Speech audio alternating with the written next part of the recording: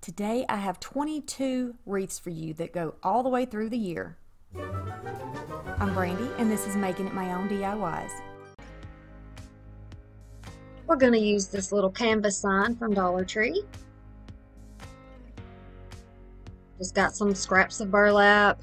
You know, I always pick up things that I might use and I might not use, so got little bits of this and that all over. Got some thrifted ribbon and some Dollar Tree ribbon. A little bit of Christmas mesh. And this is a wire wreath form that I got from Dollar Tree and I've just wrapped it with burlap. I've used this over and over again so you can see the, the glue on there. That won't matter, it's going to be covered.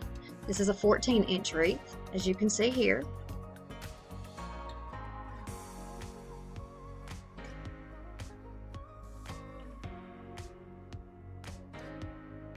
All right, I'm going to show you how to make these little mesh ruffles. And they're really just tubes. We're going to use 10 inch pieces and we're going to roll them up. Rolling, rolling, rolling. They're going to be about the diameter when you get to the end of probably a quarter. You can make them tight, tighter if you'd like, whichever way you want to do it. Just using my clips from Dollar Tree to hold those down while I get the other two pieces ready because we're going to have three pieces in each bundle. Repeat the process, tucking and rolling. And we're going to pinch them together. You can use any color that you like, any color you have that coordinates with the little canvas that you choose. And I did not measure that canvas, but it's pretty standard for what they have in Dollar Tree. Okay, so this is what you're going to do. We're going to make several of these. I'm taking these red pipe cleaners and I'm going to be cutting those in half. And I'm going to start making my ribbon bundles. So you can see here, these are eight inches of ribbon. And we're going to do one for each of those little bundles. So there's three, four, five. And then we're going to do five of the blue. You can do a few more or you can do less, whichever one you want to use. This is just what I've used. They're also the same size as the red.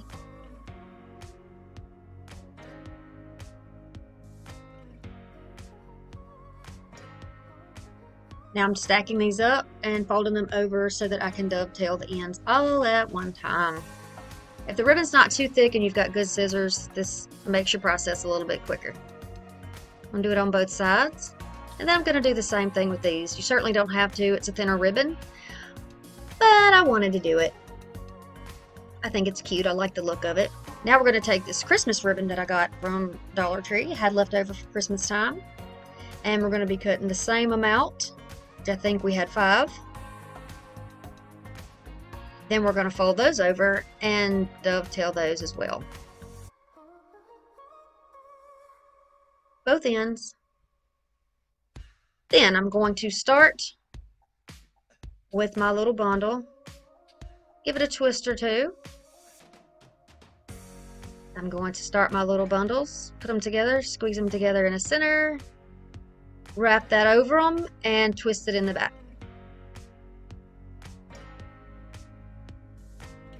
And they're really cute once they're all fluffed out. Now the smallest ribbon there does not have wire in it. That is not a problem. It's on top. It's small. It really doesn't need it. It'll stand up on its own. Going to do the same thing with the next one. You can see exactly what I'm doing. Crossing it over and then twisting those around to the back.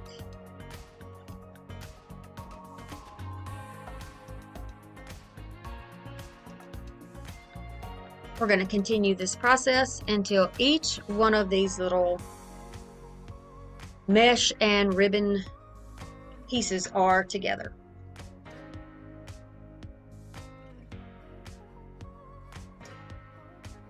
Do you celebrate Valentine's Day? Are you decorating for Valentine's Day?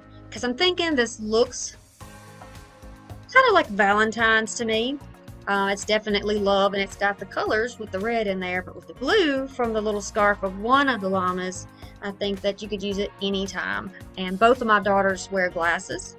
My youngest daughter is seven, and I think that this would be really cute in her room. But both of my girls like llamas, even my adult daughter.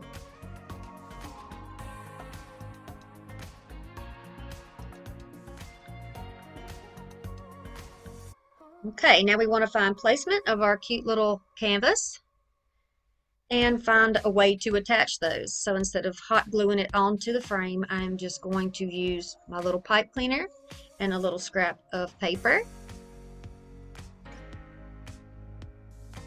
to make something to attach it with. You can use wire for this, you can use floral wire, you can use whatever you have for this. Pipe cleaners can sometimes be a little bit uh, limp and they are sometimes hard to feed through that burlap. Uh, it just depends. And the wider the weave on the burlap, the easier it is to get these in. So just kind of fool around with a little bit until you can get them fed through and make sure that you are wrapping it around one of the wires on the inside. And I'm kind of aiming for that middle wire and just feeding that through there. And then this will be on the other side of the metal ring. Pull it tightly or I'll say that I'll pull it snugly. You don't pull anything too tight. I don't want to distort the frame or the burlap by getting it too tight. And then I did the same thing with the bottom corner and just attached it down. Now we have to find a way to get these bundles on and I'm decided that the stiffer floral wire would be the thing to use. That is a, a stiffer one. It's a heavy duty, kind of a heavy duty wire. So I make it like a bobby pin or a little hairpin put it right over the center and then just twist it up on the back. And it will stay for as long as you need it to stay.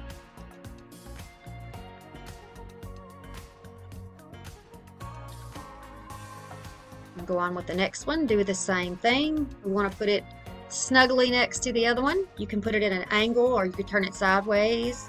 Whatever you want to do as long as you get them snugged in there together See, I turned this one a little bit sideways. You will have some freedom to move it around just a bit because we didn't use hot glue. So that makes it a, a good way to keep your options open if you want to change this around a little bit. So there are all the little pretty bunches on there and we're down to the bottom.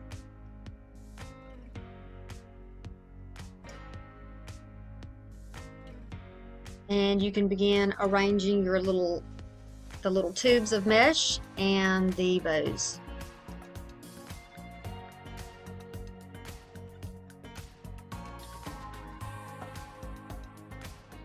And pull that wired ribbon out, kind of curl it over your finger or bend the wires so that it flares out a little bit.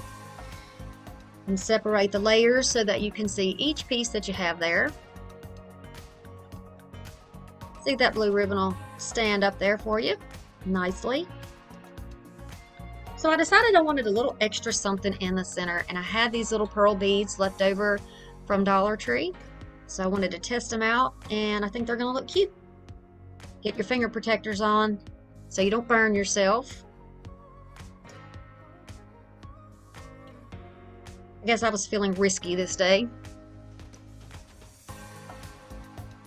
So if you're not going to use anything to protect your fingers, be super careful when you place these down. Make sure that you don't put your finger in that glue. It is hot and it really doesn't take a lot of glue to put these pieces down.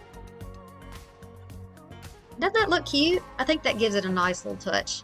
You could always use little red hearts or buttons or anything that you like there. I think this is pretty though. Brings a little more white to break up some of that red. So we're just going to put one in the center of each one of those little bundles. See, just a little glue. I want to fix it where I don't see the hole so it looks like an actual pearl in there. And I have some of these little hearts that came from a pick from Dollar Tree in the Valentine section. And I think I want to add those on there. Because those little llamas look like a cute little couple to me, I thought two little hearts would be very cute. I'm going to layer on a felt heart sticker. These also came from Dollar Tree. Just going to kind of put it, eyeball it in the center and just place that down. These are very flexible. They're fabric, so you can kind of mold them to the shape of what you have under them. I've gotten a lot of use out of this one bag of felt stickers, so it's worth your money for sure. Okay, so I decided I wanted to add a little extra something, so I'm just taking one little tube. That's a 10 inch tube, just rolled it up like with the others, and then I'm going to layer the ribbon on top. This time I'm not using the metallic red. Twisting them together with a little floral wire, dovetailing my ends. And this little bow is going to go right there by the hearts.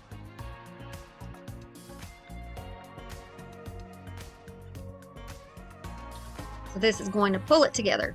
We're going to make the sides similar. Or at least coordinated. We can say that much. Now this wire is going to hold down your hearts. And at some point, since they're not glued down, you can remove those hearts if you wanted to keep them up on your wall after Valentine's Day. Easy to remove. I love to recycle and use things over and over. It's the easiest way to stretch your dollar. There you go. What do you think? So cute. One last pearl to go on that bow, and we're good to go. Seriously, this may be one of my favorite wreaths. I probably say that for all of them, but this is so darn cute. Give me a thumbs up if you're enjoying all this content. And please consider sharing these videos if you know anybody who would enjoy it.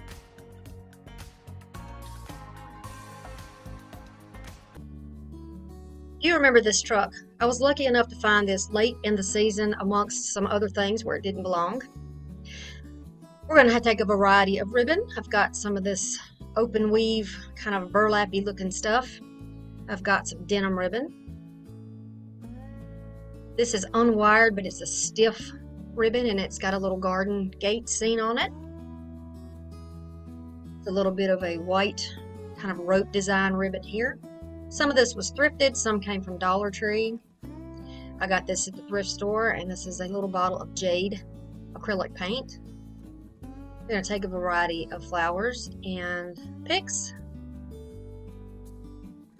Whatever type of florals you want. I wanted to do more of a spring type theme, so this would transition easily. I'm taking a thrifted oval shaped, I think it's like a 14 by 16 or 18, if you can see here, wreath. And we're going to start by working on this truck. So, it's just stapled on, the little tag is, so you just pull that out of there. We're going to pop that off, and there's a staple underneath that needs to be removed so you don't poke yourself. So I'm using my little pliers here to just get right next to that and clip it off. If you do not sand off this glittery, textured Merry Christmas, it will show right through any paint you use. That includes chalk paint. So you need to get your sanding block. This one came from Dollar Tree and go to town on it. You want to try to get that as close to the surface as you can, as smooth as you can. When I finished, I did have a little bit of texture left next to that uh, wheel over there on the S of Christmas, but it's not too bad. I think I pretty much covered it up. You're going to sand it down and then wipe the residue off.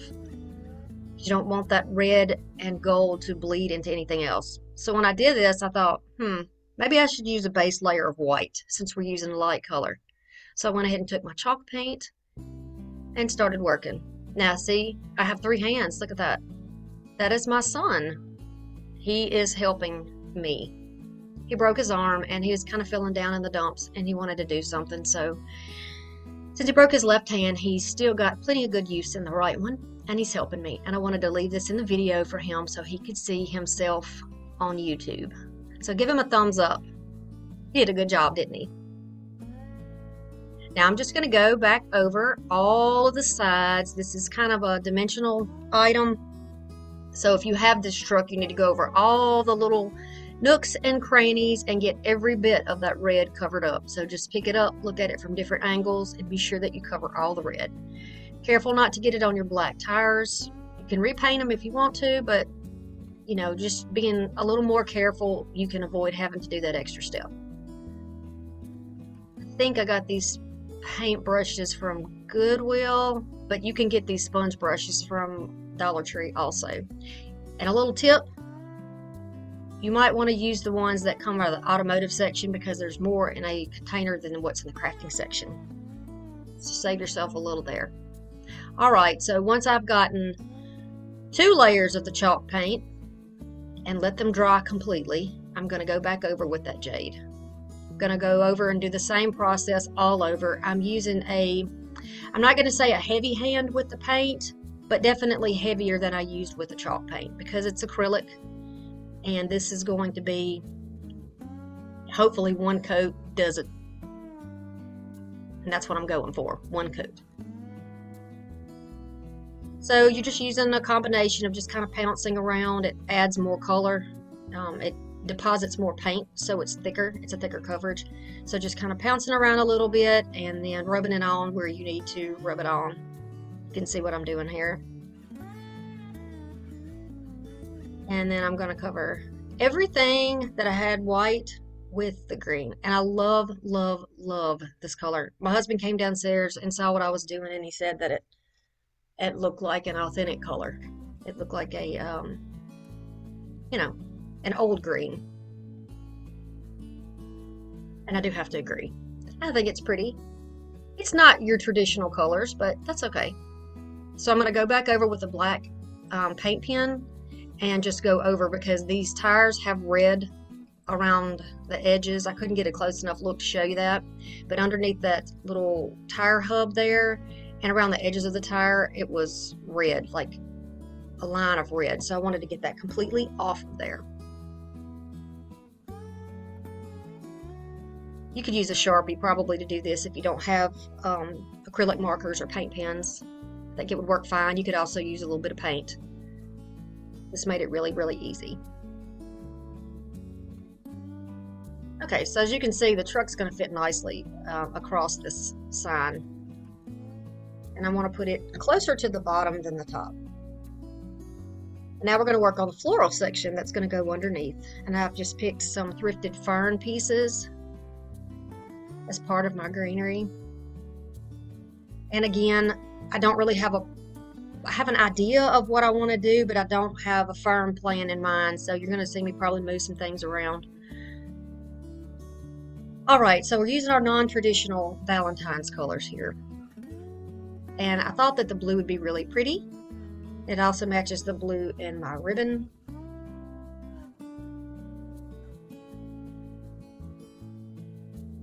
So I have the fern, the little white picks, the hydrangea in the middle and then some blue on the sides there. We are going to move on to work on our pretty bow. You're just going to take about seven or eight inches of that, overlap it on itself, really easy. You can see what I'm doing step by step. And then when you get two loops on each side, you can go ahead and cut it off. See there are two loops on each side.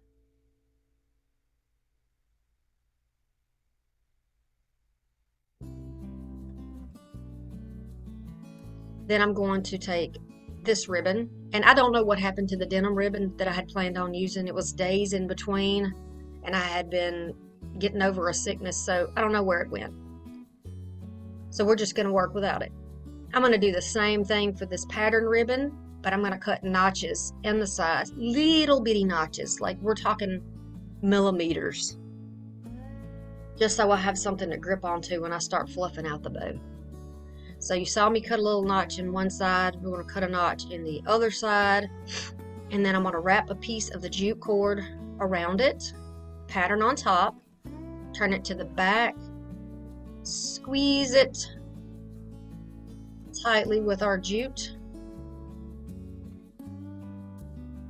and then hold it in place and tie another knot or two in there to hold it nicely together because we're going to do a lot of tugging on this bow to fluff it out. So you're going to pull the insides out and away from each other, starting on the bottom, and you're going to do the same thing on the top. Now, the good thing about the notches in there is that it will help you pull those pieces apart and they will stand up a little bit better. It'll give them more, um, I kind of want to say freedom to move around. So there you go. And see, nobody's bow looks good in the beginning. You just have to play with it. You just have to keep moving it around, see where you want it, see how far you want to fluff it, how flat you want it, how thick you want it. And then I wanted to go ahead and put a middle on here. The jute is fine without it, but I decided to go ahead and put a strip around the middle. So I just took a little length of that and I'm gluing it down and then I'm going to trim off the extra so that you don't see it. And I think that makes it a little pretty bow. It's rustic, that's what we have in my house, and so I think it fits great into the decor. Kind of farmhouse and rustic. Also, maybe a little bit on the French farmhouse side, if you will. Now we're going to make the tails. I'm going to cut off the end of the spool. There's like a little a dimple or a little I don't know, unnatural looking edge, but we want to cut that off because I want the ends of these bows, these tails, to be curly. So I don't want anything to interfere with the pattern, with the direction that they're rolling in, the direction of the curl. If that makes sense. Probably didn't, but it did in my head, I promise. We're going to take some of the burlap and some of the pattern, put the pattern on the top. We're going to pinch them together place them on the back of the bow, and that piece of jute that we had left, we're just going to tie it very tightly on the back. So now our bow has tails. Still going to look a little bit silly at first, but you'll see. You'll see what's happening in a minute. Okay. Now you put yours in the center if you'd like. You can put yours to the side if you would like. On either side, it doesn't matter. I'm just going to thread this pipe cleaner through my jute here and then use this to attach it to the wreath. Now, if you don't want your jute to, your uh, pipe cleaner to show, you need to put it through the inner surface, not around the outside diameter of the wreath. So just kind of feed it through the vines there. This may be a grapevine wreath. I think that's what this is called. So you see what I did there, and then you're just going to pull it to the back kind of give it a nice tug to make it secure and then twist it and just tuck that back inside. No one is going to see this. This is not the type of wreath that you would hang on a glass door because you'll see all your hardware and you don't you don't want to see all that. This is the type that you would want to put on a wooden door or hang on your wall. One-sided. So, I'm not going to glue my truck because I can just tuck it right in amongst the wreath, right in the vines, and it stays nice and secure just like that.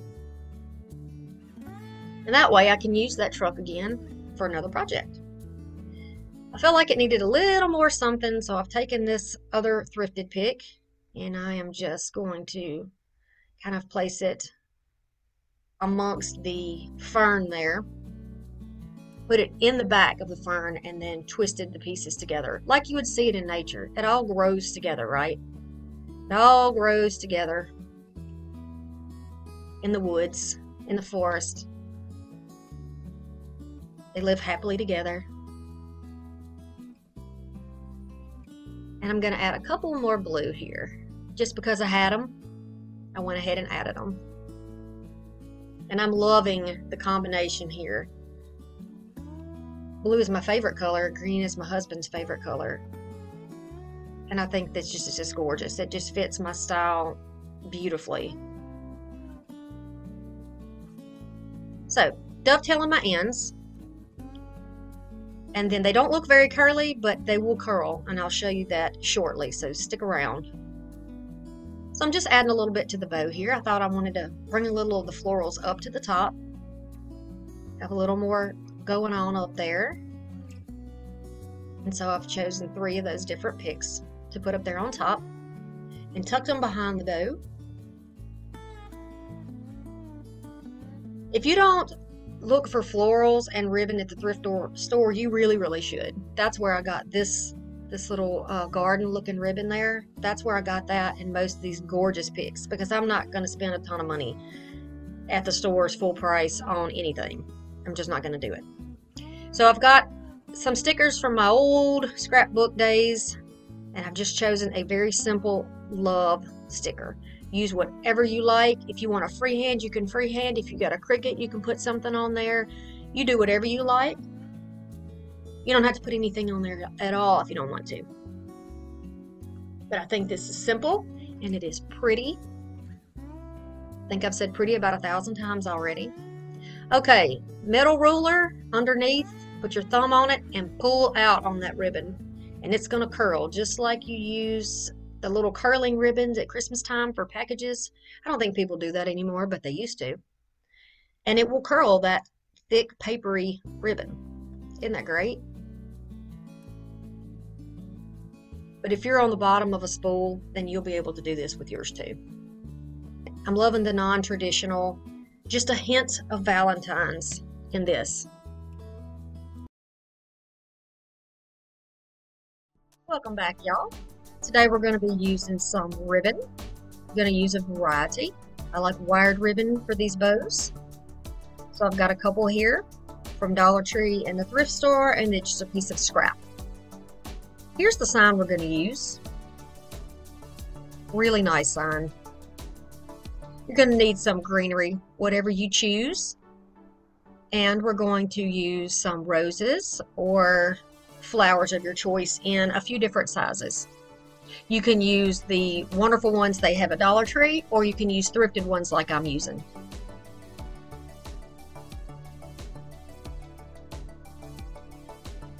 And you know, I always show you a variety of stuff. Some of this I might not use, some of it I will use, and then we'll be adding to it.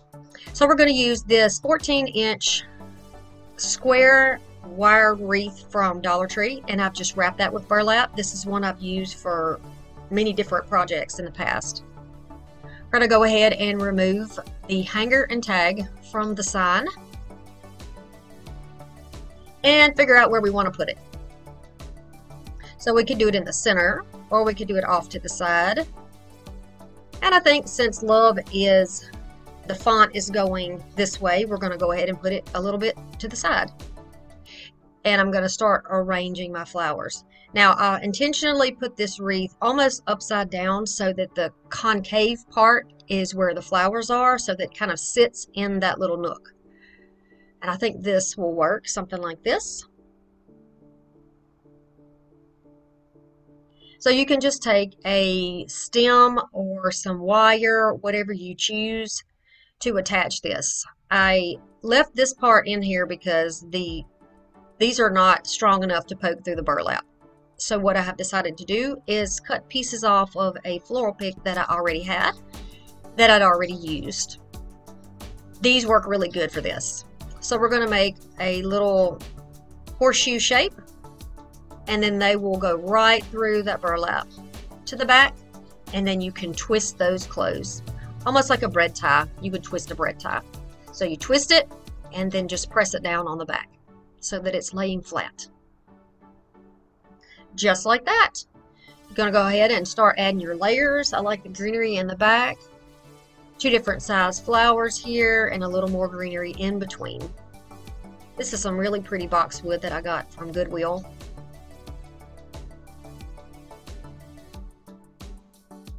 I think it's appropriate for something going, you know, close to springtime because it's some a little bit of light green on there with the dark green, almost as if it is starting to open up and starting to grow.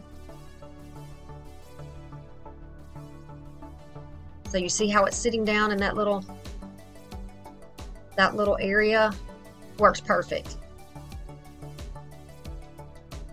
And you're just going to keep layering down here. And I'm going to even up my stems, get those out of the way because we don't want those showing. And in order to keep the stems from showing all together, we're going to flip one of these around and then put a little glue on there and stick it down. Or you can use another one of those wires if you like. So I'm looking at my arrangement from all angles like I always say to do and I'm going to add a little here and there until I get it the way I want. And to me, it looks like a little bouquet on the side, which is fitting. Flowers for Valentine's Day, right? All right, so this is how I wanted to do my heart. Again, I'm making sure I get it where I want it. Then I'm going to add some of these fuzzy stems on the back with some hot glue and a little scrap of paper. This is going to give it a little hanger so that it can easily be removed and I can use this wreath again for another project if I want to. Kind of eyeballed it to see where I need my next attacher. And right there is going to be the spot. You can get your glue sticks pretty much anywhere you want. Right now I have a pack of Gorilla Glue sticks that I got from the thrift store, so that's what I'm going through right now. And I'm pleased with them. They work really well. But the cheaper ones also do a fine job. No problem. You can definitely get them from Dollar Tree in the crafter section if you like. Keep your spending down. Now we're just going to poke those through. They're not the easiest. Like I said before, it was kind of difficult to do the flowers, but just keep working with it and it'll go through here. Or you can use floral wire if you want to. That might be better. So I'm going to take this bow maker that I made and I'm going to start making my bow.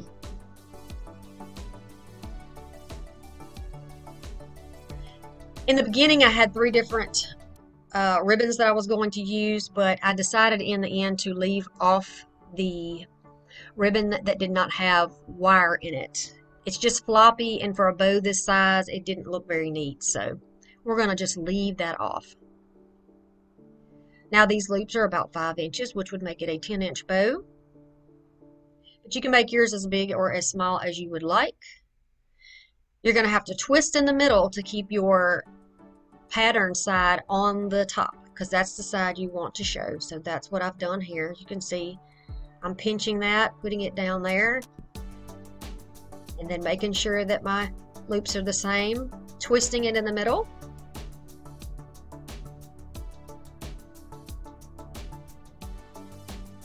I'll leave the video in a card for you so you can see how to make your own bow maker if you would like to go watch that after this video. So I have two loops on each side and I have a short tail underneath and this other tail on the top. Now I'm going to layer with a bow that's going to be an inch smaller. Each loop will be an inch smaller, so then I'm, this would be approximately 8 inches. And I'm going to do two layers. And since this is not printed, it's the same on both sides. It's much easier to do. You just keep putting it through there. You don't have to twist anything. Then we're going to cut that tail off. And there you have it. Going to take your tie and look, I used a piece of cord and broke it. So I had to get my stem and wrap it around there. Doesn't really matter what color you use because you won't see it. So if you got leftovers from Christmas, you can use that. To dovetail my ends to give it a nice little finished look. You know how to do that. Cut from the outside upward. And then twist it make sure that you get your the printed side upward. You don't want to see the back of that. You want to see the front. And then you can start fluffing out your bow. And it's going to go right off to the side there. I'm going to take that stem and just, that wire and just go right through that corner piece of burlap, twist it on and poke it through the back. Again, no glue on there means that we can use this wreath again, the form again for other things. So I'm just cupping under the edges to give a little more volume. And there's our pretty bow. I'm going to make this bow extend a little bit or appear to be extended by making some tails to put in the opposite bottom corner. I'm going to show you how you do that. We're going to take a piece of that white and red and then we're going to take another piece of the burlap as well. That's about 12 inches, maybe 14 inches. dovetail your ends. It's just easier before you get started if you want to do that. If not, you can attach it and then do it.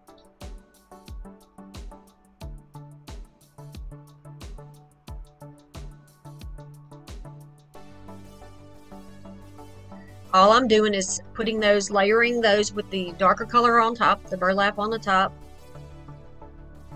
See, I'm going to show you how that you just pinch that right in the center, just folded it over to make sure it's actually the center, and then bend it in half. That keeps both of the pretty sides upward. That's what you want to do. Same thing here. Fold it over, Walk your fingers toward each other, pinching it in the middle, and then kind of pressing downward. Layer those up. Gonna get a piece of floral wire or a piece of um, the chenille stem like this. And you're just going to pinch it and then twist it so that you secure it in the middle. This is going to attach those two layers together and give you a little something to put a dot of glue on so you can put it down there in the bottom. It just extends that pattern through the wreath. So see here on the end, you just put it there on the bottom, tuck it underneath with a little bit of glue. You don't need a lot. I was running out in my glue gun, so it looks like I put a lot on there, but I didn't and just attach that straight to those stems. So that's extending that stripe that's in the bow, that's in the wreath, that's in the uh, sign there, and on and through the end of the wreath. And I think it gives it a nice look.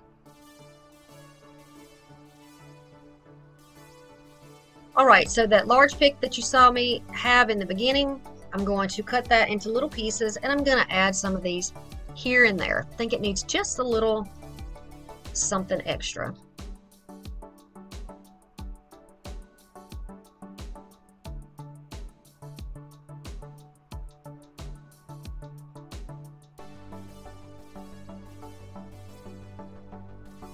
And then I wanted to add some up here to move that floral over to the other side. Give it a little extra something. So I have a little piece of the boxwood and just a little bit of that spray of flowers there. So go back through, trim the tails if you need to, uh, curl them under, flag them out, whichever way makes you happy, and complete your wreath. But I'm back at it, and I've got lots of things planned. No more winter material for me, but we have plenty of things coming for Valentine's and for spring.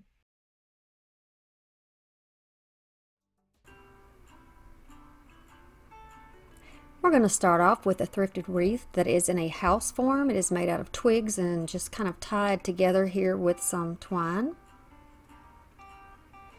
This came from the Dollar Tree. It's a little canvas. Very cute. I have a variety of florals. These came from the thrift store. And the little roses as well. These beautiful pink tipped eucalyptus also came from the thrift store, as well as this bouquet of flowers.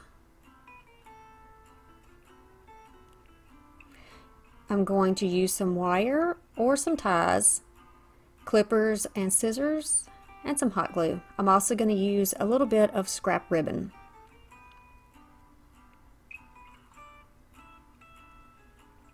I'm just taking a good look at this bunch of flowers to see which ones I want to use.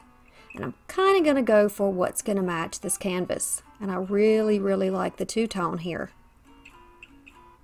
The foliage is fall themed, I think, um, but that's easy to take off. I'm not going to be deterred by that. These match as well, and the little red roses do. It all coordinates nicely. Just going to start by taking my picks apart and taking them stem by stem. I found that it's easier to work with this way. I'm going to do the same thing with the rest of my flowers. I want to take the opportunity to welcome all of my new subscribers. You are very welcome here. I welcome conversation and questions.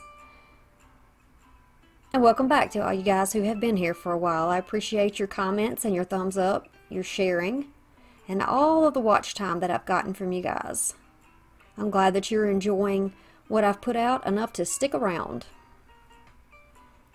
Okay, so now we're going to move on to what we're going to do with this wire here.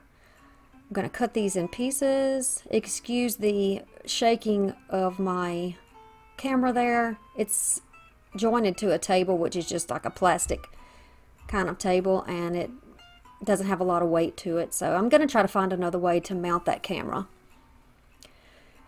so that's a little more stable for you. Sorry about that. So I'm just going to place these down and because these are twigs in this wreath, it's really easy to just push these down in here. You know I like to use my forms over and over again. So this way I can easily take it out. I use very little glue in this project as far as on the wreath itself. Now I'm going to have to find a way to attach my little canvas on here. It fits nicely. But I want to make sure that it doesn't come loose. So I'm going to make little hairpin twists in these wires, in this floral wire. Simple, simple. You can see what I'm doing. I'm going to add some glue in the corners with a little piece of scrapped scrap paper. Be sure you guys give me a thumbs up if you enjoy anything that you see in my videos. It really helps my channel. We're going to go on and do this to all four corners.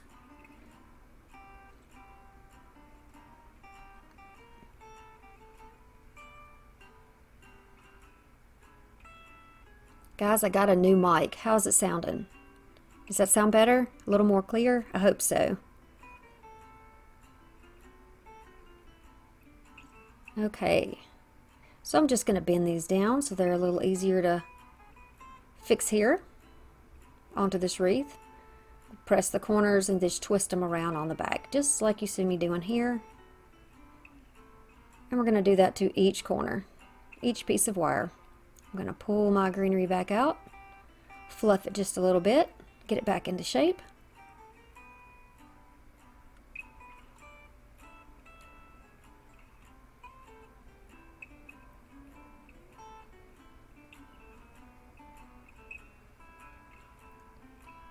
We're going to take a few pieces that I clipped off to just fill in where we need a little bit of extra.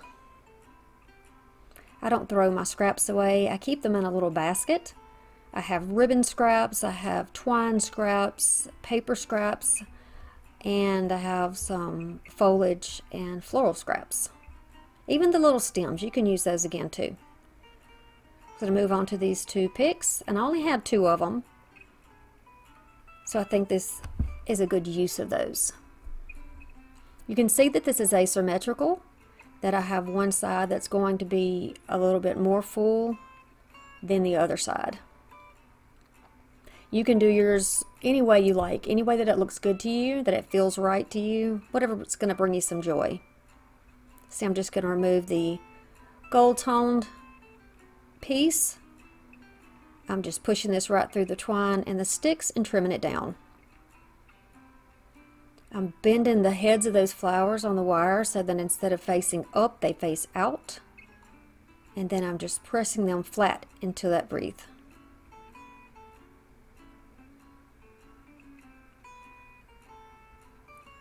Keep trimming where you need to. And then you notice here I'm going upside down toward the bottoms. This is because I don't want the stems showing. I don't want um, blank spots here. So this helps. And it also helps extend your floral arrangement downward. And I like that look. But again, do whatever is pleasing to you, however you like that. You could always cover up the ends if you can if you see them with extra little pieces of greenery that you have.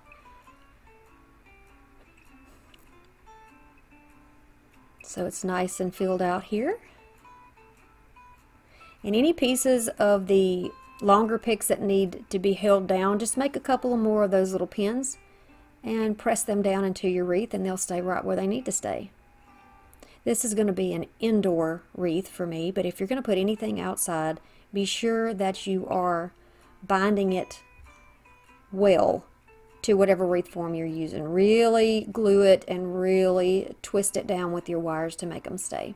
And see, here's some more little pieces I had left. I'm just going to go back in and fill in where I feel like they need to be. Any bald spots, any thinner spots, whatever looks right. I always try to look at my projects from every angle. I know you've heard me say that before. And then I just go back and add whatever it is that looks like it needs to be added to kind of fill it out. And if you put it on and you don't like it, just pull it out and start over. It's just a little, little glue, little piece of wire, whatever the case, and it can be taken off. You can fix it.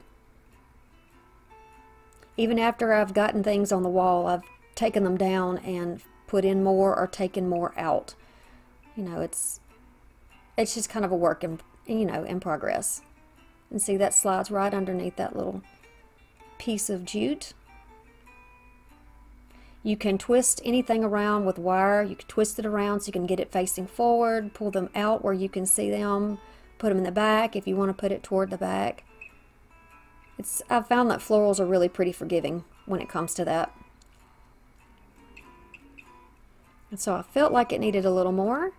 I've just clipped off another piece from another pick and just added that in the side. I like that it is kind of wild looking. I don't have a problem with the hang over and the way that it sticks out on the top. I mean, in nature, nothing is perfect. Or maybe it is perfect in God's eyes, but, you know, to us, sometimes it doesn't look symmetrical and we want to keep fooling with it, but I think this looks wild and rustic, and I, I like that. I think it's very cottagey with the colors and the feminine, um, kind of a feminine tone, I think, in this wreath. Simple little shoelace tie with this ribbon which I love, and it came from Dollar Tree also. I've bought several spools, and I am using it a lot. Just going to use a little hot glue right underneath the canvas and placing that down. And there you have it. What do you think about it? Do you like the color theme here? I've noticed Dollar Tree has a lot of these little canvases and you can pretty much pick whatever color you want. They even have some beach themed ones which are really gorgeous. I do thrift flips and Dollar Tree and inexpensive clearance item um, crafting. I'm going to start out with some ribbon. I've chosen mine from the Dollar Tree. One is bigger than the other. I have some burlap and these are in about six inch, five or six inch rolls. These are Dollar Tree picks of lavender. And there are two different colors. There's a dark purple and a lavender, a lighter purple. I also have these thrifted picks that came from another arrangement. I pulled them out of. And they're kind of, they look like lavender, but they're on a vine. And then I just have some leftover pieces of greenery. And a wired wreath that has the little pine wraps on it this is a dome shape wreath and it's about 16 inches. So I'm going to take this Dollar Tree picture. It's wall art. I think it's really nice picture. And I'm going to take it out of the plastic wrapping and I'm also going to remove the glass from the front. Put everything back in. The main purpose of removing the glass is so that there's no glare during the video, but you're welcome to leave yours on if you'd like. I'm going to take this thrifted, I guess it's uh, just a frame type wreath base, and I'm going to pull all of my pieces out to make it easier when I start wrapping. So I got this at Goodwill and it was kind of all mashed up. I'm going to pull these pieces out. Now I'm going to take 10 inch loops here of this burlap I'm going to bundle up the end, press it all the way down, and then wrap my little wire pieces here two times. I'm going to measure again 10 inches, make a little poof, and then go to the next one. And we're starting on the outer ring. Two wraps, and I'm going to do this all the way around bottom rim of that wreath.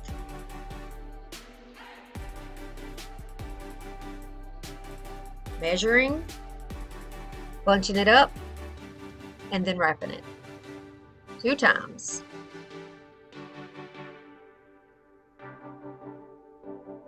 So here we're at the end of that bottom row. I'm going to make that last poof on the bottom, twist it in, and then we're going to jump up to the next level. So I'm just going to go right up top there and place it in the center.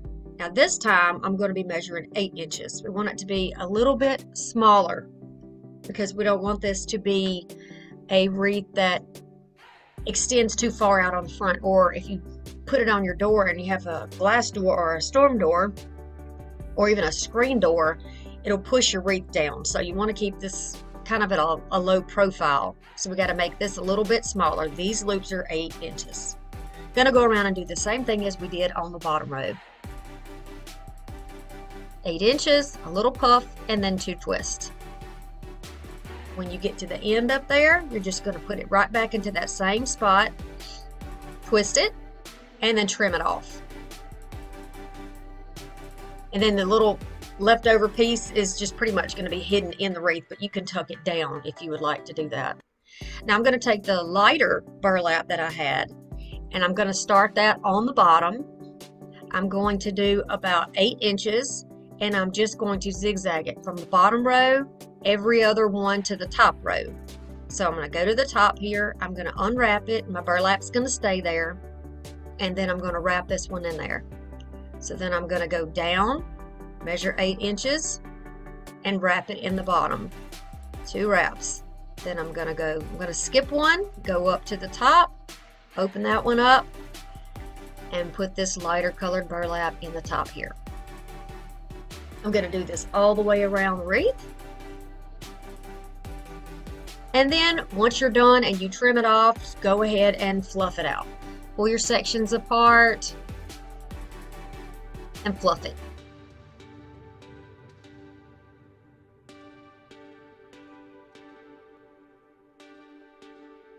And that's what I'm doing. I'm just pulling stuff and tucking stuff. Now we're going to look at a choice of colored ribbon here. Whoops. Pop the back right off of that. These are wired, the two smaller ones here.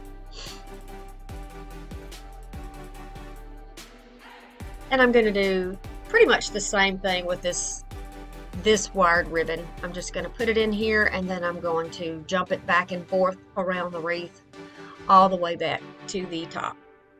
I wanted it to be a little bit more full. And the idea is, since this is pretty much used for Christmas, this type of a pine wreath, I want to be able to cover up as much of that evergreen as possible for the look of this wreath. And you can do that by bulking it up with ribbon and extra whatever that you're using. Ribbon's an extra roll of burlap, another uh, maybe a colored roll of burlap if you had something that you wanted to use.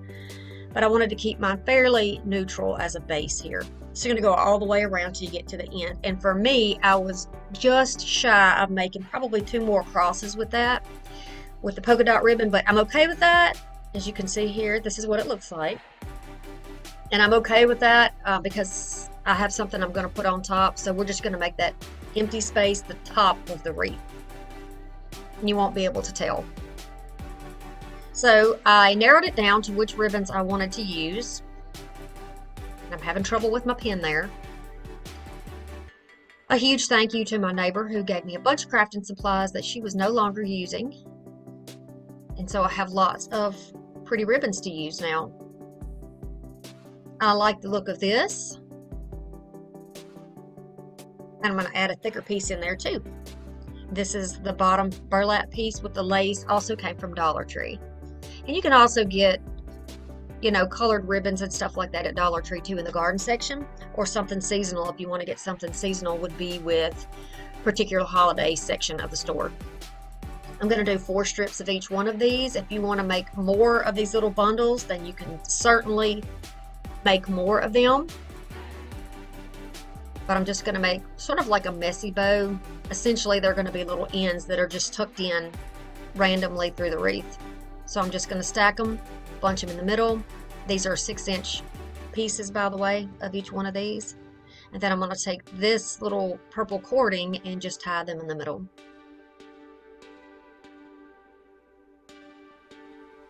We'll do that to each one. I like to alternate my wired ribbon with the ribbon that is not wired because when you do it that way, you give some lift and some body to the little bundle. And that's what you want. You want something that's gonna kind of hold up your, your area there and give it some dimension away from the body of the wreath. So I'm dovetailing all my ends, and this is what each little bundle is going to look like. Can kind of lay them out and see where you want to put them when you're done. Get an idea of what type of placement you like. Okay, so then we're going to put something to hold this onto our wreath. Hot glue is not going to be an option for me because I intend to reuse this. So we're going to give it a wire backing and we're just going to attach it to the wreath with these little pipe cleaners. I just went through the original hanger on the top to do that, get a little more support, and then on the bottom I just added a little scrap of ribbon. You won't be able to see the back because it's going to be down into the wreath. So the top section that doesn't have that extra ribbon is where I'm going to put the top of that um, wall decor artwork and then fasten it down underneath to the frame of the wreath. And see here, it's down on the frame. Flip it back over do a little fluffing, a little arranging, and then you can take all of the evergreen that is left in the that is kind of sticking out that you'd used before and tuck it down into the wreath. Now I'm going to take these picks and kind of decide where I want them to go. I took a bundle, cut those peaks those picks apart. I lost my footage. I'm not sure what happened. But I cut those picks apart, I randomly stacked them on both sides and then wrapped them in the center with a little piece of that eucalyptus pick and that's going to be what we're going to put on the bottom. And so all of these little vine pieces are what I want to put around the sides. Nothing is glued down at this point. It's just where I've kind of done a dry run here. And when you're preparing to put these down, you can use them to help hold your anything that is flying away, your little flyaways. You can hold those down with the glue and the ribbon. So that's what I've done. I've just kind of tucked them like they're growing around randomly through the wreath. And I'm using my bow to help keep them from falling too far away from the body of the wreath. So I've just put some hot glue down placed a piece underneath, and then glued it on top. If you made more of these little bundles, you could go around the outside, like toward the bottom, if you wanted to. This is just, this video is for inspiration for you. You can decide, see there, how we're putting that, how we're going to put it. You can decide, you know, what works best for you.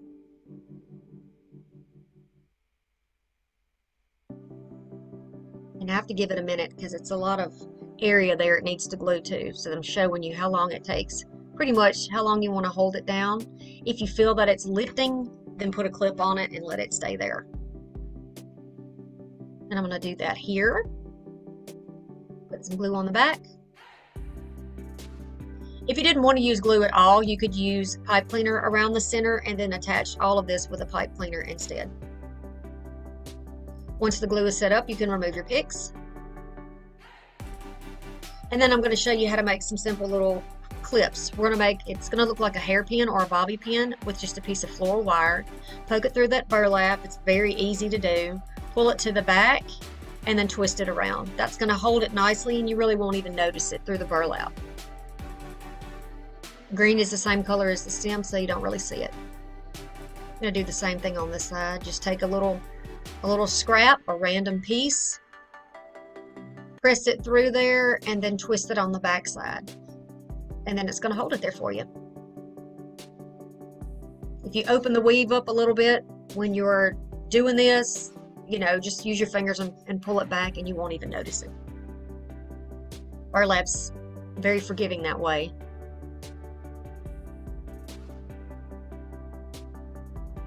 These have a little bit of wire in them. I'm just kind of working with that. Now we have to put something on the top.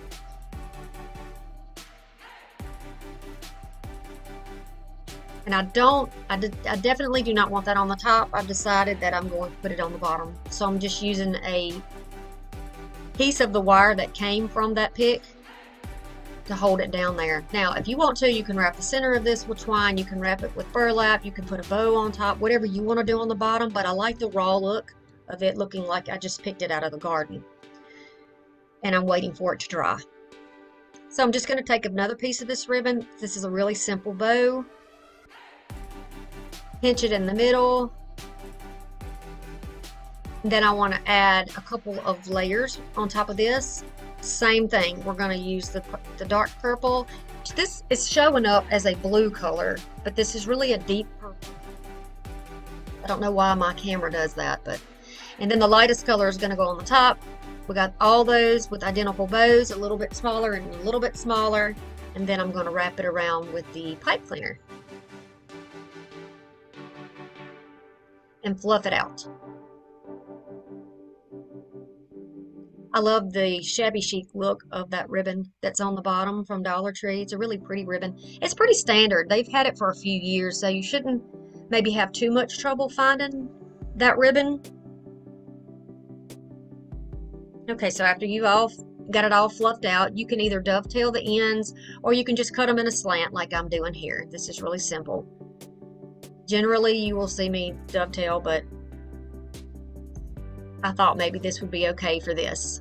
And I don't want it to be too long of a bow. I don't want the tails to be too long because I don't want to obscure my picture that's down there because it's, it's the whole point of this wreath is that gorgeous picture.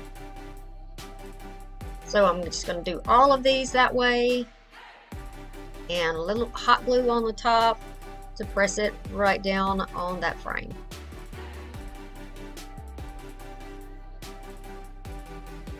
Now to add a little more to the top of the wreath, since we it's kind of bottom heavy right now, even with that bow on the top, I want to add a little bit of greenish. So I've just cut some pieces off of the picks that I had left and glued them in the top.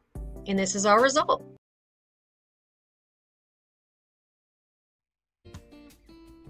You're going to pick out some greenery that you would find on a walk in a forest or in a park. A lot of this was thrifted and some could have come from Dollar Tree at one point. Been in my stash a while, so I'm using what I've got. Things that look like you would see them in the spring. Okay, and then you've got this cute little sign. I have sanded off the glitter and I have roughed it and scuffed it up on all of the surfaces here. So on both the carrots, and I'm going to do the same thing on his face.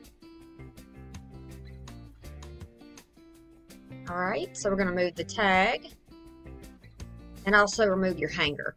I'm going to take some of this wired burlap ribbon from the Dollar Tree and this one as well, the polka dots. Love this. Here's some thrifted ribbon that I got from the thrift store. I had put it back in my stash for Halloween, but it's perfect for Easter. And then this pretty green. These have the little tags with the little pointy plastic things on them, so you can just push those out. You don't even have to cut them. You can use pliers to remove these, which I started off with, but they come out super easy if you just pull them. But be careful, those little staples are very sharp. If there's any pieces left in there, go ahead and cut those off. And then, this isn't necessary, but it was necessary for me. I had to have those backs sanded down. And when you sand them, it's so satisfying because the little holes just disappear completely. I don't know if you're into that kind of thing, but it, yeah. My kids have got me into those satisfying videos with all the gel and the and the goo and yeah, I watch it with them. Okay, so going right along here with the sanding, we're going to take all the little edges mainly off of this bunny because I'm going to add something and I want to be sure that we can age this bunny a little bit more. He's already pretty rustic looking, but I want to add a little more age to him. It just softened the look of the black lines on his face and on his nose.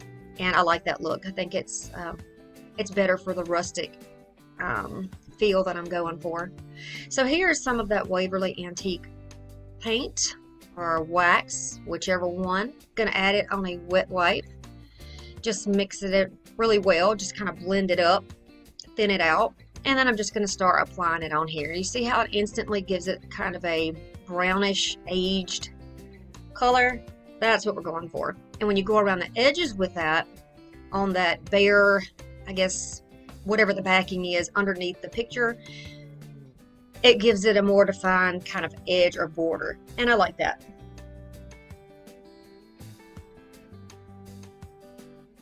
All right, so with my thrifted wreath that I've had forever and repurposed several times, you guys have got to do that. You really can save a ton of money if you just repurpose your items from season to season. You'll see me not using very much glue, mainly just putting these pieces in here um, in the wreath. That's the good thing about these vine wreaths too. They really hold on to your stems. You might consider if you're putting it outside where you get a lot of wind, maybe using some wire or something to hold it down in there, but it can still be removed and you can still use your wreath again. So I'm just going to put the main weight of the greenery to one side of this wreath. You can do it any way that you like. Then I'm thinking about where I might want to put my little sign. I'm continuing to move around the greenery here and there. Now these I think are supposed to be magnolia leaves. I can't quite remember what these are. This dark green, smooth looking piece. It bothered me that the green was flipped around and it looked kind of cheap. So I'm just trying to move it around where I can get the dark side on the outside. I'm going to take these picks of fern and put these in here. Uh, it is my understanding that you can get these like a, a cheaper version of these fern picks at Dollar Tree. I haven't seen them at mine. Um, so guys, be sure that you are checking out your thrift stores for florals and for greenery because I'm telling you, I have gotten some beautiful, beautiful pieces just right out of the thrift store. And when you use the Goodwill outlet, you pay by the pound. So you can really save a lot of money and get a ton of florals. They're so lightweight. And believe me, I get a ton every time I go. My basement will prove that. Just one walk through, and you would see I have a wall of florals and greenery. Okay, so I'm just going to straighten these pieces out. They've gotten kind of bunched up. I want them to look a little more lifelike, so I'm just going to bend them apart, give them a little airiness, and let those be our little flyaways.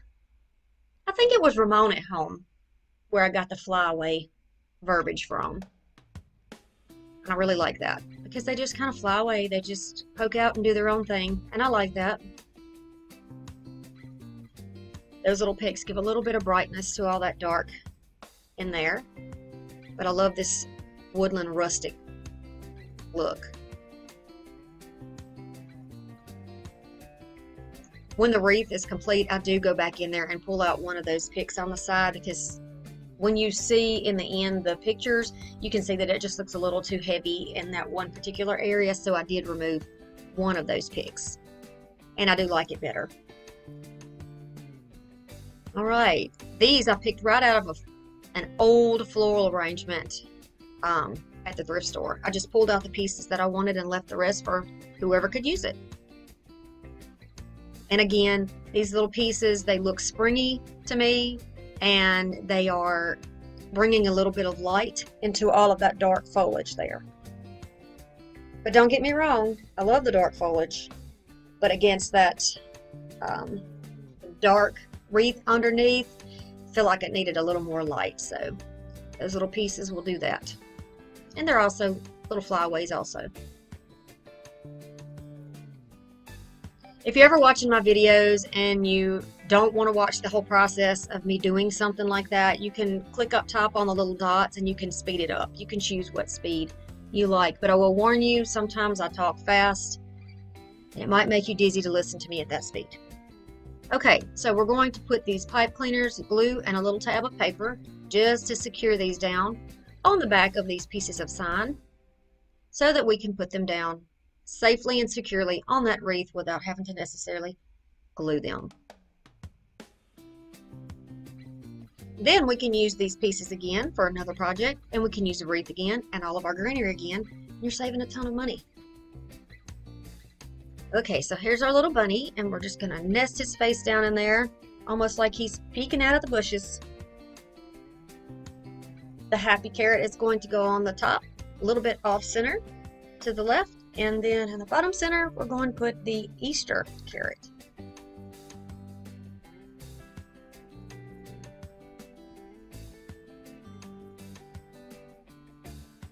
All right, protect your fingers. This is a mesh, it's burlap. That glue will go right through it and cook your little fingers and take your fingerprints right off. So be sure that you are using something to protect yourself so that you can live to craft another day.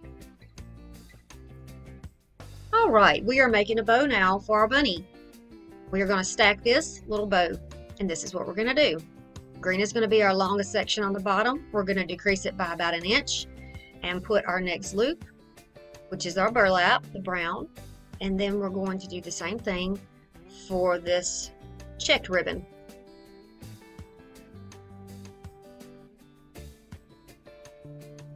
Okay, so here we go. We just put them together like that, and it's going to be a stacked bow just like that. Now we need something to go in the center. We're going to tie it down, and then we were going to add a centerpiece over that, which is the part that you could skip if you would like. What I'm doing now is just kind of folding it over, trying to make sure that I'm in the center before I make a tight tie in here. If you make a little bit of a looser tie, then you have a little more flexibility to move those bows around so you don't have a lopsided bow. Okay, so we're going to make a loop in the middle. It's going to be the center of our bow.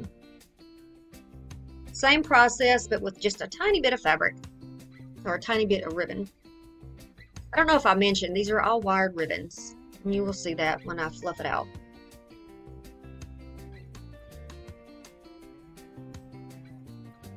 This is why we like wired ribbon.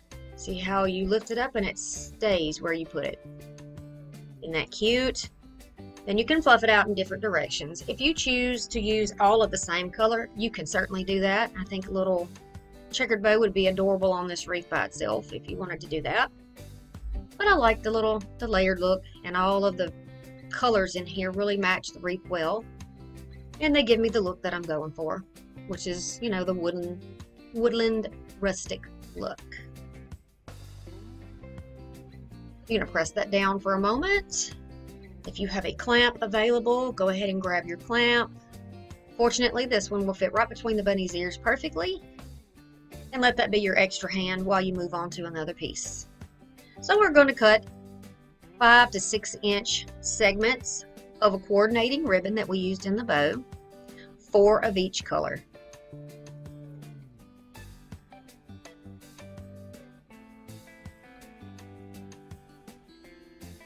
And I made it right to the end of my ribbon. So you know what that means? Yep, I'm going to have to go back to Dollar Tree.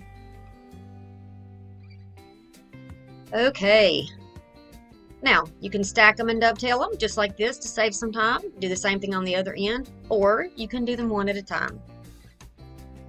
Now I'm going to go in here with my orange and white. Cut those off too. Four pieces, just as before.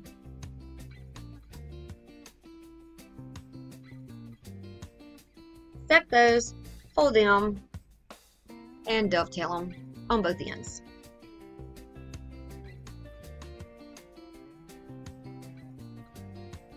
Oh, I didn't use green. That's right. I was out of green, so I just used these colors. So you're going to have four of two different kinds. This is a really simple, simple little part. You're going to take your pipe cleaner, cut it into segments. I cut mine into thirds.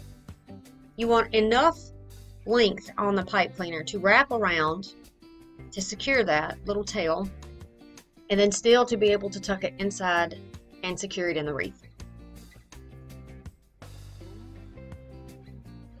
So now you can bend out your little tails whichever way you want them. And this is what it's going to look like. We're going to do four of these. I pull them down in the uh, the loop, you know, the uh, bent section. I pull them down tightly with my fingers See how I pull them tight and then I twist. Twist them tightly so I can manipulate them and twist them out and fold them without them slipping out of the wire. So you want to do this pretty tightly. You can use floral um, floral wire for this if you don't have any pipe cleaners. And you can certainly use you know, a different color if you want to. Maybe green would be good. It would probably disappear down in there. But the way you fluff these out, you won't necessarily see them. So I'm going to seat these down in just some random areas in the wreath. If you need a little bit of something to hold it, go ahead and add just a dot of glue. A little bit goes a long way with hot glue.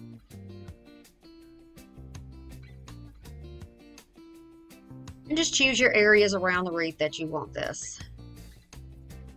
Looking back, the bow that I'm putting in now probably should have been a little bit lower down. Um, if that other piece, that piece of extra greenery was out of there, greenery, hmm. if that piece of greenery was gone, but that's okay. I think it looks cute the way it is, and then I'm going to add one right here. And this is what we have. What a wonderful way to spruce up a $1 piece of decor. I had everything else at my house. This literally cost me $1 to make. Everything else was in my stash. Okay, flip number two. We are taking this one solitary napkin that I found at Goodwill and this embroidery wreath, this thick wooden large wreath, and then I have some thrifted ribbon and I also have some ribbon from Dollar Tree.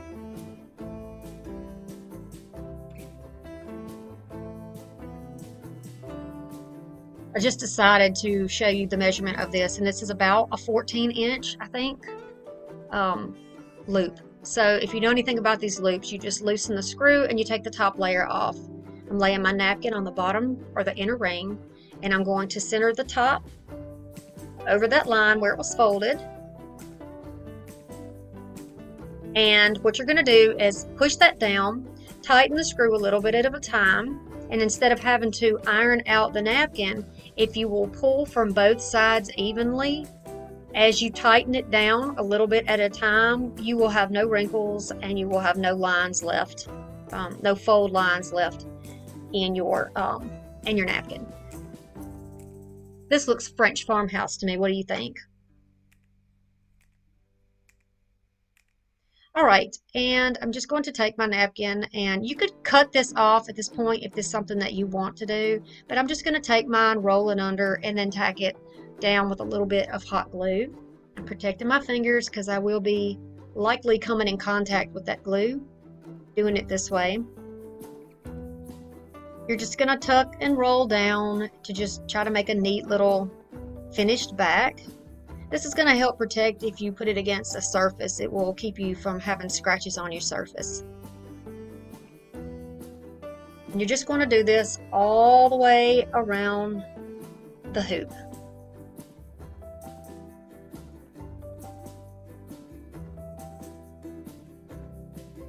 You know, at first when I got this napkin, I was disappointed because I only had one, but then I thought, hey, when I saw it with that crop, I thought, yeah, I know what I'm going to do with that.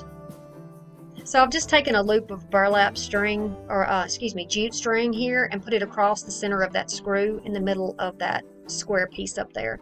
Not all the wreaths had such a thick um, block up there, but in this case, it's a good thing because it's going to give me some place to put the bow that I'm fixing.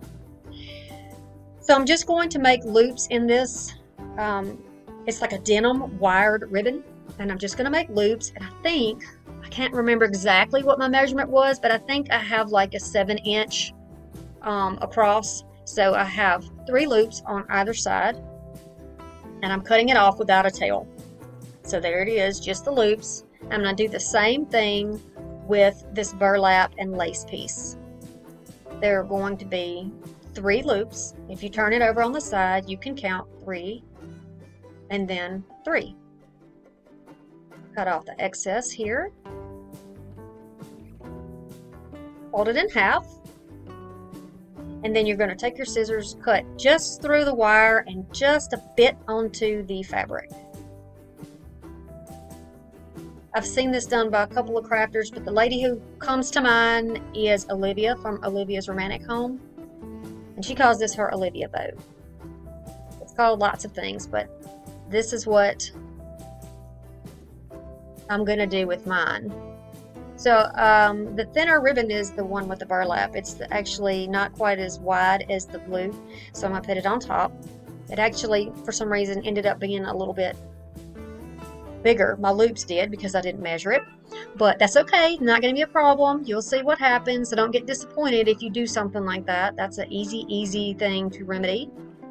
I'm going to tightly tie this. You can use a pipe cleaner for this, or you could also use a zip tie if you needed to.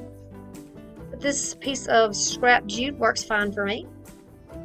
Tying a knot in it, and I'm going to start by pulling out the inner loops of each one. And because you cut it, you'll be able to pull it away and out. And it helps for each little section of that bow to stand up nicely. It gives it a lot of leg room to stretch out. We're going to do this all the way around and the same thing with the top layer.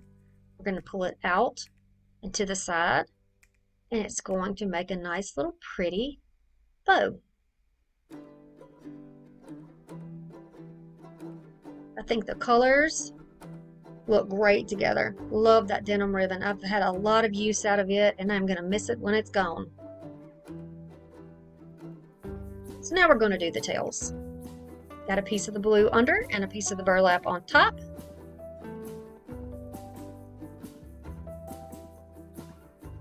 Just going to look for our center point. Going to kind of bunch it up there. And then tie it also with a piece of jute. Always know that you have options. If it came down to it and you had nothing else, you can use a twist tie from a bread loaf. You know? We make it work when we craft.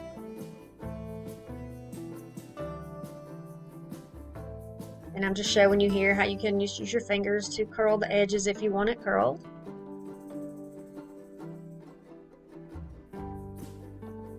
And see, this is where the block up there comes in handy. We're going to have lots of space to put our bow. You can do any type of bow you like. If you want something more simple, you could do like um, a shoelace type bow or just a, a two layered bow. Maybe you would want to do a bow with just one loop on each side. So hold that down for a bit until it's dried.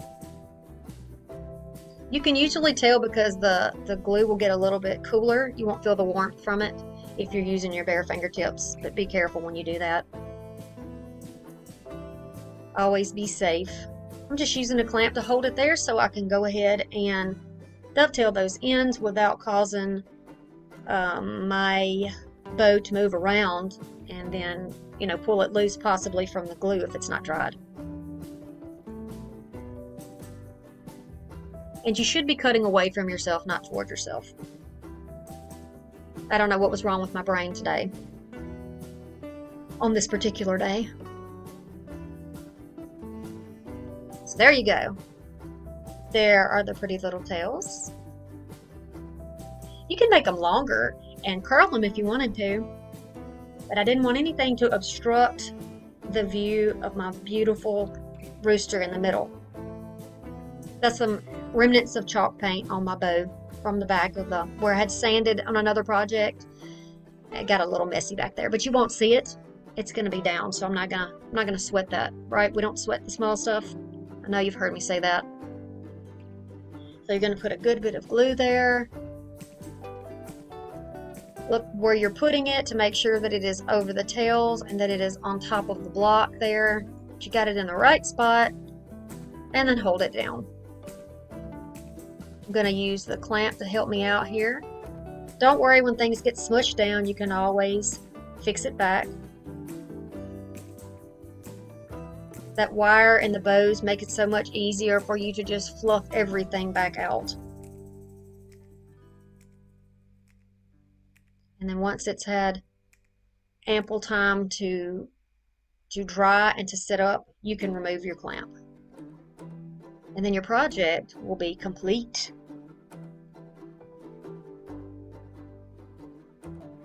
Isn't this great? This could be in your house all year long. I love it. It's especially going to be nice, I think, through the summertime.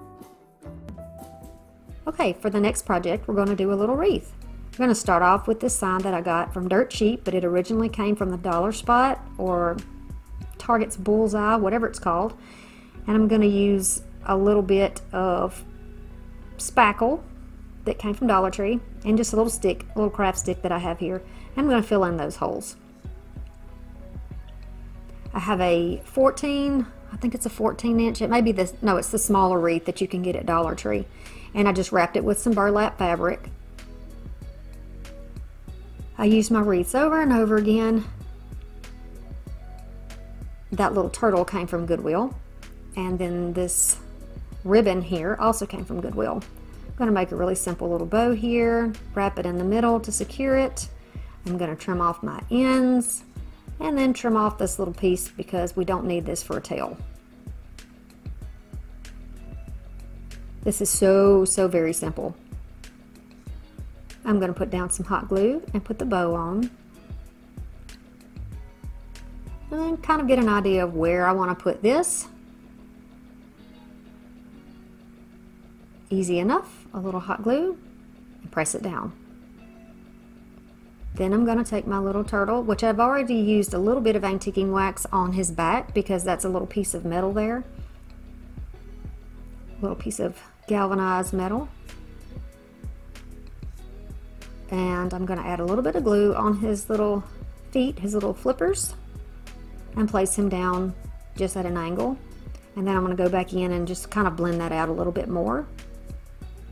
This is a bow that was from a project that I did from my patriotic DIYs and I saved it of course. And then I'm just going to add that on there too. I'm going to take the little greenery pieces off of these thrifted flowers because they look to me like something that would be in the ocean like seaweed or kelp or something that would be found on the ocean floor.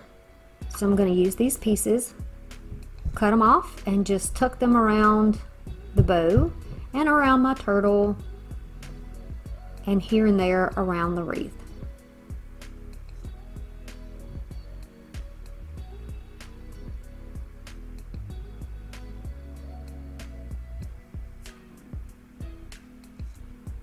If you're new to my channel, I'd like to give you a big welcome. I hope that you subscribe if you like my videos.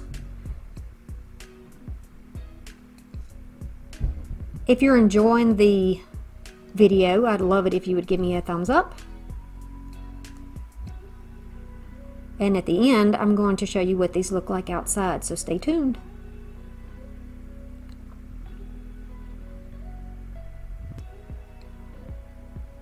This is so easy to do. I want it to look like it's under him and not blocking the sign, so I'm just tucking it underneath. Things will glue very easily to that burlap backing. That's one of the reasons I love to have it on my wreaths because it's so easy to work with. And things just stick to it really well. All kinds of embellishments and ribbons. So when we leave the house, if we go to the beach or if we go out to the lake, I can put this up so everybody knows we're not home. Find me at the beach. Here's the second one, our pretty little at the beach wreath.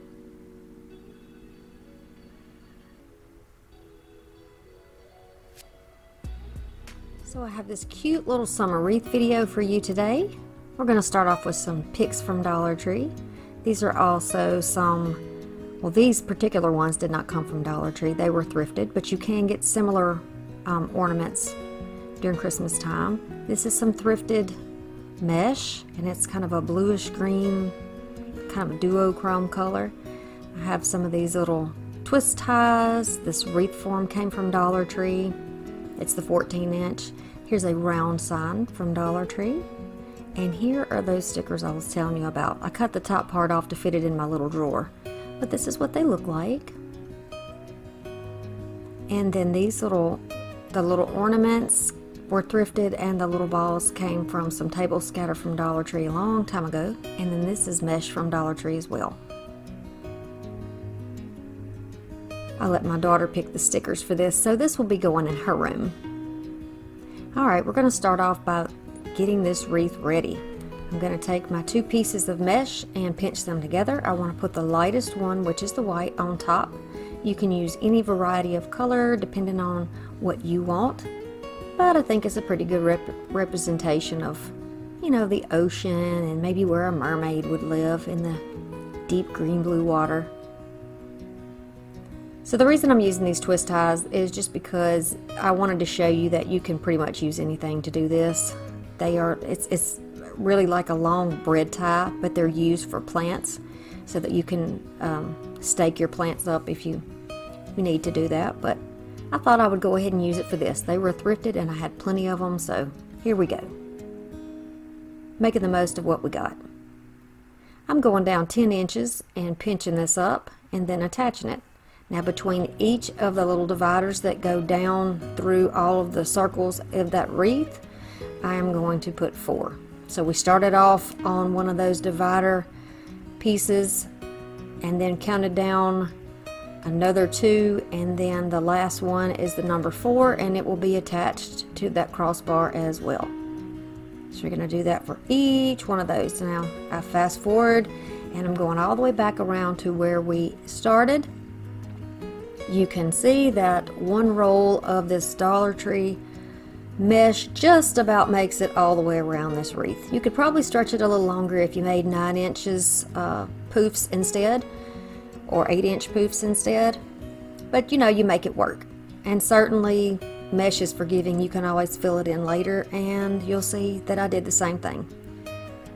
So we're going to go all the way back to where we started from, put that down, and when I run out of the white, I'm just going to continue around just making those poofs with the bluish green color I have there.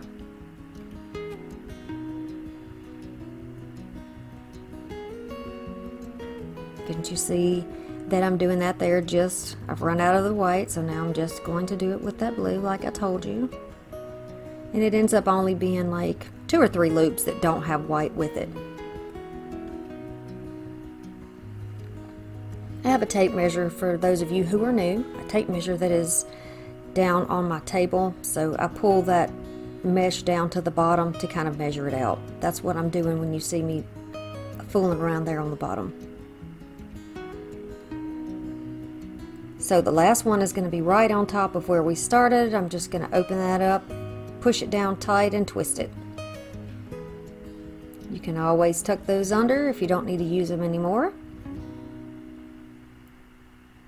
Then I'm going to measure 8 inches, go up, I'm going to skip one ring and go to the next ring, and I'm going to start there and do the same thing. It will be 4 on each of those, go all the way around just like I've done here.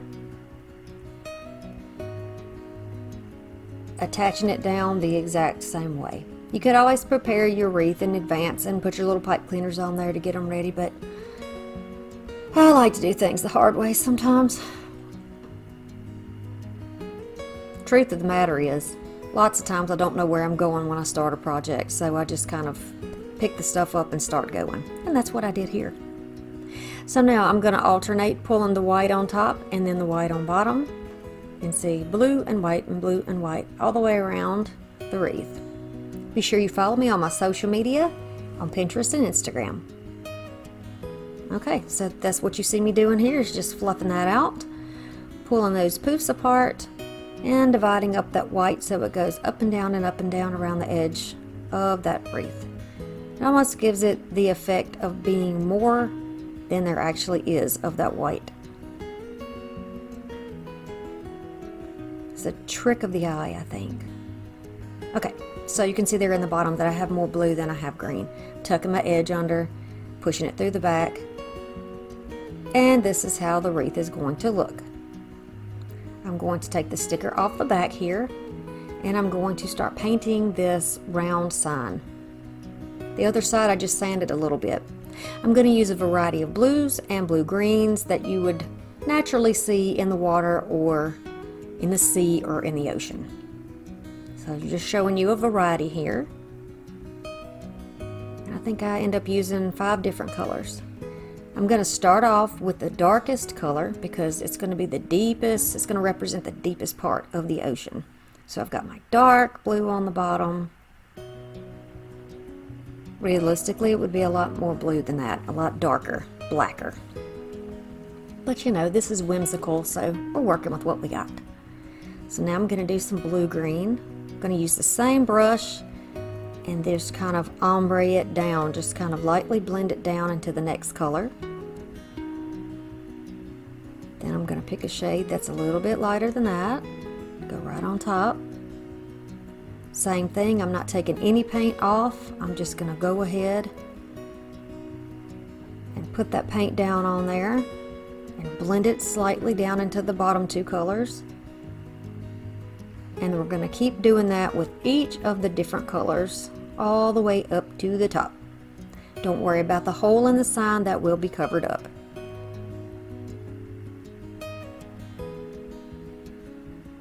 So it's looking like we're getting closer to the surface of the water, right up to the top. So the color is getting lighter as it gets closer to the sun. I had too much fun doing this. I did originally try to do something like this with spray paint and it was a big old fail. So I definitely recommend you use your acrylics or watercolors, whatever you have. The acrylic worked perfect on this board. Look at that, isn't that beautiful? Oh, I even impress myself sometimes. Okay, so now I've got these glittery picks that I got in the springtime from Dollar Tree. They were with the Easter stuff and I thought these looked like coral or something that would live in the ocean. So I'm going to cut each one of these off of these two different colored picks. There is a aqua color and a kind of a sandy gold looking color and it matches well with what we got. Do you see my little tray? This little tray and this little broom is what I use to clean my table with all the glitter. Now I've got a bunch of shells. You can get these from the Dollar Tree.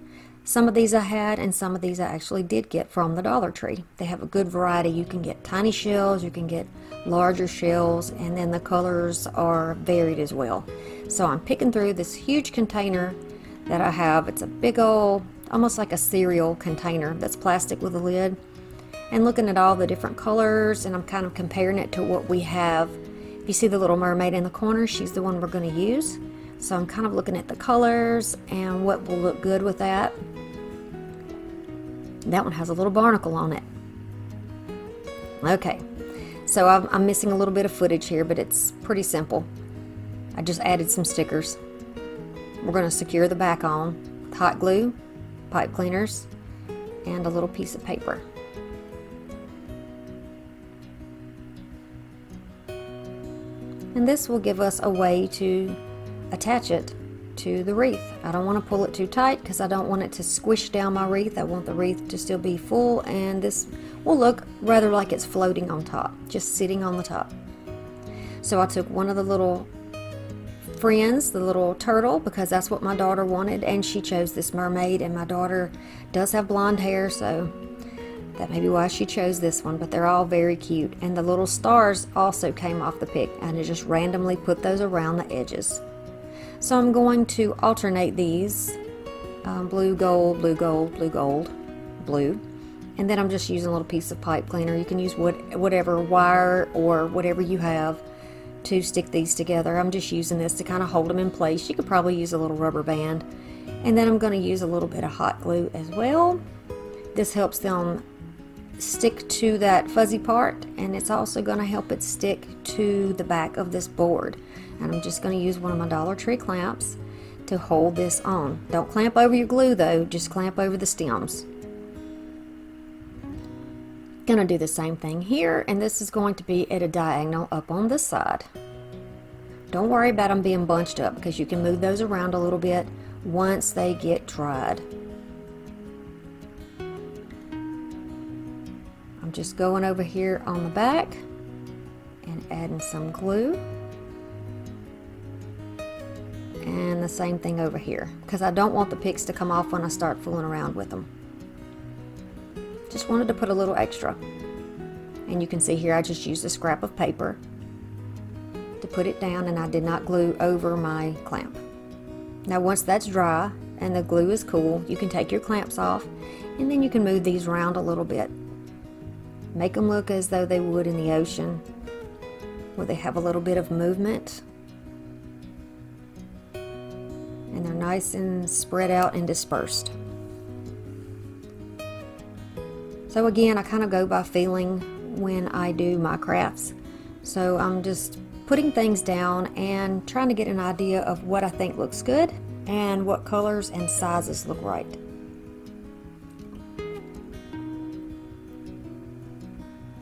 I only had one of those, I think it's a purplish colored shell. I only had one, but it was very pretty.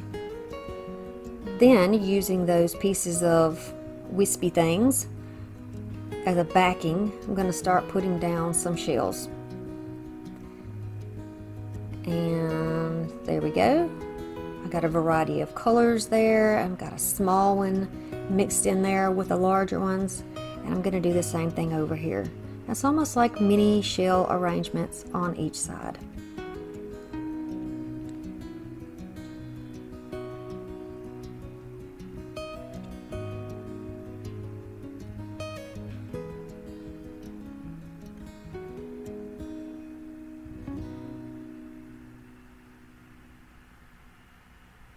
That one reminds me of the little, like from a narwhal, and the little sea turtle has one of those for whatever reason. She has one on her head, so I think it's fitting to put one on here. Then I'm just taking these little bitty shells and filling out here and there. Now I thought these ornaments, when I saw them, they look just like bubbles. They're iridescent and they look like bubbles, so I thought that was perfect.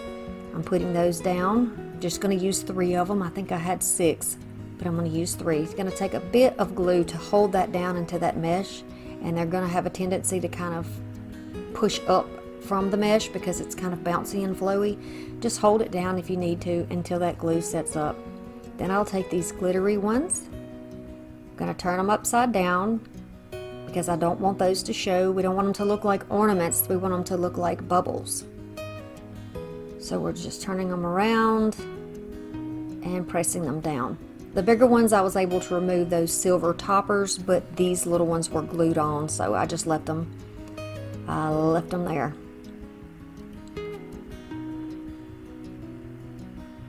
Then the little foam table scatter, I'm going to start filling in with those as well. Just going to put them here and there. It's like clusters of bubbles. You can use a little bit of glue in between them to hold them together if you need to and sometimes just putting it gluing it to the one beside it and, the, and a little space underneath it will hold it the way you want it.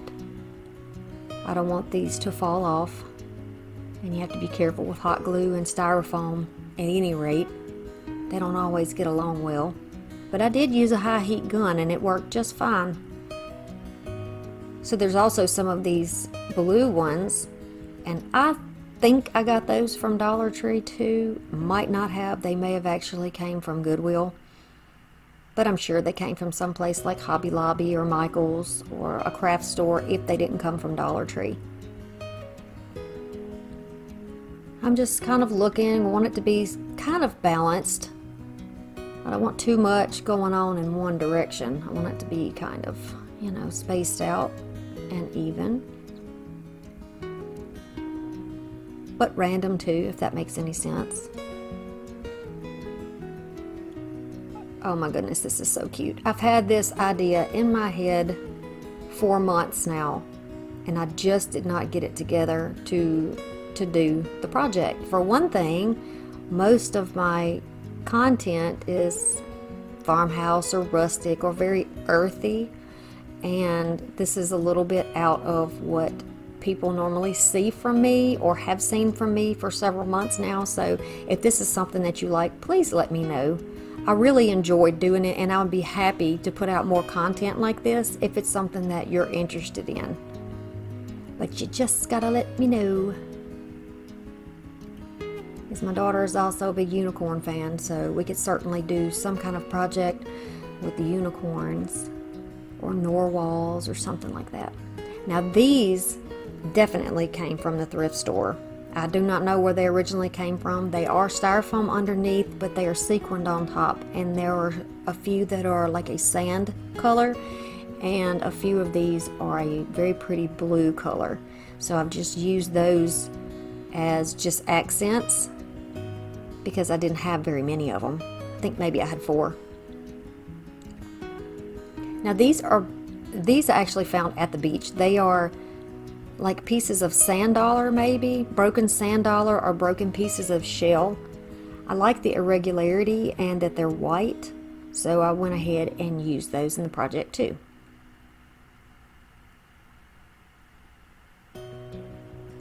No shellfish were injured in the creation of this project. Now for this one, it's a little bit bigger, so I'm going to put it underneath. I put the glue on the top of it and I'm just holding it underneath until it sits up. There's no right or wrong. You just do it, do what feels right to you. And that's how I do it. So I'm going back in with some of these little tiny shells and putting them here or there. I've even overlapped on some of the star stickers and I've added some more stickers. And then here we go. This is our hanger. All right, what do you think about this little beauty? Isn't she the cutest? I got a new backdrop. What do you guys think about that? Looks like brick. I think it looks nice.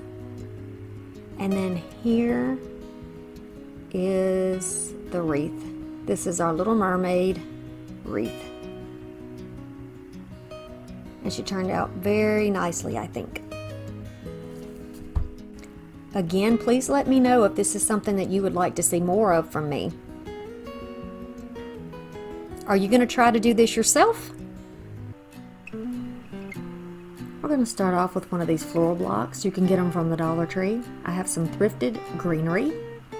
This is sort of a fall colored greenery. I have some picks that were thrifted. Some little daisies and some sunflowers little pick from the Dollar Tree, an embroidery hoop, and I'm just going to take my rotary cutter and just start slicing through with the plastic on to keep it a little bit cleaner. It's all going to come off in a moment.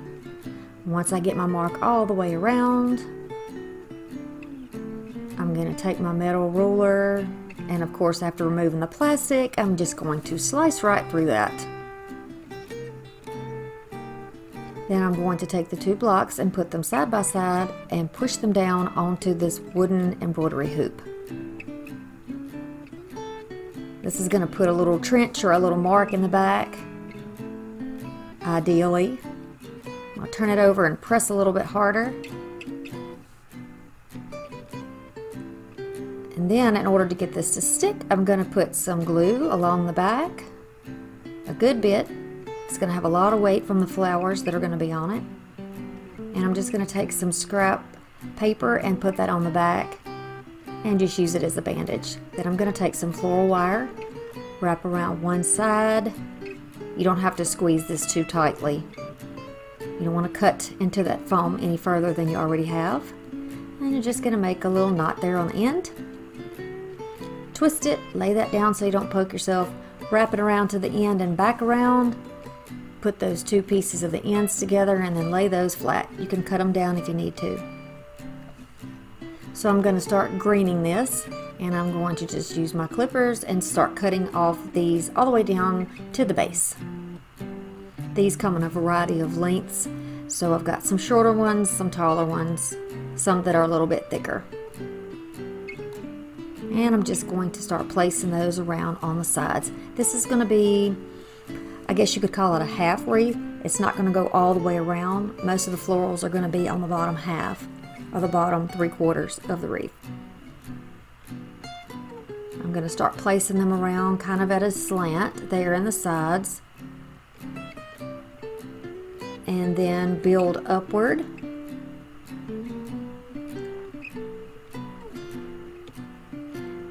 Place some of them in the front so that you have a little bit of extra in the front to cover up your greenery. And you just keep applying those in there. You have that wire so that kind of helps hold them in place too, gives them a little extra support. And I'm putting this, these in at an angle and facing either to the right or to the left. We won't have any coming straight up. That's going to be where we're going to put our flowers. So I'm going to cut this little remnant of a pick and just randomly put these in. These are not going to be in a pattern because there are three, so I can't evenly put them on the sides. And you will see me moving some things around in this wreath. I do this a lot when I do floral arrangements. I put things down and then if I don't like the way it's looking, I just move it. You can do the same thing. You got to get it where it looks good to you, how it feels balanced and good to you. So I noticed that some of them were just too long, which was making it look too heavy. So I just pulled it out, give it a little trim to some of those. You push your greenery up, just like when you are making a flower arrangement, you can push your greenery up toward the flower and then trim them down. You'll see me do that with these little flowers.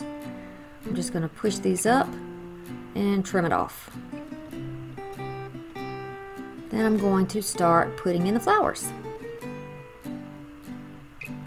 Again, with this wreath, there's no particular pattern. I try to be balanced when I do arranging, but you know, with cottage core and this, my spin on the cottage core is this kind of a funky 70s vibe where there's a lot of mushrooms and greens and golds and those types of colors and that kind of a wild look. So I'm just going to keep filling it out around the greenery. I'm starting, of course, on the outsides with the florals just like I did with the greens. And I'm just going to work my way inward and then upward. And you can see kind of how I'm doing this here. If you have a, a, um, a process that works better for you, feel free to do it that way. You can leave some a little long, cut some a little bit shorter, like you would see them out in nature.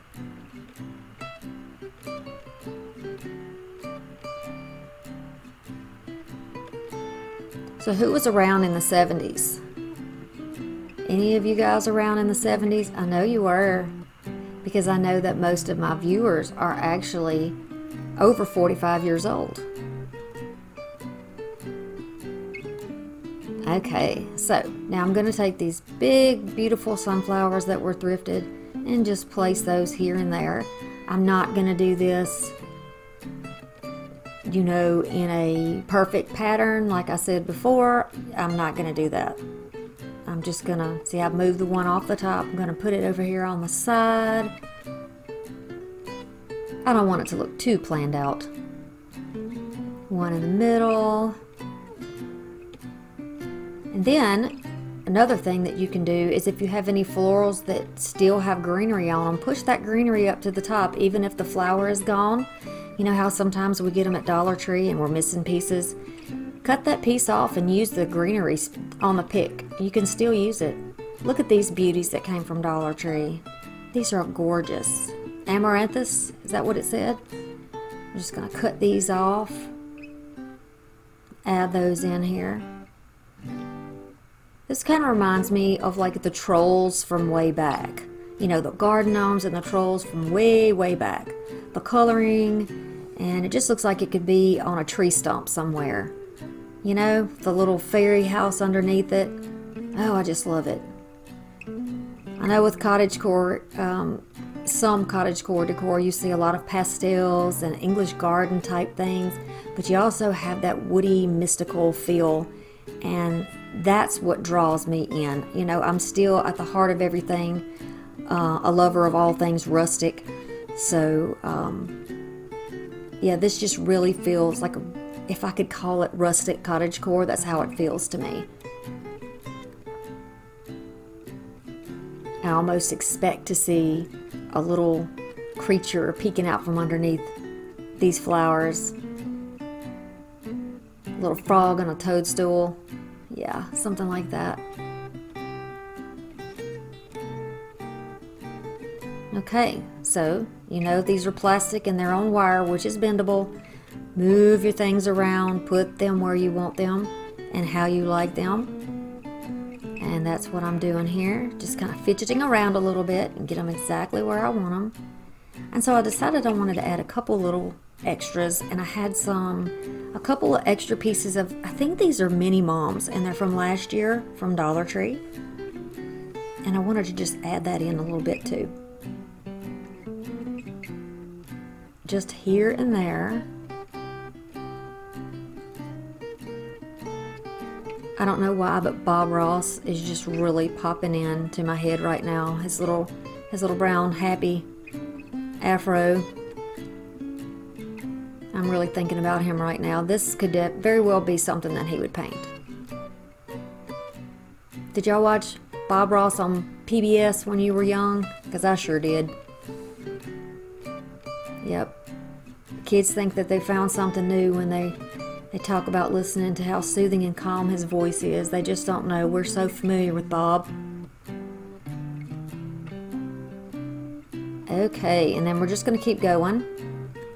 Again, like I said before, if there's something in there that you don't like where it's at, it doesn't look right, you look at it from all angles, take it out, move it. We didn't glue anything in in our florals in here, so you can move it. This is how it looks. What do you think about this? Is this a little too wild for you? Or do you really, are you really feeling the vibes from this? Because I'm certainly, I'm certainly feeling it. So you're going to choose whatever types of ribbon you like. I'm going to choose three different kinds and I'm just showing you that you can get a great variety in the fall section at Dollar Tree. I'm going to use some thrifted gorgeous burlap ribbon. There's no wire in here. It's just so pretty and ruffled. I'm going to use a thrifted pumpkin. Just going to use the sign part in the middle. I'm going to use the Dollar Tree wreath. And I'm going to use a thrifted pick and I think these originally came from Walmart. They had a yellow clearance sticker on them okay so this wreath is about a 12 by 12 it's kind of squished out of shape. It's more like an oval than a circle. So I'm just going to have to work around that. I'm going to start by wrapping this wreath just like this with a little bit of hot glue. I'm going to protect my fingers here add a good bit of glue, press that down into the wreath. Then I'm going to start winding around where the fringe goes right next to that center ruffle. Today I am participating with Nadia for Wreath Wednesday. DIYs by Nadia. Y'all be sure that you go check her out. I'm going to have her video link and her channel link in the description box. Thank you, Nadia, for the opportunity. Okay, so we're going to do this all the way around. You can see I'm lining that fringe up because this is layered burlap. If you don't have a layered burlap, you can certainly use just the regular plain pieces and just be sure that you cover up all of that vined wreath underneath. You can certainly use a styrofoam wreath. You won't be able to see it, but you have to be careful about glue on those. Just keep that in mind. And I'm just going to keep wrapping and wrapping and wrapping until we get back to the beginning. Now we're going to put more glue down. And press it down into that. And hold it for a minute so that it doesn't unwind itself. Keep in mind if you're putting this outside, you're going to want to use something more like a Gorilla Glue so that the humidity doesn't make your hot glue release. Time to sharpen those scissors, I think. So I've just taken the stand off the bottom of the pumpkin and I'm going to work with the orange side of the pumpkin rather than the chalkboard side. I think I'm going to put it on the bottom and we're going to use this wreath like an oval so it's going to stand up like an egg. I'm going to cut off two pieces of my floral wire and we're going to use those to glue down to that pumpkin and hold it to the wreath. I also have two black pieces of scrap paper here that I'm going to use to put on top of our glue. So folding it in half like a hairpin, I'm going to put a good bit on each side, pressing it down, and then pressing the paper right over the top. It just gives it a little more security so that it doesn't come off while we're finagling it to get it into that burlap on the wreath. Okay, we're going to do the same thing with the other side. And I'm just using the clamps that came from Dollar Tree because they help hold everything in place when you're moving it around so nothing comes dislodged. After the glue has had a chance to set up, we'll continue. Okay, so here we go. Removing the clamps. And then making sure again that the pumpkin is where I want it to sit on this wreath. I'm going to press these wires to the back and thread one piece through each side. Just like so. And then twist them around to secure them in place and clip off any excess. There's a little slack there in my wire so I will be able to push the pumpkin down a bit so it will sit flush on the bottom. So now I've got it where it needs to be, right sitting in the bottom. Now we're going to start working on the greenery or the leaf part of the arrangement. This is what gives it that rustic look. We're going to use some colorful fall leaves. I'm going to cut them off their little plastic picks and start putting a little base underneath this pumpkin, almost like it's sitting in a nest of leaves or a leaf pile. Who doesn't like sitting in a leaf pile? Okay, so I'm just to add some hot glue, to tuck around and over that little glue strip. Don't be bothered by the fact that it's exposed and terrible looking on the bottom because it'll be covered up. I'm just going to be sure that I've taken a variety of the leaves, the ones that match the, the look that I'm going for, and I'm just going to place them around. Not so much in a pattern, but just, you know, like maybe they fell down out of the tree themselves. A little lighter one on top.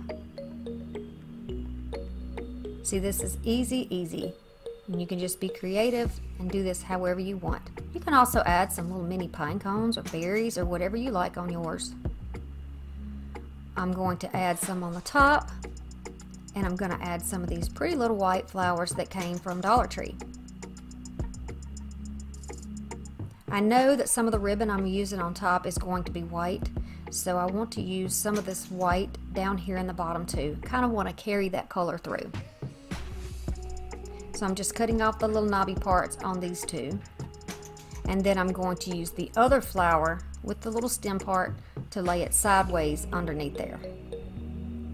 And it almost looks like one single hydrangea. So far so good, right? Now we're going to choose the ribbon. This is the really fun part. We're going to make a pretty bow.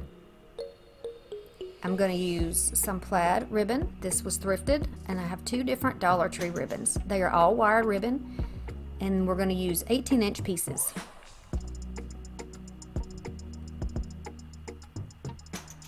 You see my ruler down there on the bottom? 18 inches. Okay, very simply, we're going to fold them over, pinch in the middle, and then walk our fingers to each other and we have a bow. Simple. This is a quick wreath. This is nothing difficult. So the bow should be the same. We're going to do the same thing with the green. Same exact process, folding it over, pinching it, and then walking your fingers toward the other fingers. You're going to stack these up in whatever order that you would like them to appear when you put them down on your pumpkin, on your wreath rather. Same thing here with the plaid, and then we're just going to put him right on top. You can fasten this down with a zip tie, like I am, or you can use some floral wire or a twist tie, whatever you want to use to put those together. Fluff the bow a little bit, that's what I'm doing, trying to make sure everything is where it should be. Then do your final tightening. I'm going to cut off the edges, fluff out that bow,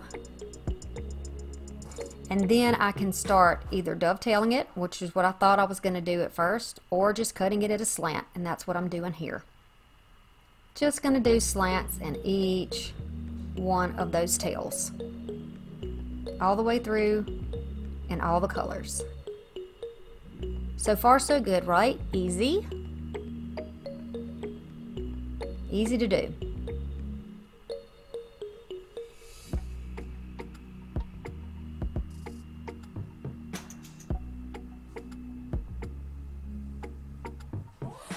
Okay.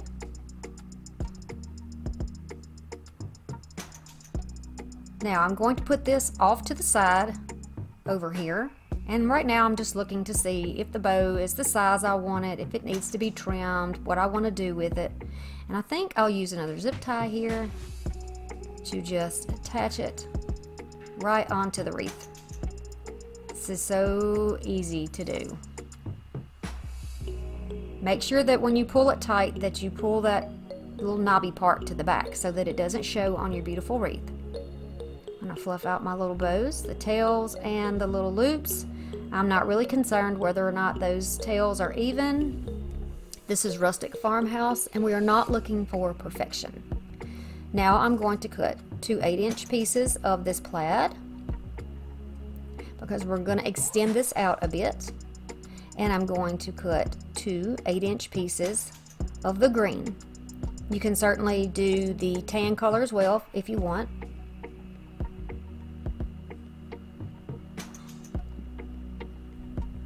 But I had the, the burlap in the back so I didn't feel like I needed to have more of that color. I'm going to fold them over and dovetail them. You can do them at the same time. Makes it a little bit more timely. You can get things done a little quicker if you do it like this. But you do whichever way you are most comfortable. Alright, so I'm going to fold it in half. And I think I want to tuck these on either side of that bow to extend it outward because I feel like it needed more. I could have added more leaves, but I feel like the bow needed a little bit better of a presence. So this is what I came up with. Now I'm just going to put the glue on there and press it down on that burlap underneath. Here's my glue gun that I'm trying today. And I am going to put it underneath this one too. Okay, so far so good. Now let's do the same thing with the plaid. We're going to fold it in half and tuck it underneath on that side with a little bit of hot glue. It will fit nicely right in there. And see how that just automatically extends that bow out? Certainly if you have a different bow in mind, something that's bigger, you could do a bigger bow. Or rather than using 18 inch pieces, you could try 24 inches and make an even larger bow to fill up your space. But I like this. I think it's cute. I like my little petite bow. And I think that this bow is okay. I want the main, the main part of the attention for this wreath to be the pumpkin. But I think that bow, that bow grabs your attention too, doesn't it? One more of those flowers, gonna put it right in the center of that little bow. I feel like that sets it off perfectly. I'm going to double up my leaves. You can do this, it's so easy, just a little glue in between. And then press that up right up in the middle. I've got lots of spider webs because I'm using a cool temperature for this rather than my high heat glue gun. Now for the hanger, I'm just going to take a long piece of jute and I'm showing you here what I already had done and just going to tie a knot just like that. I'm going to slip it underneath the bow tails and then press the ends right through the loop. Sorry that you can't see that part, but you get the idea. And then that's how we're going to hang it. And you can fluff your tails, you can fluff your bows, and our project is complete. Do you like this little wreath and will you be trying this wreath? Do you enjoy rustic farmhouse decor? If you do, you should subscribe to my channel because that's what my channel is all about. So if you're still here, yay! So happy you stayed because I got a good one for you. I'm going to use a thrifted basket. I'm going to use a combination of thrifted and some recycled and some Dollar Tree greenery for this project. Plus I'm going to use this napkin And it's just a plaid fall colored napkin that I got from the thrift store as well. This beautiful fuzzy sunflower that probably came from Michael's originally. And these really pretty grasses. Okay, so I want to make a little pocket down here. The pocket is actually not going to hold the weight of anything. It's just going to appear as though it's holding the weight. See what I'm saying? So this is what we're going to do. We're going to fold that square into a triangle and then start putting a little glue down there so that it stays together when we start gluing it on the pumpkin. On the pumpkin. Listen to me. Have I got pumpkin on the brain or what? The basket. I mean the basket. We're going to lay it down, make sure that it goes down past the edges. I'm going to use my clamps, the ones that we had before, that I showed you before, to get placement on the sides so that when we flip it over, I'll know where I want it glued. I'm going to use my glue gun, still on my cool temperature, but you can use hot, whatever you want to use, and start placing that down. You don't want to pull too tight because you don't want to distort the shape of your basket. Now this is not a flat basket. It actually has a little bit of depth, probably about three inches of depth. It just looks flat, if that makes any sense. You'll see when you start putting the flowers in and I flip it over, you'll see what I mean. Now however you have to do this, do it. As long as it's glued down, if you want to cut off your edges, you can certainly cut them off or you can leave it in place like this so when you take it off you can use it for another project. That's what I intend to do, so that's why I'm doing it this way. I'll still have pieces of fabric that I can use.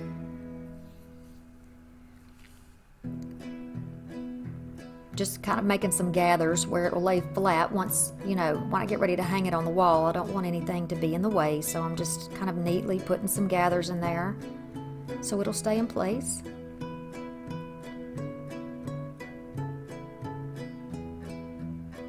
Simple, simple. Probably did not need to show you all that, but you get the point.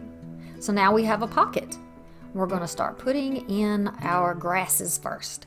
Grass first because it's in the back. It's the tallest one, so that's what I want to go in the back. It's not secured down yet. We're going to take some floral wire and wire it to the basket or zip ties or you can use pipe cleaners. Zip ties is what I'm using. You can get a big package of these at Dollar Tree and a variety of colors. I have black and I have white. So uh, this has, this weave is kind of an open weave. So I can actually place this down and secure it to the back quite nicely. I'll get everything secured and at the end of the project I'll go back and clip off all of the extra. Now what I'm doing is kind of digging down to the bottom layers so that you don't see these on the top and just going over the bottom layers, the bottom bulk of it and then securing them on the back. Leave a little bit of slack in there for adding more flowers to it, just a little. You can always tighten it up later when you need to. You're almost making a form to attach other things to. You want it to be sturdy. Okay, so here we go, adding this big beautiful single sunflower. I'm just pushing that down in there. Right behind where that one piece of grass is, you can see the bottom of the stems behind the grass. Then I'm just going to loop one of those ties across the bottom of that stem. And then in the back, I'm going to tighten it up so that it doesn't fall out. I have it intentionally slanted to the side Everything doesn't have to grow straight up, doesn't have to be arranged straight up. Now, if you happen to have a pick that is large, but you don't have a whole bunch of individual picks, just cut it apart. Simple enough. If it's scissors, if it's plastic, you can use scissors. If it has wire in it, just use your wire cutters and trim it off. And then we're going to start adding these pieces in here or there. This is my rustic cottage core basket wreath that I adore. I love it. You can see here I'm trying to wiggle it down a little bit so that it gets into one of those other zip ties and then pull it down. It's not going to go anywhere. This piece will not be outside. This is not an outdoor wreath. Um, we have a lot of humidity here in southern Alabama where I live, and I have a feeling it would be mildewed or moldy. My white fabric would be turned all shades of yuck So this is going to be in the house. I have varying heights and I have them in various places all over. And because we have those pieces of grass secured in there, now we can just place our other things around where the grasses are attached and everything should stay in place. Next we're going to move on to these beautiful little flowers that I think I got at Dollar Tree. If I didn't, you can definitely get some that are similar to this at Dollar Tree because I've seen them there before. You can see my little bullnose pliers or side cutters, whatever you want to call those. That's what I use to cut everything. They're really strong and good and durable. So I'm going to start adding in these now. These are in little clusters and I think they're just gorgeous. They're very wild looking to me. They look like something I would see growing on the side of the road. I just love it. Again, think about that. Think about nature as your inspiration. You know, if you're walking down the road in the country, what do you see? What's growing in the ditch line next to you? What do you see that's just makes you stop and look at it? You know, makes you stop and pick a flower. Those are the things that bring us comfort that we really love, and those are the things that we need to surround ourselves with. Those are the things that bring us true joy. So that's what I try to do with my decor. And I want beautiful things in my home. I don't want to spend a lot of money. I know I don't have to spend a lot of money. And I want you to learn that you can do the same thing. Okay, now for these little berry picks. I'm just going to add those here and there. No rhyme or reason, just like with the flowers, really no rhyme or reason. We're doing it like Mother Nature. We're doing it like God intended, just here and there, wherever it can find the sun, that's where we're putting it. Nice. Now, I know y'all have Dollar Tree bags. Y'all can use these for stuffing. Recycle, ladies and gentlemen. I'm just kind of rolling these up, folding them, flattening them out, and pressing these down to make the to form the bottom. Then I'm going to take some of this Excelsior grass and stuff this all on the top. You can also use those hula skirts from the summertime from Dollar Tree. They'll work good here too. So they're just crumpled up and they just look like straw and weeds that are starting to die back. I think it's perfect for this. You can use moss if you want, but I really like the color of this with the rest of it. I think it's so pretty. Now we need one more thing in here. We need some vegetation. We need some gourd or pumpkin in here. So I'm just trying it out with a little pumpkin, which would go great. You could just put a dowel in it and poke it in there. Or my gourd that I got from the thrift store already had a pick in it. So there we go. I'm just going to stick that down in there, and I like it. I think it looks good. What do you think?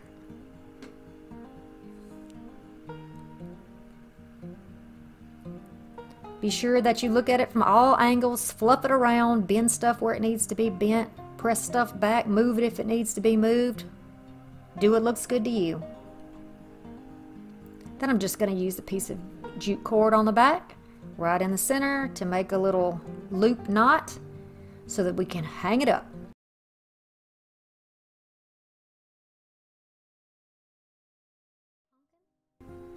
Thank you so much to all my subscribers who've been with me from the start, and welcome to all of you who are new here. I'm so glad this, this is the calendar sign. This is from a package of calendars last year. They do have this in the calendars if you're fortunate enough to find them this year, but I think the background is white. This sign that's on top of here uh, also came from the Dollar Tree. This was in the summer collection. You're just going to trace that out, cut it out, and then this will fit right on top of that faux wood round. That's what we're going to call it, a faux wood round. Sounds fancy. Have y'all been able to find the new calendars? Because I have not. I don't know what's going on. Okay, glue stick. You know me and my glue sticks. I'm going to go over this project thoroughly and then I'm going to lay this down on top. Then start pressing it out from the center outward in all directions. And then use my wallpaper smoother to press it down.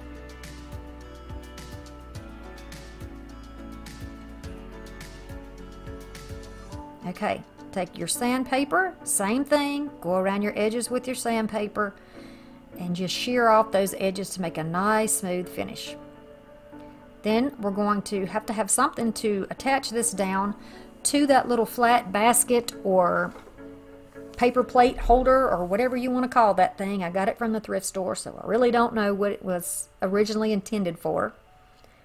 We're going to put down our pieces of wire with a little bit of paper so that we can put this on and have a good good grip. We don't want anything falling apart. So here we go. I've let the glue dry and now I'm just lifting those pieces of pipe cleaners up so that I can press it through this little piece of whatever. Wicker, is this wicker? Cane? I'm not sure what it is. We're going to call it a basket. How about that? It's a basket. Then you're just going to twist it down and push it down. Twist and push it down. You want to lay it flat because you want to protect your surface when you hang it up. Okay, it already looks fantastic, right? You could leave it just like this. You could go to Dollar Tree and get a $1 pick that's already put together for you. How simple is that? I'm taking a pipe cleaner, but you can certainly use wire or you can use jute, whatever you want to use. And just go ahead and secure this down to that basket right in the top center. Alright, flip it over, turn that little knobby piece up so it's out of the way. We don't want to see that in the front. And then clip it off. The next thing we're going to do is work on a little bow. This is the same bow that I showed you earlier. I'm showing the same bow in a lot of projects because it seems to be the most easy one for people to understand and replicate. And it's such a simple bow. When you're doing a style that's not real fancy or glamorous, it really does fit into a lot of your decor pieces. Alright, so I'm dovetailing the ends. Um, by the way, I have about a foot and a half of this plaid. This came from Dollar Tree. It's not as good a quality as the orange that you're going to see me cut next. This one is some fantastic ribbon. I should have gotten a lot of more of this. And this is leftovers from last year, by the way. I haven't found the new ribbon this year. And fold it over and dovetail it. Look how thick this stuff is. This is nice. Very nice ribbon. So I'm going to loop them over like this. Hold it in the center. And then pinch it down. Simple. Use whatever bow technique you like, whatever type of bow you want to do. I'm showing you a simple version to make life a little bit easier. I'm going to do the same thing with the plaid. We want to stack them on top of each other. I'm going to take a little piece of jute scrap that I have and I'm going to tie it down. Y'all save your jute too? I save stuff. I save the little hangers that come off of things. I save all kinds of stuff. Yeah, I do. I think that's kind of common for crafters though. Alright, you're going to at least want a double knot in there because you don't want it to come apart when you are trying to fluff it out.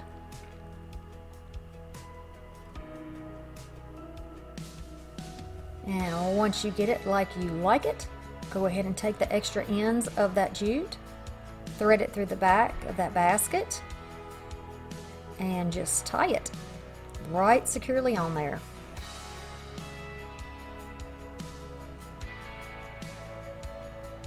Can trim off the extra pieces.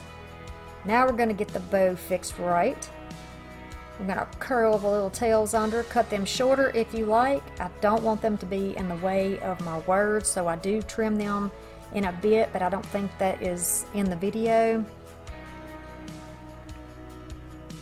And then to keep these letters where you can see my words, I'm just going to take a little hot glue and then gently rub the leaves into place. This is also a good way to make your picks look a little more high-end when you're using them in signs and in um, other pieces of decor where they're kind of laying against something. Is you can stretch them out. You know, you get them at Dollar Tree, they've been stuffed in a box. They're kind of, some of them look kind of sad. And you see my sunflowers kind of, kind of sad looking there. We're going to fix that and we're going to fix that greenery so it stands out and it looks nice and crisp. Taking some hot glue and putting it down either on the sign or next to that wicker basket just pressing that down. It's making everything stand apart and stand out. Little drops of glue, stretching it over, pressing it down. You see how the leaves now will stand out a little bit more? That looks more high-end, just in my humble opinion. And also, my flower looks kind of sad, so I'm just going to take a pencil and my fingers with a little hot glue and just put those layers together so that the top layer will pull upwards on the bottom layer and make it look a lot more together. That's a major improvement, right? Yeah. So now we're going to do just a little something on the bottom. I'm going to take about six inches of this orange and I'm going to do five inches of the black and white. I'm just going to dovetail it and then lay it down.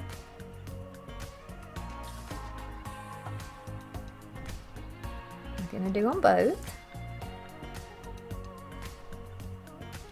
Then I'm going to use some hot glue to attach them together on the bottoms. This is why you want one to be shorter than the other. Put the longer one in the back. This way we can see both layers. And I'm just trying to get an idea of how I want these to be splayed out or displayed. And I think I want to put them right under the edge. Now this will be sandwiched between the basket and the back of the sign. So I don't want to damage my basket, I'm going to glue this down to the back of that sign. And there you go. Press it down. Then I'm going to take some of this bittersweet that came from Dollar Tree. I've just pulled those off the branches. I'm going to add a little hot glue and then here and there I'm going to add the bittersweet. It's so pretty. And just pop those little bits of fall all over the sign. I'm going to add some to the top as well.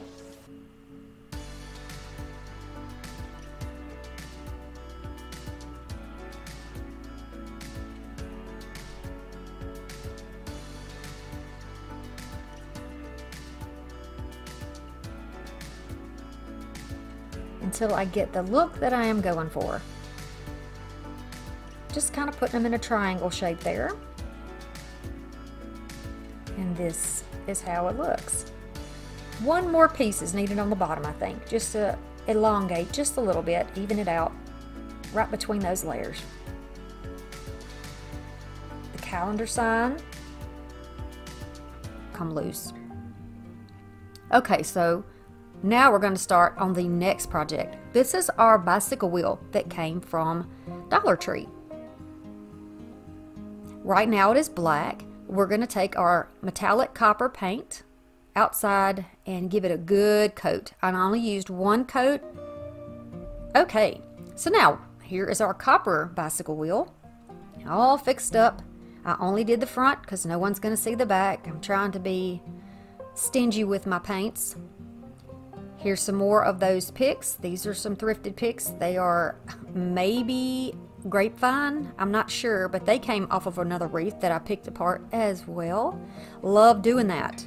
If you're at a thrift store and you just think to yourself, gosh, I really don't need another wreath, but I love the greenery, buy it anyway. It doesn't cost much. You can take it apart. You can use your greenery on another project, and you can use a wreath for something else. It's perfect. Two for one, right? Okay, so we're going to do zip ties instead of using wire this time. It saves me a little bit of time. I have an abundance of zip ties, so this is what I'm going to do. This is not going to be completely covered. It's going to be more like three quarters in greenery. And then you're going to be able to still see part of the wheel, which I like. And you can see there's a little part there where it was still attached to the wreath that it was on. So I'm just going to cut that off and get it off of there. And now I'm going to choose the next little one. I chose the top one because it had berries in it. This little piece does not have any berries in it. I want to keep it balanced, so I am paying attention to that type of thing. So I'm just going to lay this over the wire from the other pick. And then I'm going to take this one, kind of curve the branches a little bit, make sure that's what I want. And I do like that one. So I'm going to zip tie that on. It's overlaying that branch that's underneath it as well.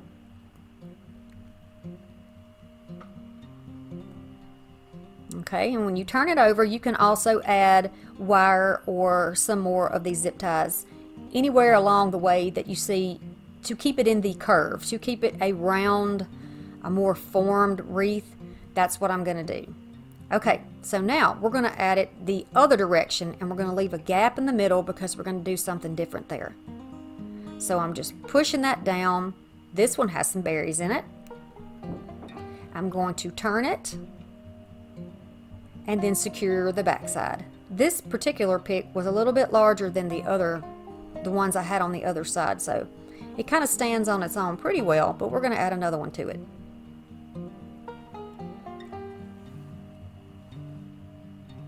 Okay. So now when it's hanging, this is how it is going to look.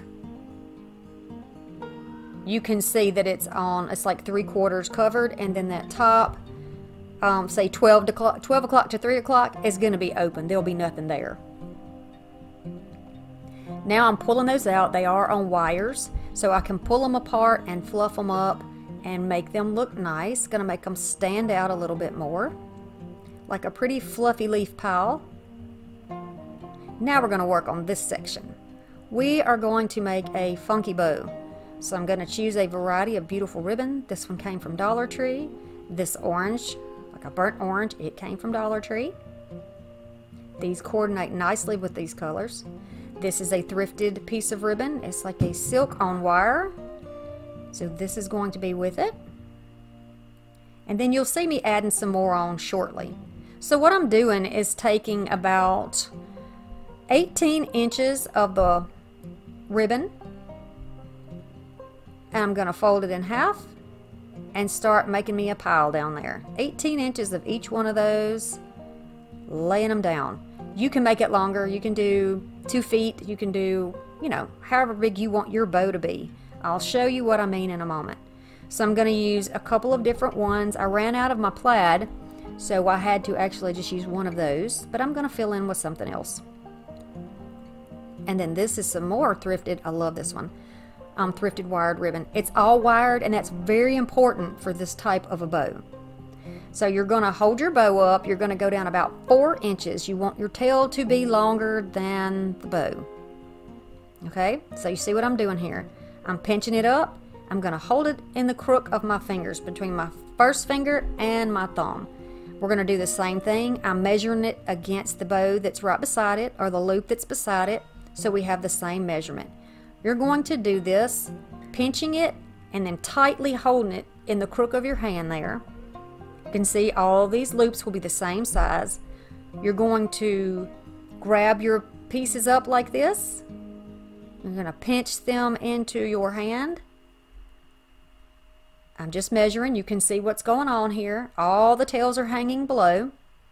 Going to go on to my next color. And you're going to add all your pieces in this exact same way. Kind of separate the ones that are similar. You know, you want to leave, you want to space them out a little bit. You're going to have more freedom to move it around in a bit but when you're initially doing it, kind of space them away from each other. So here you go. You almost have a little balloon bouquet in your hand. You're going to take your zip tie and without letting go of your bow, see what I did there? I crossed it right across my hand and then I'm going to cinch my bow. Now I'm not going to do this completely tight until I check and check again to make sure that these are the same height. What I've done is just cinched them up enough to hold them together while I move them around. Then I'm going to tighten them up. So what I just did there was tighten, tighten, tighten as tight as you can get it. And then cut off your excess. Okay? Now when you first start doing this, you're going to think, what have I done? I've just wasted all of this ribbon. But no, give it time. This bow takes time and fluffing. See, I'm pulling all the tails out and apart. Out and apart like an octopus. The loops on the top, are the octopus head, and all of these are the legs that are spreading out underneath it. You see? Flip it over, pull them apart. Separate your patterns, separate your colors. You can do that because this is wired ribbon. So you're going to pull, twist, fluff, and keep working on your bow. Get those pieces where you want them and fluff them. You can twist if your pattern is underneath, twist it and it will stay. Good quality ribbon counts a lot. Um, sometimes the ribbon that you get at Dollar Tree is not very sturdy and it won't hold. You have to really fuss with it. But some of it's really good, like this orange and this burlap. This stuff is some great ribbon. I have used it for years and it has never let me down. So keep doing that. You want to dovetail all of your ends and then I will show you how you can just kind of curl those. If you put them between your first and second finger, I mean your, yeah, well, your pointer and your middle finger, there you go, and you run it down the ribbon, you will put a bend in the wire, like an even bend, so it will arch it up. Or see here how I did that? There you go. Or you can just bend it with your fingers. Just walk down it with your fingers and curl it under. That's what you do. You want to curl each one of those little ends under. And then you can trim it where you need to trim it. Um, and it's going to look nice for you. Now this part, part is optional, um, but this is how I attach this type of a ribbon to my arrangements. I'm going to take a piece of thin floral wire. It needs to be sturdy enough that it won't, you know, that you can feed it through the ribbon. And you're going to just feed it through a couple of the ones that are, that you can reach in the center there. So I'm just going in a circular motion, going through the ribbons on the bottom. You can see there. Then I'm going to pull them up so that I have two, I have the little, see there? Little hanger holders little free wires. I'm going to give it an initial twist or two, then I'm going to flip it over and just wrap it around the wire on the back of the wreath. Now you may think, okay, you just turned that upside down and squished it and now you got to refluff it. Well, yeah, you do. You do have to refluff it. But I want you to know in crafting, one of my favorite things to do is fluff a bow. It's not for everybody, but I love it. I love seeing a transformation. Look at that bow. That bow is the perfect bow for this arrangement. But I'm missing the fact that my plaid ribbon there is just, we're going to fix that. We're going to add some more plaid. So I'm going to take a curtain hanger, or this may be a shower curtain hook, who knows. I'm going to take the hanger part off, take my copper paint, and I'm going to spray paint this ring copper. While it's drying, I'm adding some more of that plaid ribbon. I had a tiny bit left. It wasn't long enough to put it in the initial bow, but it's enough to add some more tails. So I'm going to dovetail it, fold it in half into a V, and I'm going to place it right there. And I'm going to leave the tails a little bit longer than the rest of it because I really, really love that ribbon. Okay, see there? Isn't that pretty? Ugh, love it. Okay, so here's some faux leather ribbon. It is a brownish color. It's the only one I've been able to find at Dollar Tree. And I'm going to add it to this ring to make a hanger.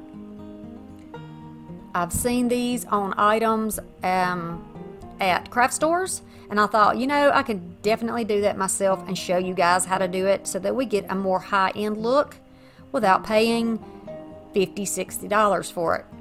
I mean, how much would you pay for this wreath if you saw this? And don't you think something that is this quality could be found in a craft store or a dec you know a home decor store definitely i could definitely see this hanging in kirkland's or you know someplace like that an at-home store so you're just going to feed this through the top pinch it down you can protect your fingers you always should i just didn't because this is really thick and i didn't need to for this i didn't feel i'm going to add some here too to secure my ring See, they're saving the paint. It was still silver on the back. And there we go. Look at that. Alright, I want to add right here just a little pumpkin. I felt like it needed a little more of a reminder of fall coming up. I'm going to put that partly on the ribbon and partly on the frame and on the leaves that are underneath it and press it down.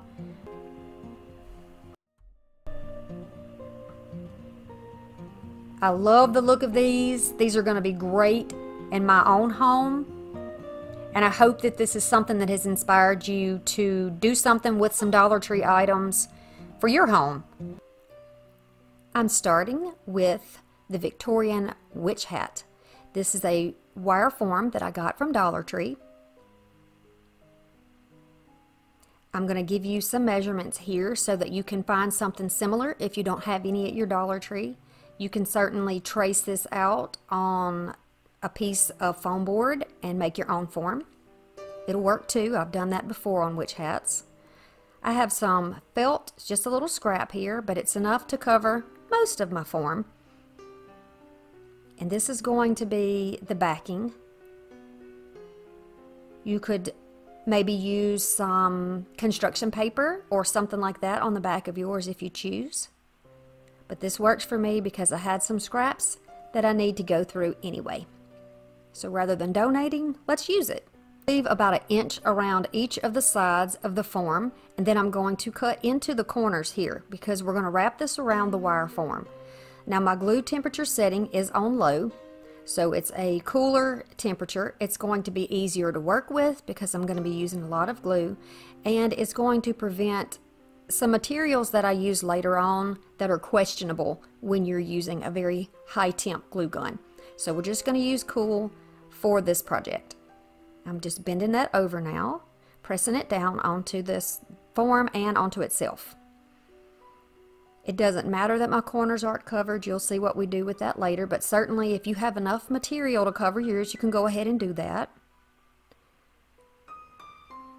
And I'm going to wrap the bottom here. I find that using a squiggly line or a little zigzag gives me a little bit better coverage. I'm just pressing that down. You don't want to squeeze your form up. You don't want to change the shape of that wire and it's pretty pliable. So just be careful there follow the shape of your form. And I'm going to go all the way around and do the same thing. This is going to be the back. So what you're seeing is actually the inside and you'll understand that in a few minutes. You'll see what I'm going to do. So the point is going to go a little bit higher than the actual point on the witch's hat because I liked a sharper taper on this. So there we go. It's got a little ratty looking end. I am totally okay with that. Now I'm going to take a pillow. This is just one I'm going to use to take the stuffing out of. I don't have any pillowcases to fit it, so it was also in the donation pile. I'm just going to take that apart, fluff it out really well, so it's not compacted or too lumpy. We want it to be cloud-like or wispy. Then I'm going to take, again, the cooler temperature glue start squeezing that out on the bottom of the triangle part of this hat. We're not going to go onto the flat or brim part of the hat with this. I want to get, this is going to be like a padding, so our hat's going to have some dimension rather than being a flat hat. So just going to continue along like this and make sure that it is on the inside and not bulging out over the outside, making sure we don't have any lumps that are bigger than anything else. And we're going to start off with a layer that's going to be pretty much the same width or thickness all the way down.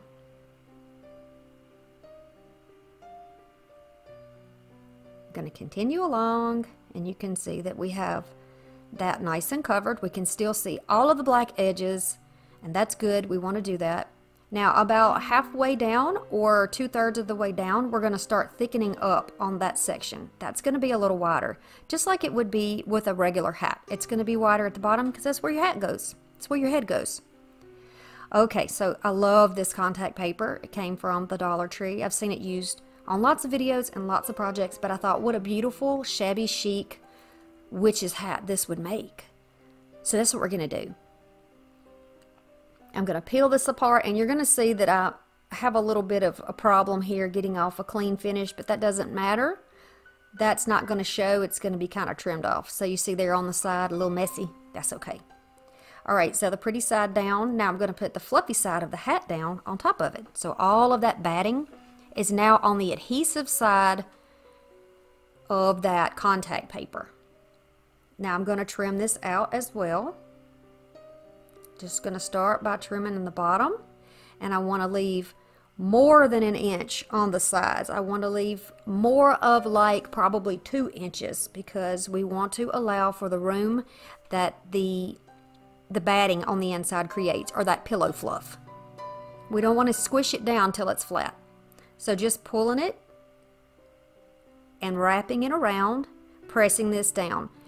My contact paper stuck just fine to this felt. If yours does not, go ahead and use a little bit of that glue or maybe some spray adhesive to help tack it down there.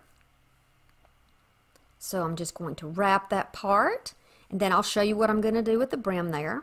I'm pressing it down, then I'm going to cut and fold it down. That way I can still create that curve on the bottom.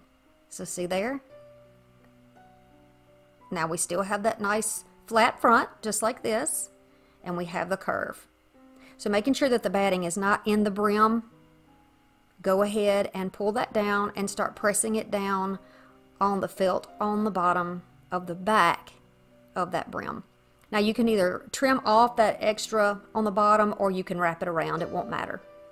I'm just wrapping the tip up there elongating that hat just a tad and you can see that it's padded. It's got some dimension and I love the look of it. It came out exactly how I saw it in my mind.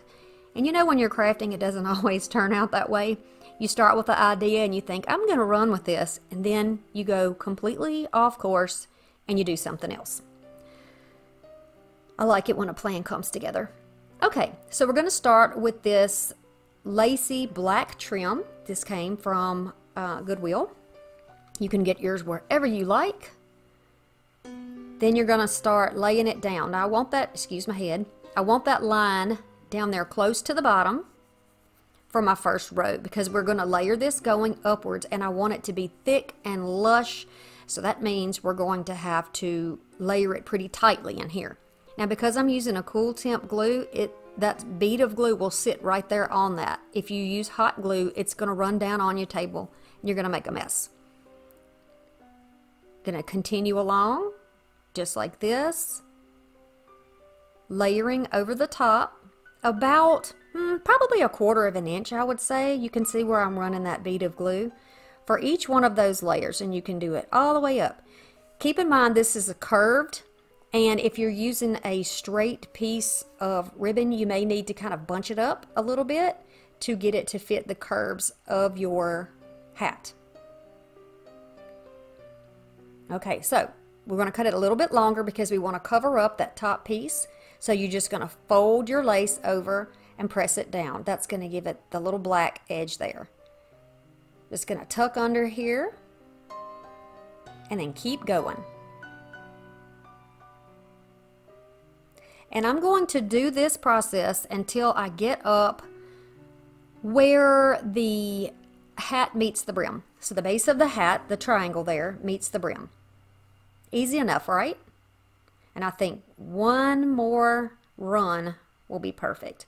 Y'all have to excuse my head. I'm standing up because I had to raise my camera way up high to be able to get this in the view for you. Okay, so same thing here. It's curved. We're just going to curve it on around, let it do its thing. We're not going to see it from the back, so this is not going to matter. Now, I also found this pretty mesh at uh, Goodwill as well. And I thought, well, it's a piece of, I guess, sheer material, sheer fabric. I'm just going to kind of a accordion fold it or gather it up like this. And we're going to tie this to make like a sash around the hat. Now, I did not have any longer piece than this. I would have loved to have it hanging down like a veil, but I didn't have enough for that. So I'm doing what I can with what I've got. I had to use it on this piece though. Clearly it had to be used. It's very Victorian. I'm going to take that glue again on a cooler temp and be very careful that you don't burn your fingers but the thickness of this is allowing me to touch it without hurting myself. And I'm going to press it down and then you want to flip it over and do the same thing on the back. Keep it in mind that you want to keep it as low down to the brim as you can so there's no gaps. Just like that. And by the way, if you're looking for any of the products that I use, most of my tools can be found linked below in the description box. Um, I am an Amazon affiliate, so just so that you know that, um, I want to let you know that I do earn tiny bit of money from it, but it, it's at no extra cost to you. So I just put those down there because I think it would be helpful to you, and if it helps you, then it helps me. Okay, so rather than tying in a knot, which would take up too much of the length of my little sash here, I've decided just to loop it over and tie it off. And I'm just tying it off with a little scrap piece of raffia that I have. But you can use ribbon, you can use a zip tie, whatever you want to use if you want to do it the same way as me. Now it's time to make it look very fancy. We're going to start using some picks. Use any type of black picks you have if we're doing black and white. I have some weeping willow, I have a Dollar Tree pick, and I have some thrifted, I think those are oak leaves down there.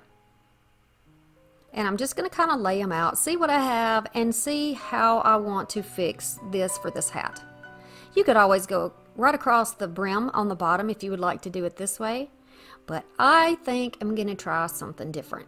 So trim up where you need to trim and layer these on, just like I'm doing here. I try to keep these in my hand once I start cutting them down so I know exactly where to put my ties. These little picks from Dollar Tree are amazing in my opinion. There's so many different pieces on there. You can really trim them up and cut them down. You'll see me do that on a project later in this video as well. So right now we're just going to leave this as one piece. I'm going to take that bottom, that second piece of oak stem and put it across the bottom where the stems are so that you can't see them.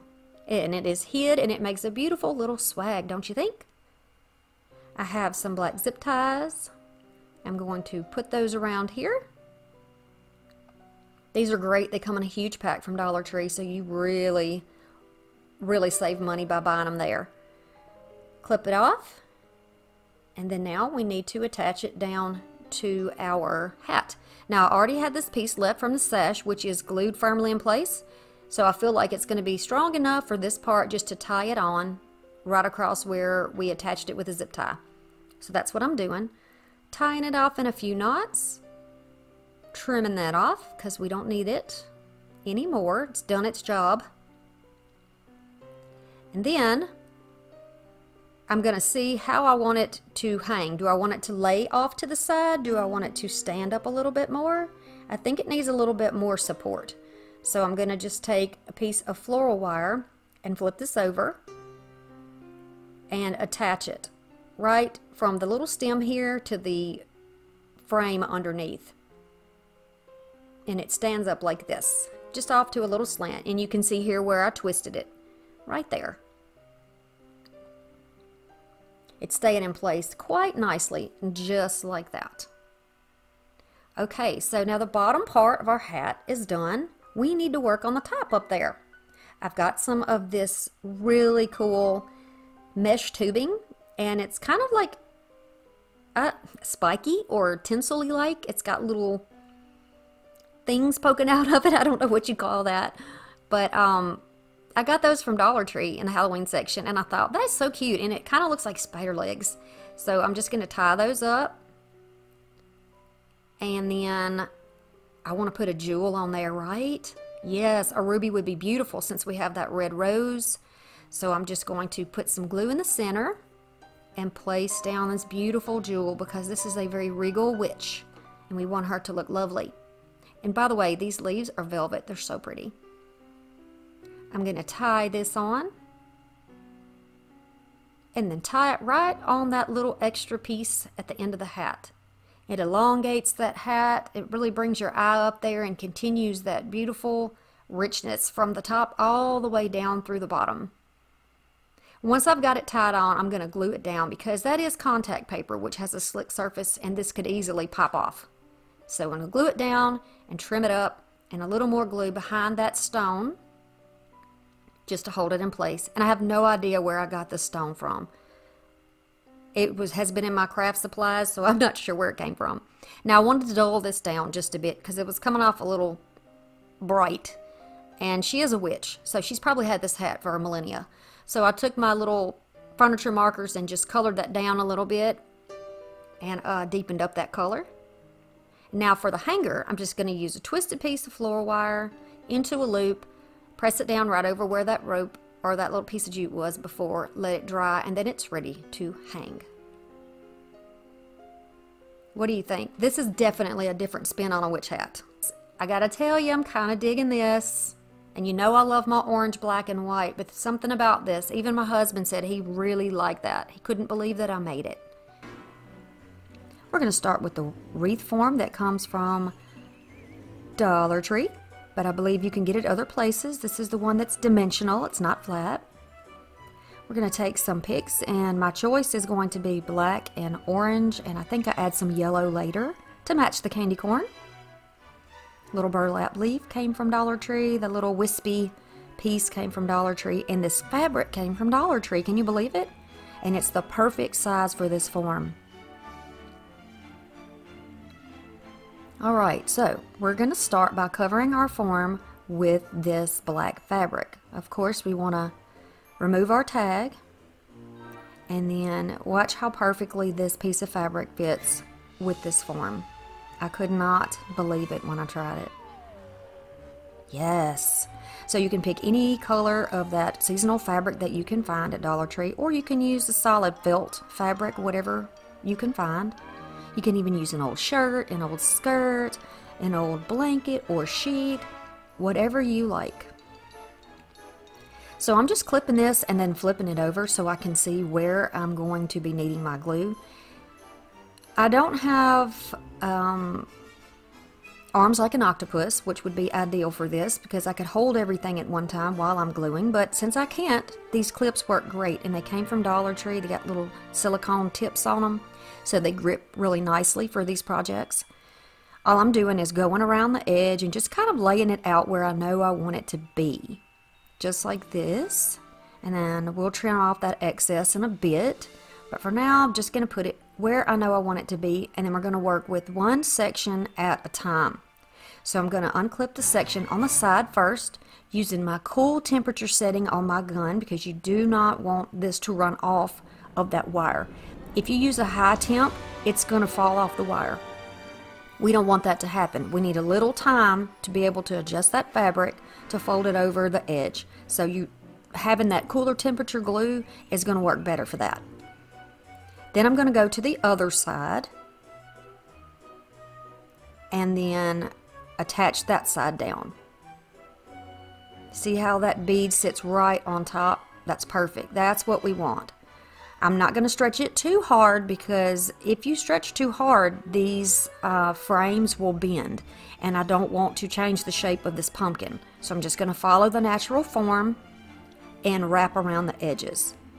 I'm going to continue to do that all the way around this pumpkin. I'm going to do a little bit at a time. So I've done both sides. Now I'm going to go to the bottom. And you get the idea here. Folding it over, squeezing it down so that the glue goes on both pieces of fabric and on the wire form. So we're going to continue around like this. Stay tuned so you'll know what to do. Okay, so when we get up to the stem and we've gotten everything else glued down, I'm just going to clip there around the stem so that I can trim off everything and still have a little bit on the top to work with. We're going to do that in just a second.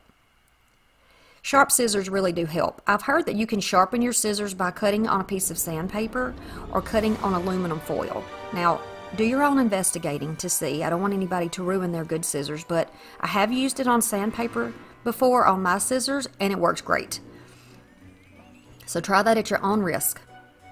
Alright, so just around the top here, now I have this little flap for the top of my pumpkin.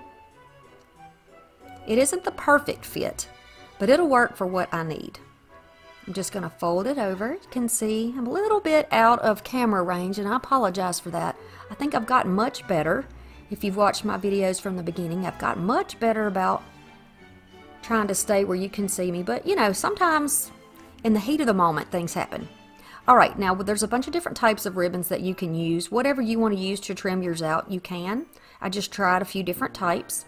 I like this particular ribbon because it's wide enough that I can put glue on it and put it right down the center of those wire pieces without any glue coming out the sides. If you use a very thin strip, you might have an issue with glue um, seeping through. And I'm, I'm always striving to make a high-end look and I want to show you how to do um, those little extra things to give you a high-end look. So we're going to stop, start at the top, right beside the stem on that first ring, and you can almost see through the fabric here, so you can see it.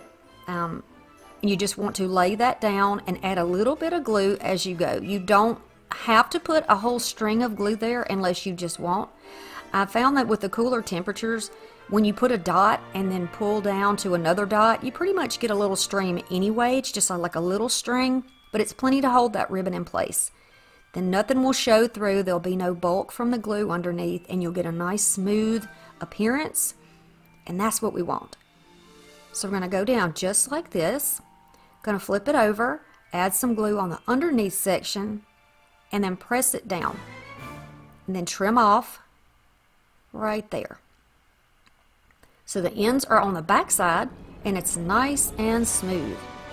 Going to show you again. We're going to start here, a little bit of glue, press it down and squeeze it to the back. Some of the glue goes to the back of the form. You can see little little string, little spider web of glue between the dots and that's perfect for this. To add some glue here, flip it over, little dot of glue on the back, squeeze it down and trim it off. Be sure you use those clamps when you need them.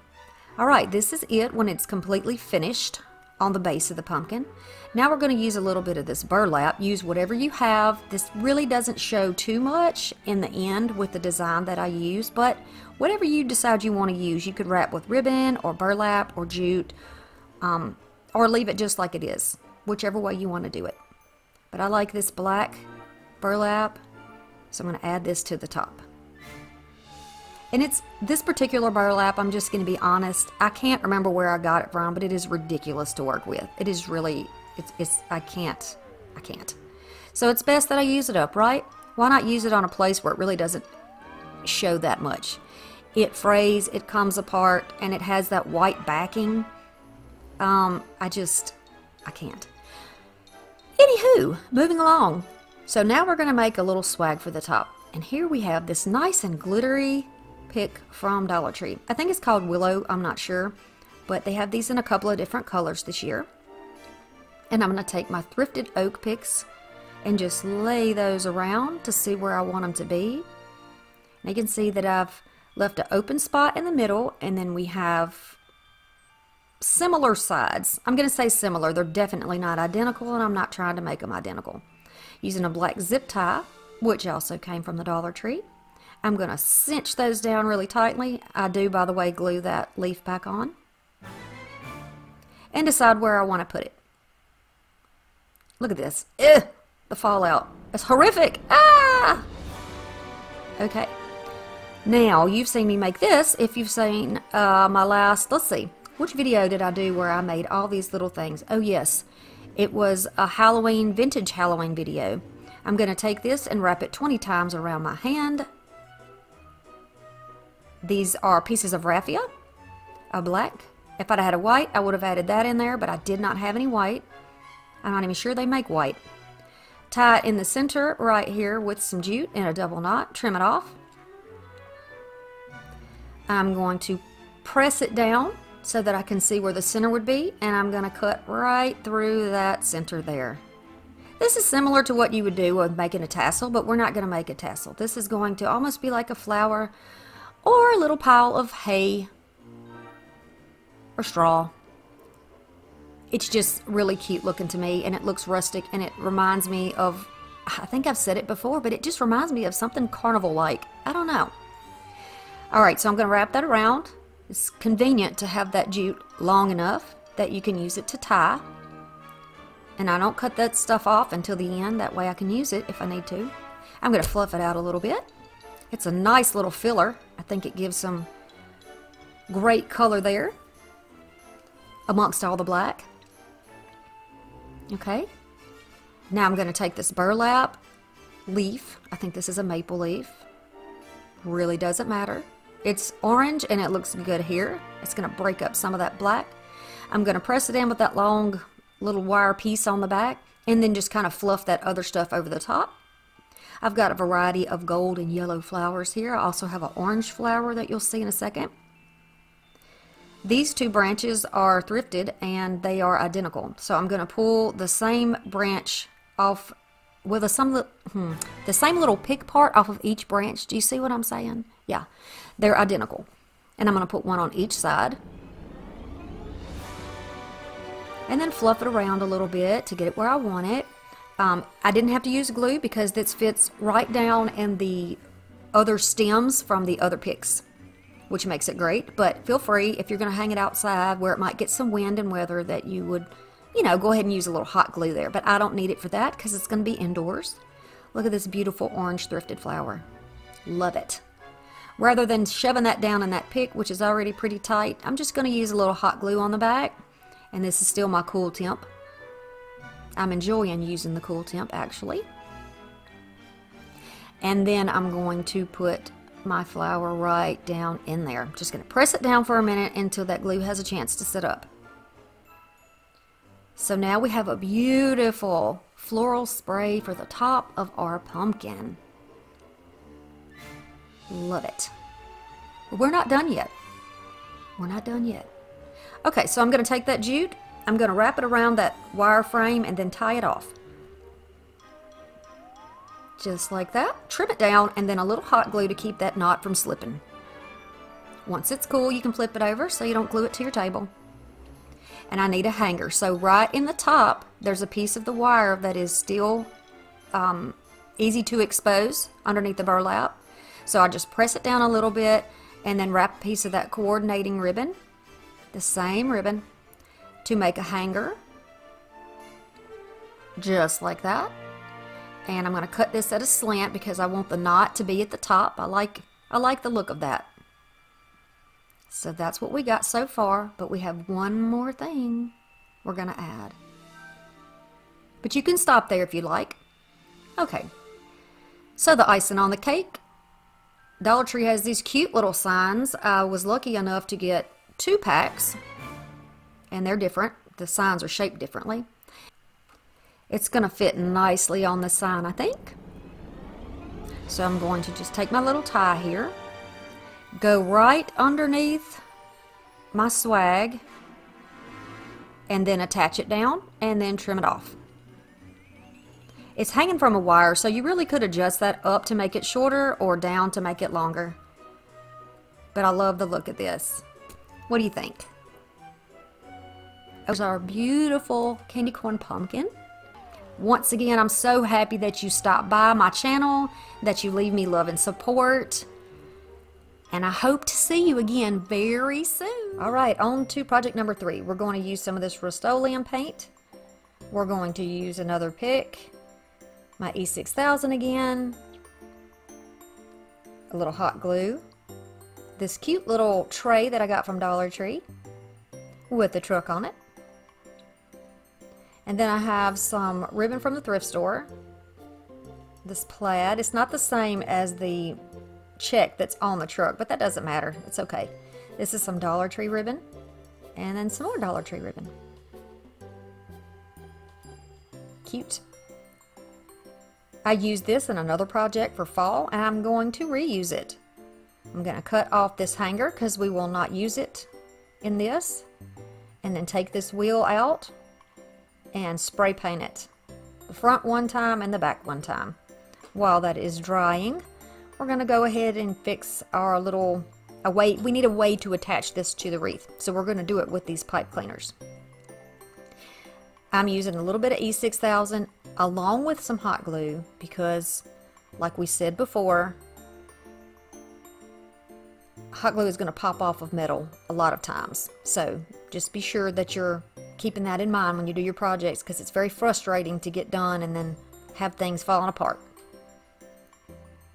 so I'm going to put a clamp on here to hold it because I want to be sure that my E6000 is sticking down like it should and Dollar Tree has a um, a comparable adhesive that you can use if you would rather use that. If that's what you have, you can use that.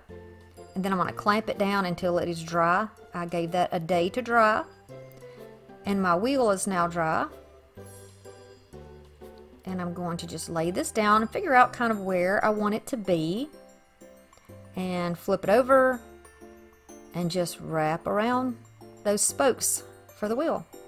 And I'll tell you this, and you're going to notice this later when I'm putting the greenery on this thing will break easily. Now I'm surprised I didn't break it with the first one that I did, but this time I actually do break it and I fix it. So be sure you're paying attention because you want to be sure.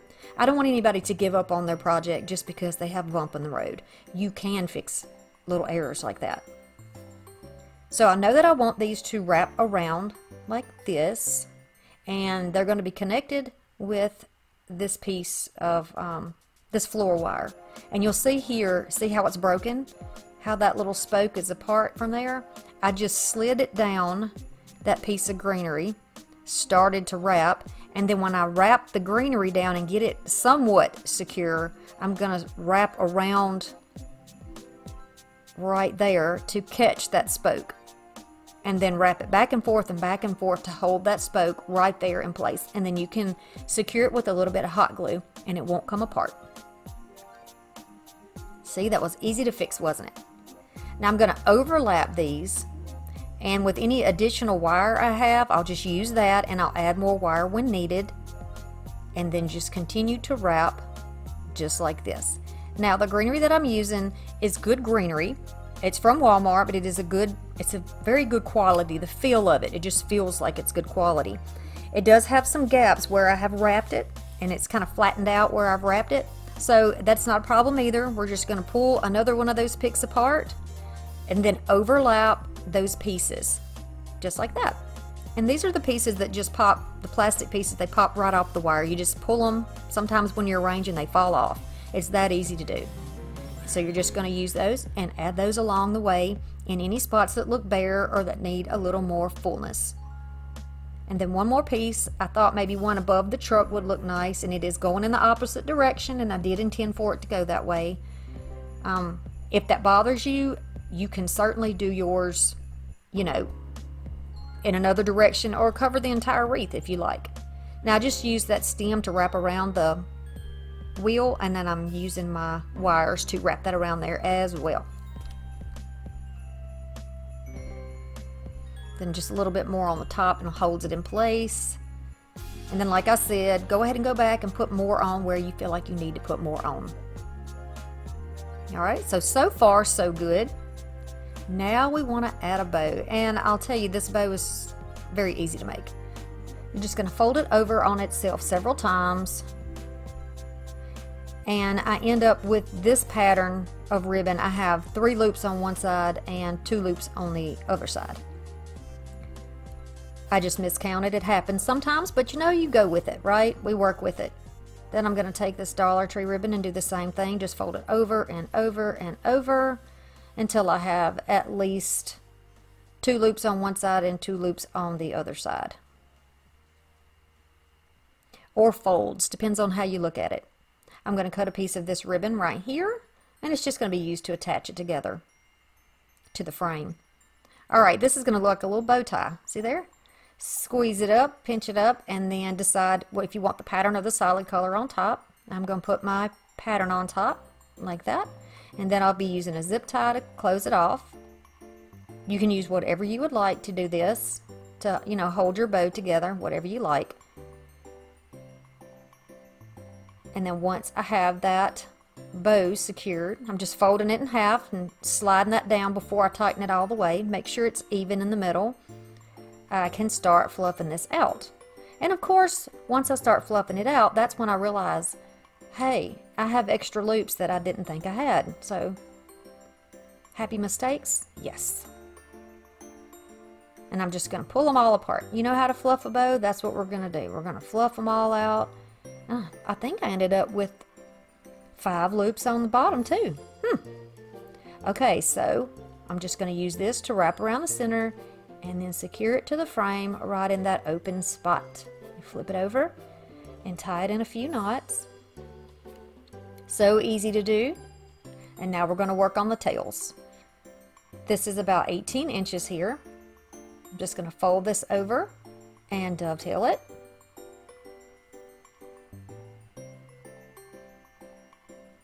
And then I'm going to do the same thing with the red plaid.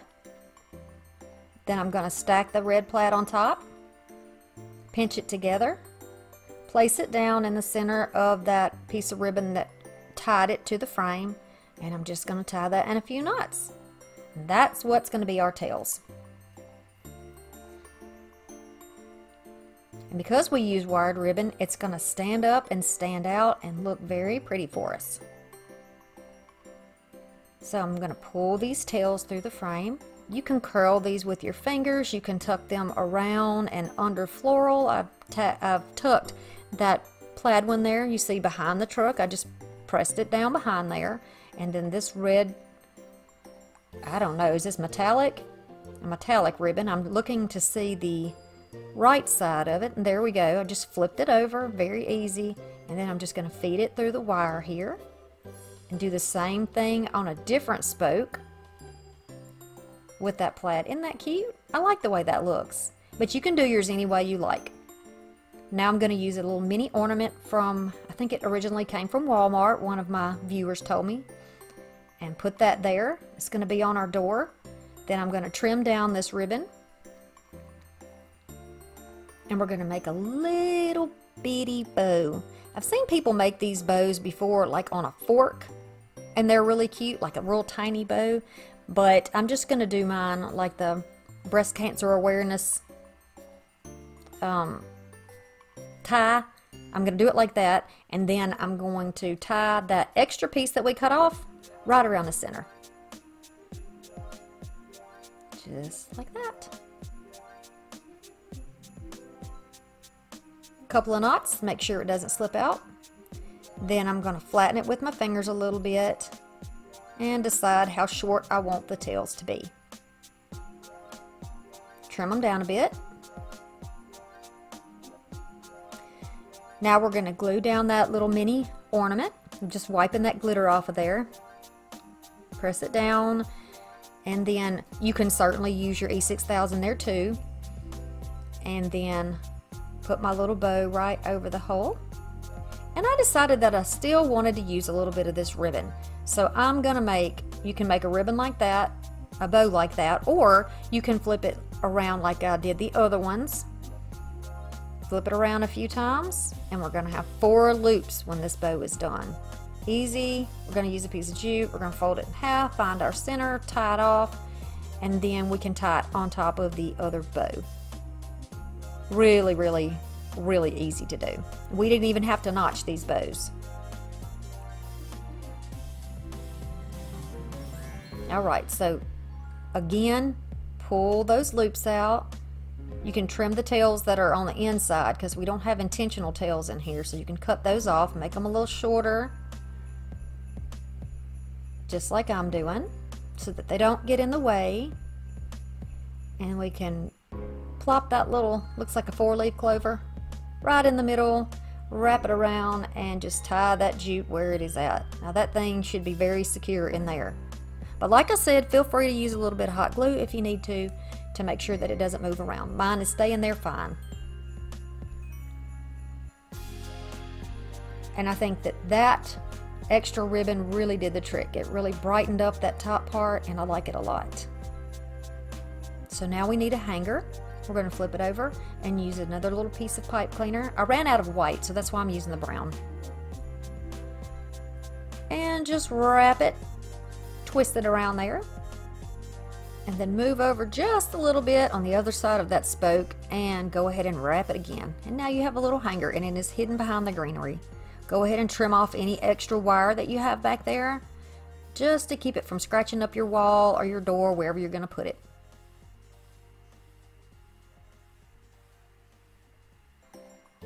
And then look how great the wreath turned out. So pretty.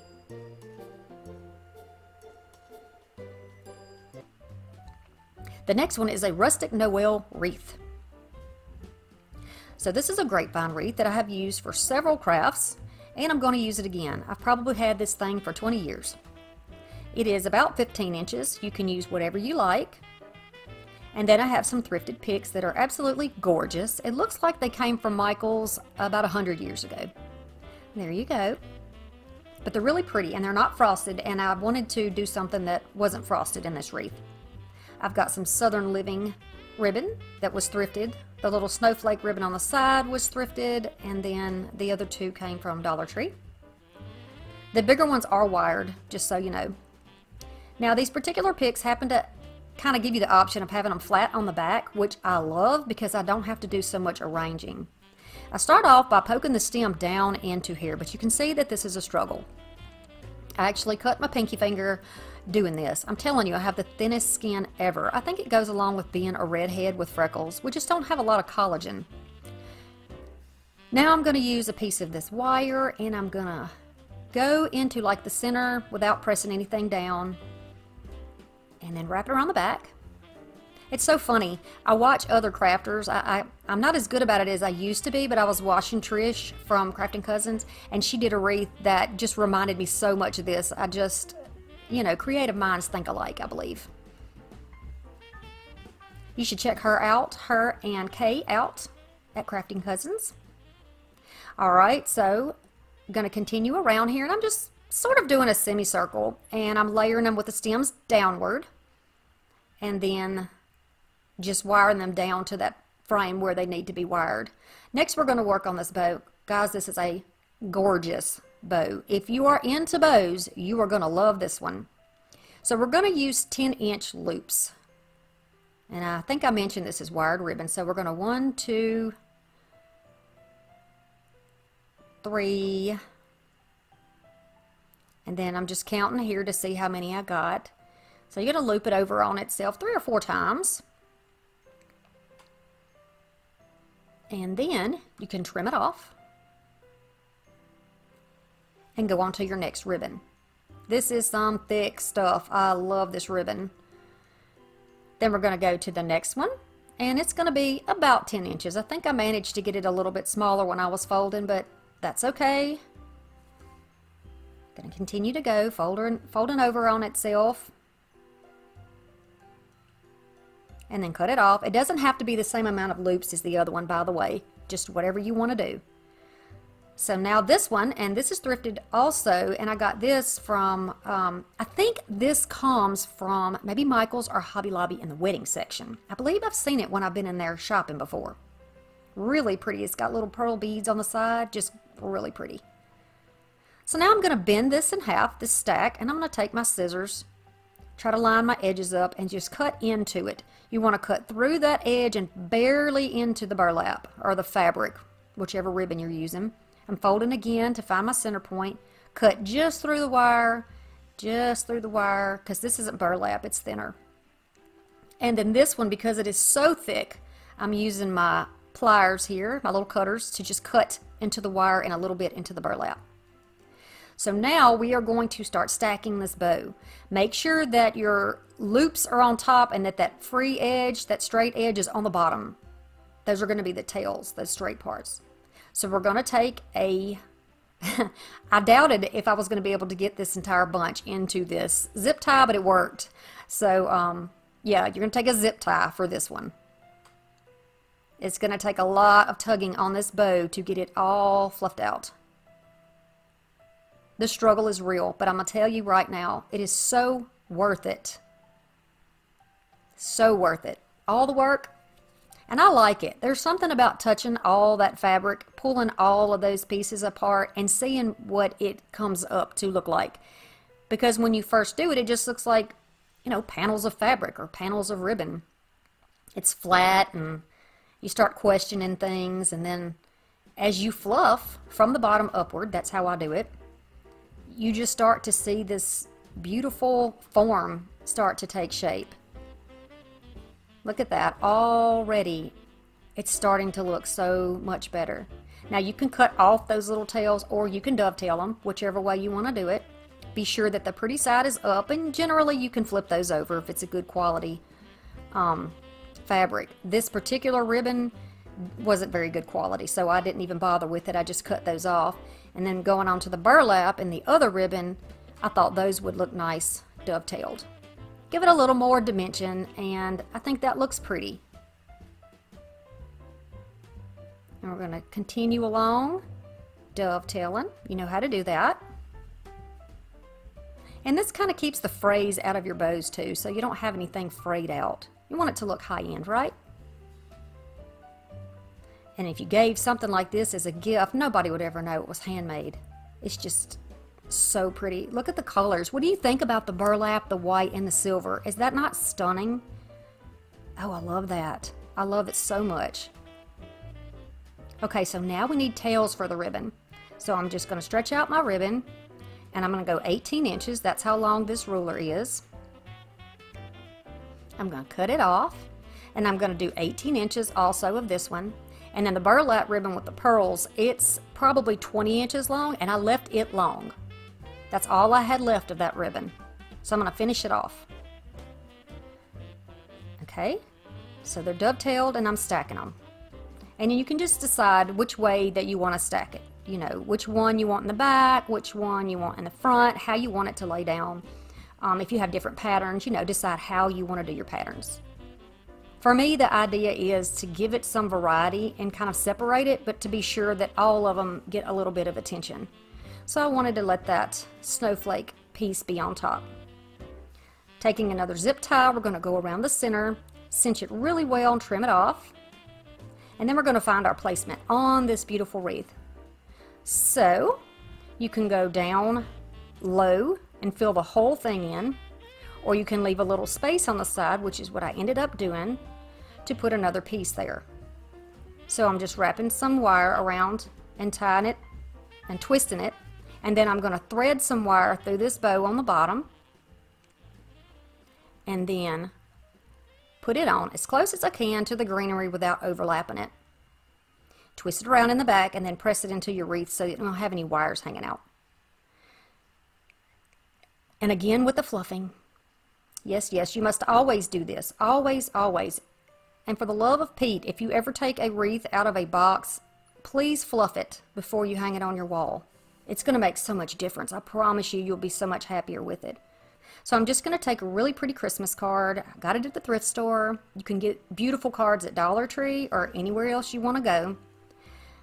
I just weakened that seam with my fingernails, flipping it back and forth, and then put my ruler on it and pulled it off nicely. Now I'm just using my finger to roll the little edge under.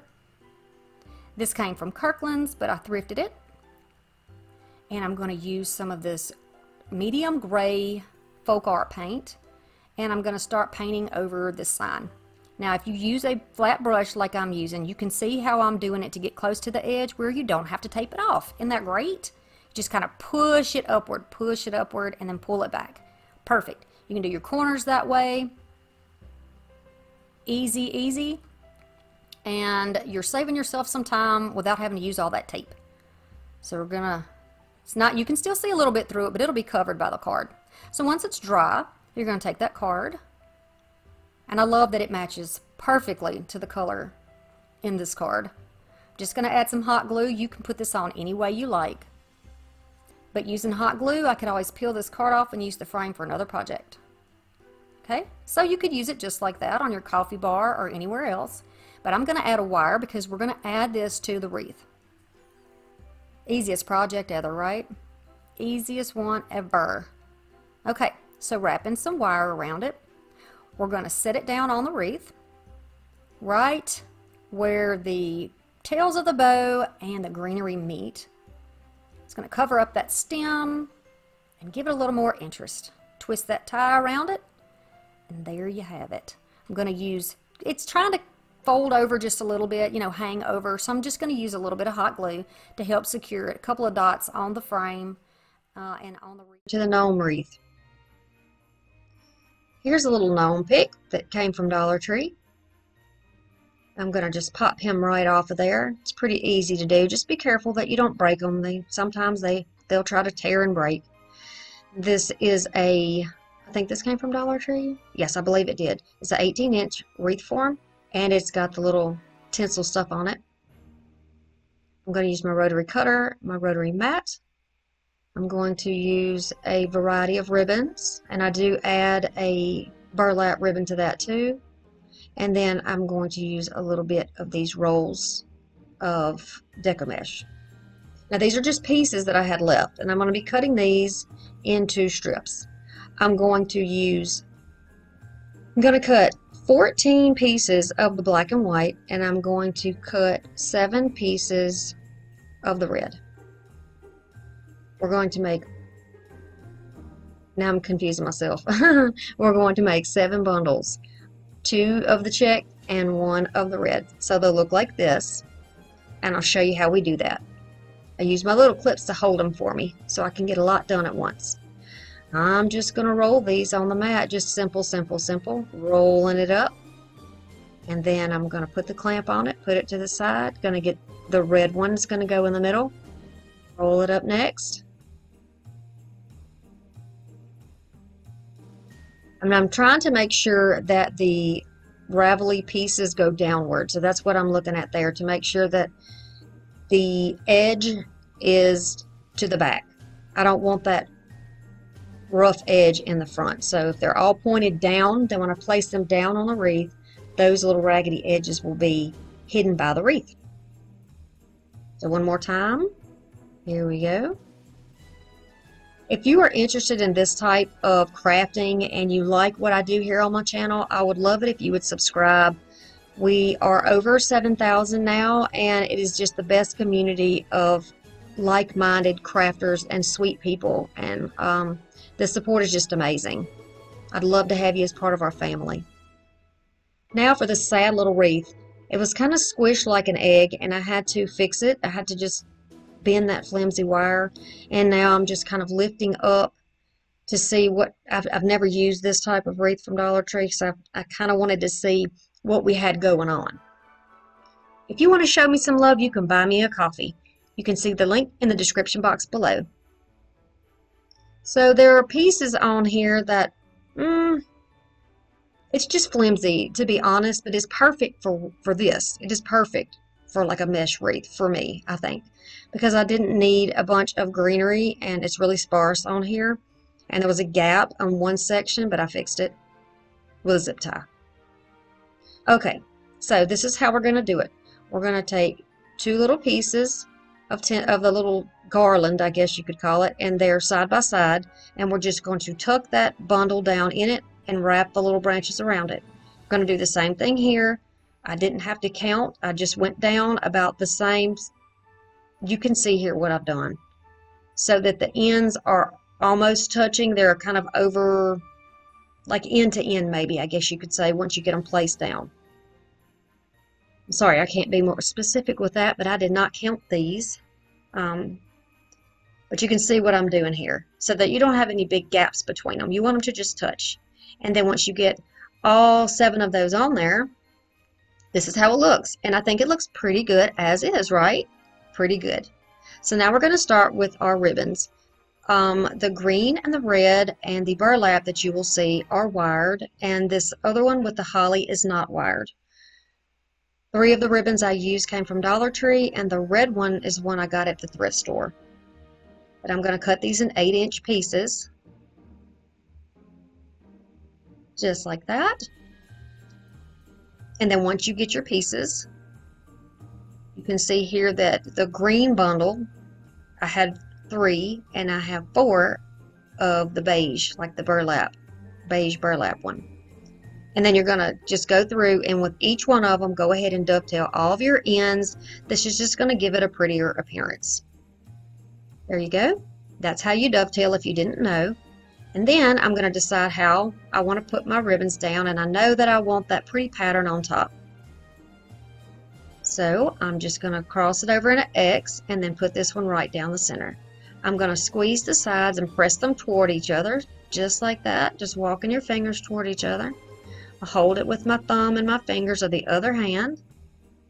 Then you're going to go down to whichever bundle you want to start on, untwist it, holding everything down, press it in tightly, and then twist your little branches right around it.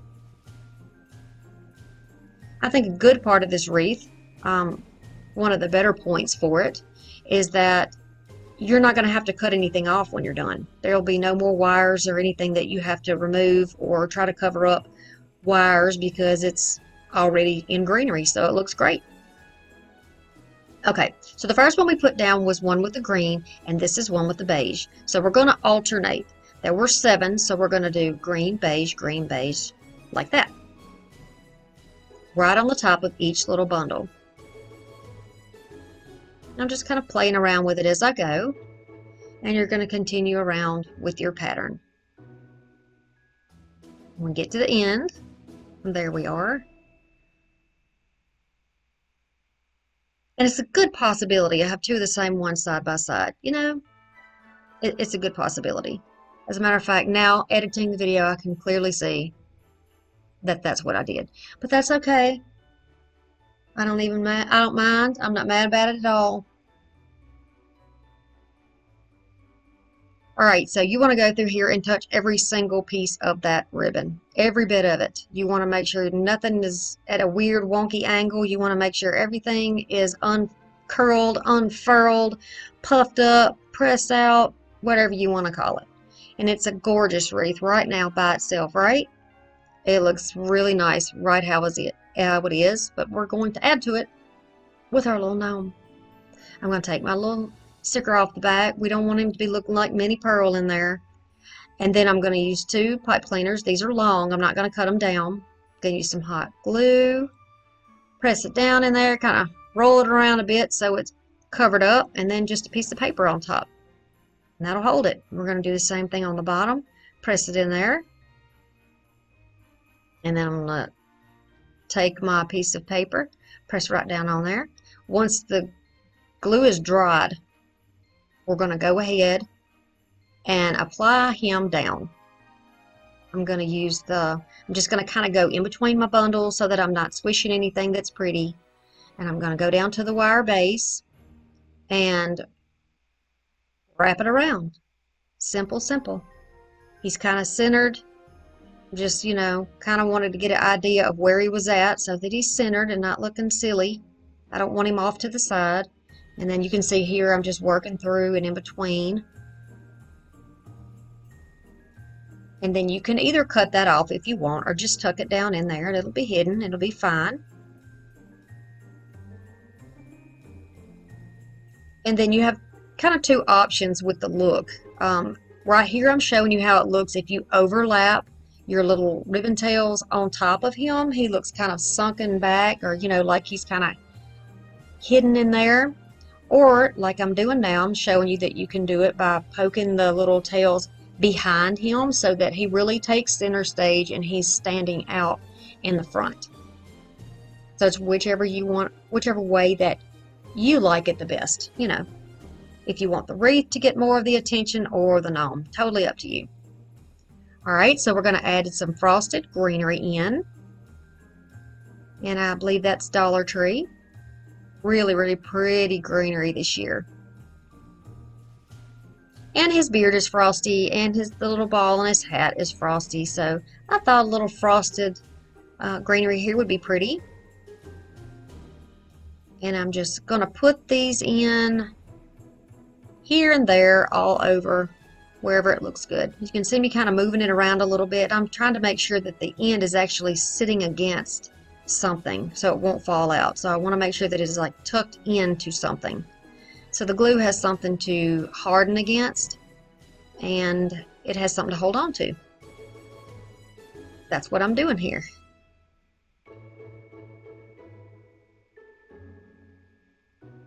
A little bit more. And I just decided I did not like this tree. So you know what? I'm going to take it off. I'm just using this little spatula here that I use on so many things. It's all dented and scratched. You can see my face in there. And I'm just carefully going through so that I don't tear too much paper. And I do have a little boo-boo, but that's okay. Again, we're going to fix that. If I got upset every time I made a mistake, I would never craft. And I'm just being honest with you. I wouldn't. Because I have lots of boo-boos. Alright, I'm going to take some white chalk paint and this little brush, this little flat brush and I'm just going to go around kind of go around his little fingers here on his hands. I do this uh, I did a little outline part the little extra where you can see the green trim. I do that with a fine brush and then I give it two coats of paint and dry nice in between. And then this I just give one thick coat of paint and put it in front of the fan so that it will dry you can go back over this with some glitter if you want and it would probably just completely disappear um, but I wasn't worried about that because I knew I'd be covering it up. The bulk of it would be covered. So I have this little berry pick, and you can get something like this at Dollar Tree or really anywhere off of any greenery. And another one of these pieces of greenery that I've just kind of cut down to look a little bit more like the shape of a tree. And I want this to go right on top of it.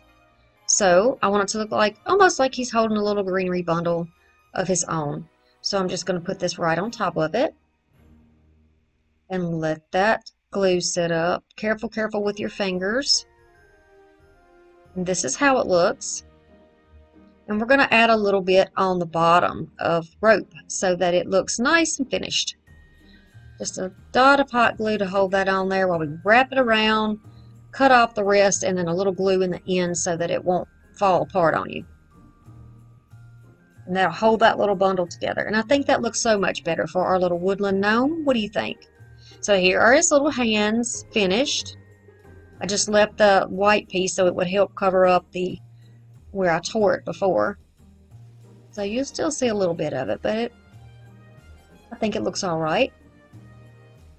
Okay, and so we're going to add some glue on the back of that piece and place it down right in his little hands. Now he's got a beautiful piece of greenery. Our little lumberjack gnome. Do you like him? Are you going to do this? I hope so. Now you can just hang this up with a little piece of wire or something on the back. You could just hang it right off of the form. We're going to start off with some of these pipe cleaners. Use whatever color you like. I'm going to use some of this decorative mesh that came from Dollar Tree. It will take me four and a half rolls. And this is a 14 inch wreath form from Dollar Tree. You can see that it is broken down into sections and that is going to be important in a moment. All right, we're going to start rolling this off and cutting it out in 12 inch pieces. We're going to make bundles of three and we are going to need 18 bundles of three. So you're going to just roll it under here. The tighter you roll it, the smaller your curls are going to be. I like mine to be about the diameter of a nickel when you look at the end of it but do whatever it is that you like. And we're going to just stack those together. One more, you can see what I'm doing here, and stack it. If you have a bunch of clamps or those little clothespins, those work really well to hold your little pieces together. We're going to take a coordinating ribbon. This one came from Dollar Tree. And then I have two more that came from the thrift store. We're going to have nine of each one of these. So nine of the plaid, nine of the one with the holly, and nine of the little, the thinner brown ribbon here, or beige ribbon. All of these are wired, and you do want to use wired ribbon for this. To give it a finished look, you want to fold those over and cut a little line up to make V's. These are called dovetails. This gives a very nice look, just like that. We're going to take pipe cleaners, and I did switch to the red and white. You're going to need 18 of those. This is how we're going to attach our little bundles down to the wire wreath. I'm going to use a zip, I'm going to use a tie here. Put it around, twist it so that it stays on the wreath just like this. We're going to use three in each section and you can see those dividers and you're just going to use three on each one. You can see they're about evenly spaced, just like this. Okay, so now we're going to start placing down those bundles. You're going to grab that bundle, take your clamp off of it, and the side that has the little, the edge that sometimes comes unraveled with the Dollar Tree mesh, place that downward against the wreath so that you won't notice and all of your pretty sides will be up. Just like this. Put your next one down, press it down into there, hold it tightly, and twist it. So there's two bundles. You can just push those little twists out of the way if you'd like. And then continue all the way around your wreath. Then you can fluff out a little bit, make sure everything is where it should be, and look how full that is. If you prefer, you can make it even more full by doing four bundles of four instead of three. Alright, so we're going to start with our little stacks of ribbon. They're all nicely dovetailed and ready to go. You're going to open one of your little pieces down here and you're going to twist this in just like this. One or two twists, you don't need a whole lot to hold it in place. And then you're just going to bend and fold these out. This is part of the fluffing process. It makes everything nice and neat. Don't worry about the wires not being the right color. Don't worry about the that sort of thing. We're going to take care of that shortly. I'm going to show you again. Take that stack, kind of pinch it together in the middle. Fix the ribbons how you want them. And then we're going to skip. So we're going to go to the third one. So we had one, we skipped one, and now we're in the next one. So there are 18 bundles on your wreath, and you are going to use nine of the little ribbon stacks in the wreath, every other pipe cleaner. Just like that. Here we go again. We're going to stack them together. Skip one and go to that one. Now we're going to go all the way around just like that. This is easy enough to do, right? And it makes such a pretty presentation. All of these little tails sticking out, so pretty. If you're enjoying this content, consider subscribing. I'd love to have you as part of my YouTube family. Okay, so we want to make everything look pretty. And now we have all these leftover pipe cleaners. So what are we going to do with those leftover pipe cleaners? If you're not going to add anything else to it and you're finished, you're going to take it to the back and twist it around and or cut it off. If you want to show me some love, you can buy me a coffee. Just look in the description box below. And thank you very much to Brenda Holmes for buying me my coffee. Okay. Press through your wreath form here and just twist it. And then you can just lay it down like that or cut it off. So when you're all done, this is what you're left with and you can't even see those anymore, right? Fluff everything out. Touch every little piece of that ribbon. Put it in the right place. Make sure none of your wreath form is showing underneath and that none of your hardware shows. You don't want any of your little ties showing underneath there. And you can fluff them up so that they won't be seen. And it looks more high-end that way. And this is how it looks so far. Really pretty. And actually pretty enough on its own. You wouldn't have to add anything, but you could put a sign there if you wanted to, maybe in the middle. We're going to add a big, pretty bow. I'm going to use this bow, make, bow making tool that I made for myself. I'll link that video for you. And you're just going to measure off long tails. And we're going to have varying tails on the different bows. This is going to be a stacked bow. Really easy bow to make. Um, you're just going to keep repeating the same process over and over again with the bows getting a little bit smaller as you get toward the top.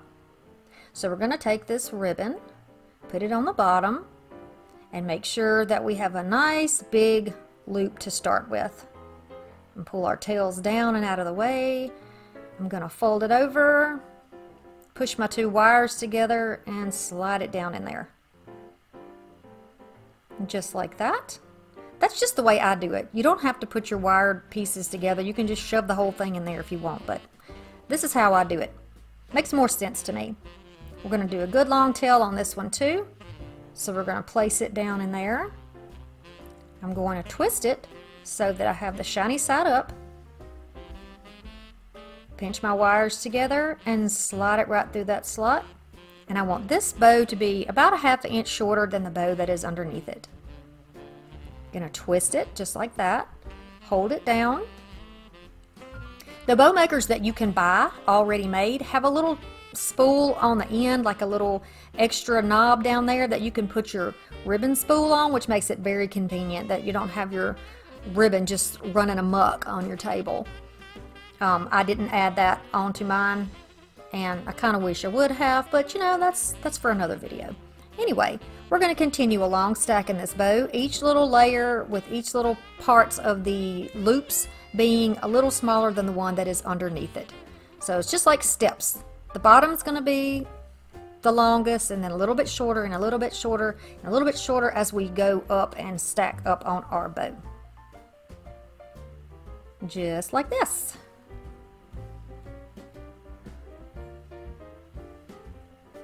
Was down to the end of this ribbon, so I had to pull on it a little bit and kind of adjust it so I had some even tails.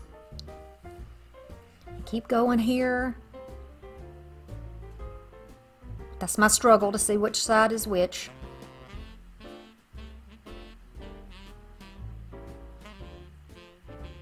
All right, so now we already have our zip tie underneath, so that makes it easy for us to wrap around it and zip it off. You can use floral wire for this. You can use another pipe cleaner if you want to use it. I should have put a piece of wire under there between the zip tie and the bow in the back so that we would have something to attach to the reef, but I do something else instead, and you can choose which way you want to do it. So before I get it completely tight, I'm making sure that my little loops are even, and then I can tighten up that zip tie. Finish off your ends with dovetails. This is going to make them look very nice. Here is my piece that I'm going to use to hang it to the wreath, and I'm just going to use a piece of jute.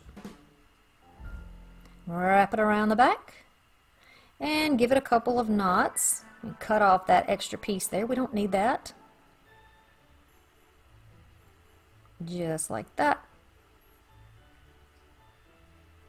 And then Here's our wreath. We can go ahead and choose what we want the top to be. It all looks the same. And then we're going to wrap it around back and tie it.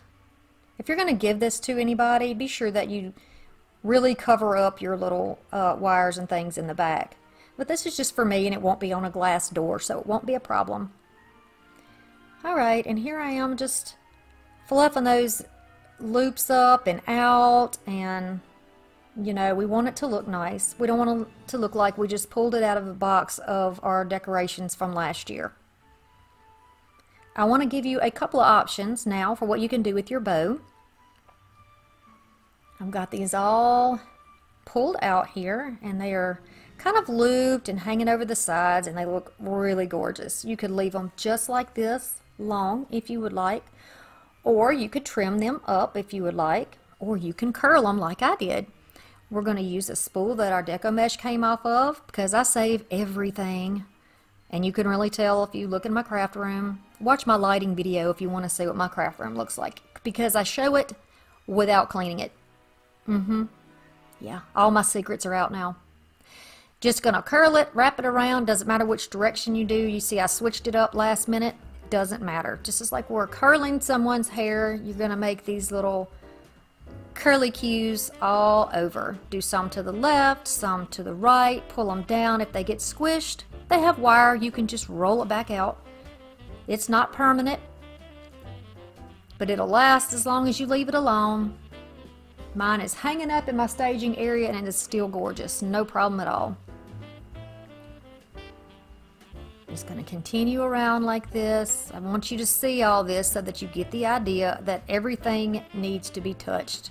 Everything needs to be manipulated. We really want this to look high-end, and you can see the difference when you're done with your projects. I don't want somebody to come in my house and say, look what you crafted. No, no. If they don't know that I'm a crafter, I just want them to look at it and, and assume that I got it from a high-end store somewhere.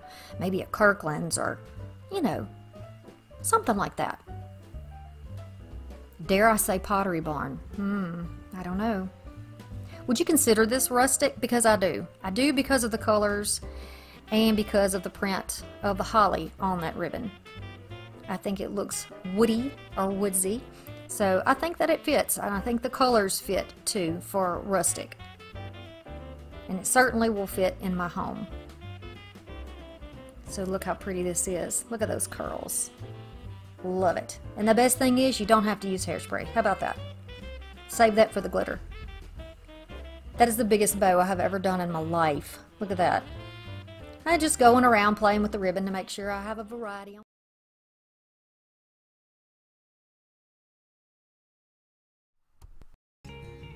This is an easy one, y'all. You can definitely do this.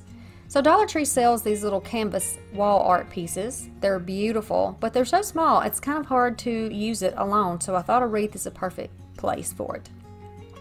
I'm going to use some of these cloths They're for card detailing, I'm going to use some greenery picks that I already had and then a 14 inch wreath from Dollar Tree.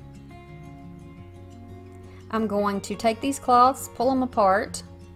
They have little um, you know, little plastic things in them. So you just pop those out, lay it flat, and then go ahead and start cutting some strips. I cut mine in each one of them in four pieces. And I'm just going to begin to wrap this around this wreath. This is super easy. I'm not wearing my finger protectors, and I know I sound like a broken record, but please be careful. Okay. Now, I'm just going to start wrapping this around here. I'm just going to make sure that it is overlapped slightly onto itself so that there's no space and that it's a little more quilted. It's a little bit thicker if you do it that way instead of stretching it out as far as you can go. So just put a little hot glue there, pat that down, and then wherever you need to trim, go ahead and trim it off or fold it under because you don't want, this is the back of the wreath here, you don't want all those end pieces to show in the front. You want it to look finished and smooth. You don't want ends and seams on the front of your creations. So you can see so far how that's going to look. Go ahead and go to the back and overlap for your next piece. And you just twist it around just like we did before. And you're going to continue to go around just like that all the way around your wreath. Wrapping it, gluing it, putting finished edges under, inside, and to the back. So now we're back on the back side and we're finishing up. I'm just pulling that, pressing it down, and then I'll take that little flap, cut it off, and then make sure that it is nicely finished on the back. So now we're going to start on putting this little canvas sign on our wreath. We're going to cut this off, just a little bit of floral wire, and it looks like I'm running low there. Note to self, buy more floral wire. Cut that off, and then we're going to glue these on either of these little short sides. Just add some hot glue. If you prefer to use some type of a tape, you can do that, but I get kind of rough when I am tightening things down and I'm not sure that anything else would work, except maybe a staple. That would probably be actually the best thing. Okay, so while that is cooling, I'm going to go ahead and go over to my pick. Now there's a variety of different types of things on here, so I'm just going to cut off the three different kinds that I like. There'll be three different types of greenery, in other words, on the swag part, which is going to be the top of our wreath. So you can use three picks of whatever type that you like from Dollar Tree if you don't have thrifted pieces or leftovers. So we're just going to turn them stems toward each other. Same thing with the other one and it's pretty much the same thing on either side. Then take a zip tie and tighten it, but not all the way down. Leave a little space in there so that you can add more and you can take things out if you're not sure of them. I'm going to add this little piece of, I think this is cedar on the top. And then I'm just going to tighten it down. You can pull that to the back so that you don't see that little knob sticking up and just trim it off. It will be covered up, so don't worry about that. All right, so now you can just use a another one of those zip ties and cinch that on whatever part of the wreath that you want to be your top. It's a circle, so there's really no top or bottom. You get to decide where your pretty spots are. Maybe if you made a mistake or there's a little gap, maybe that's where you want to put your swag. So it's going to cover up your mistake. All right, and I'm just gonna pull this out a little bit and fluff it up a little bit. And I like the variety of glitter and there's some larger, chunkier pieces of glitter in there and also some snowy branches. I think that looks good. I couldn't find the perfect green to match what's in this sign. It's more of a bluish green, but I think we get the point. You can use whatever you have. Now I'm just gonna push those wires through that fabric and wrap it around and close it. Try to make sure that you have it around one of the wires on the inside of the wreath so that everything stays snugly in place. Now go ahead and trim these off so it's nice and neat. And now we're going to start with the bow. So I've got some of this ribbon that I already had and then this is some that was thrifted. I'm going to take my little bow making tool that I made and I do have a link for that uh, if you're interested in trying to make your own. It's very easy. I'm going to fold this wired ribbon in half and then press it right down in here. I'm going to leave my tails about 8 inches long. Then I'll just be flipping that ribbon over. Since both sides of this ribbon are exactly the same, there's no need to twist it in the middle. but I'll show you what to do when we get to the one that's got a good side and a not so good side. And we're making these loops about probably five inches long, I think is what I have. I don't have my glasses on right now, but I think they're about four or five inches. And then the tails are eight inches. So I'm just gonna do one tail to the top, one tail to the bottom, and then cut that off. At this point, if you want to dovetail, you can go ahead and dovetail, but I am gonna continue with this bow. So I'm gonna take the snowy bow here. It's iridescent, just absolutely gorgeous. It is also wired in the same uh, thickness as the other one, though it doesn't matter. Now you're going to twist in the middle. So now my white side is going to be on the inside and my iridescent side will be up top. Press it down and make my loop. I want this one to be a little bit smaller than the white one. I'm going to press it down, give it a twist so that the white or the undecorated side is in the middle and then the iridescent side is up again. And that's how you do it. Same thing with the tails here, 8 inches on each side. Now, you can go to Amazon and you can buy a bow, the, the bow maker tool. I'm not exactly sure the exact name of what it is. I'm not suggesting that you have to buy anything. If you are not able to buy anything, then you might want to try doing something like this. And you can certainly make your bows by hand and you don't have to use a bow maker. I just want to give you options. So we're going to put a zip tie underneath and slide that up, holding on to the center. I'm going to slip my zip tie over into the middle, since it was off to the side just a little, slipping it into the middle.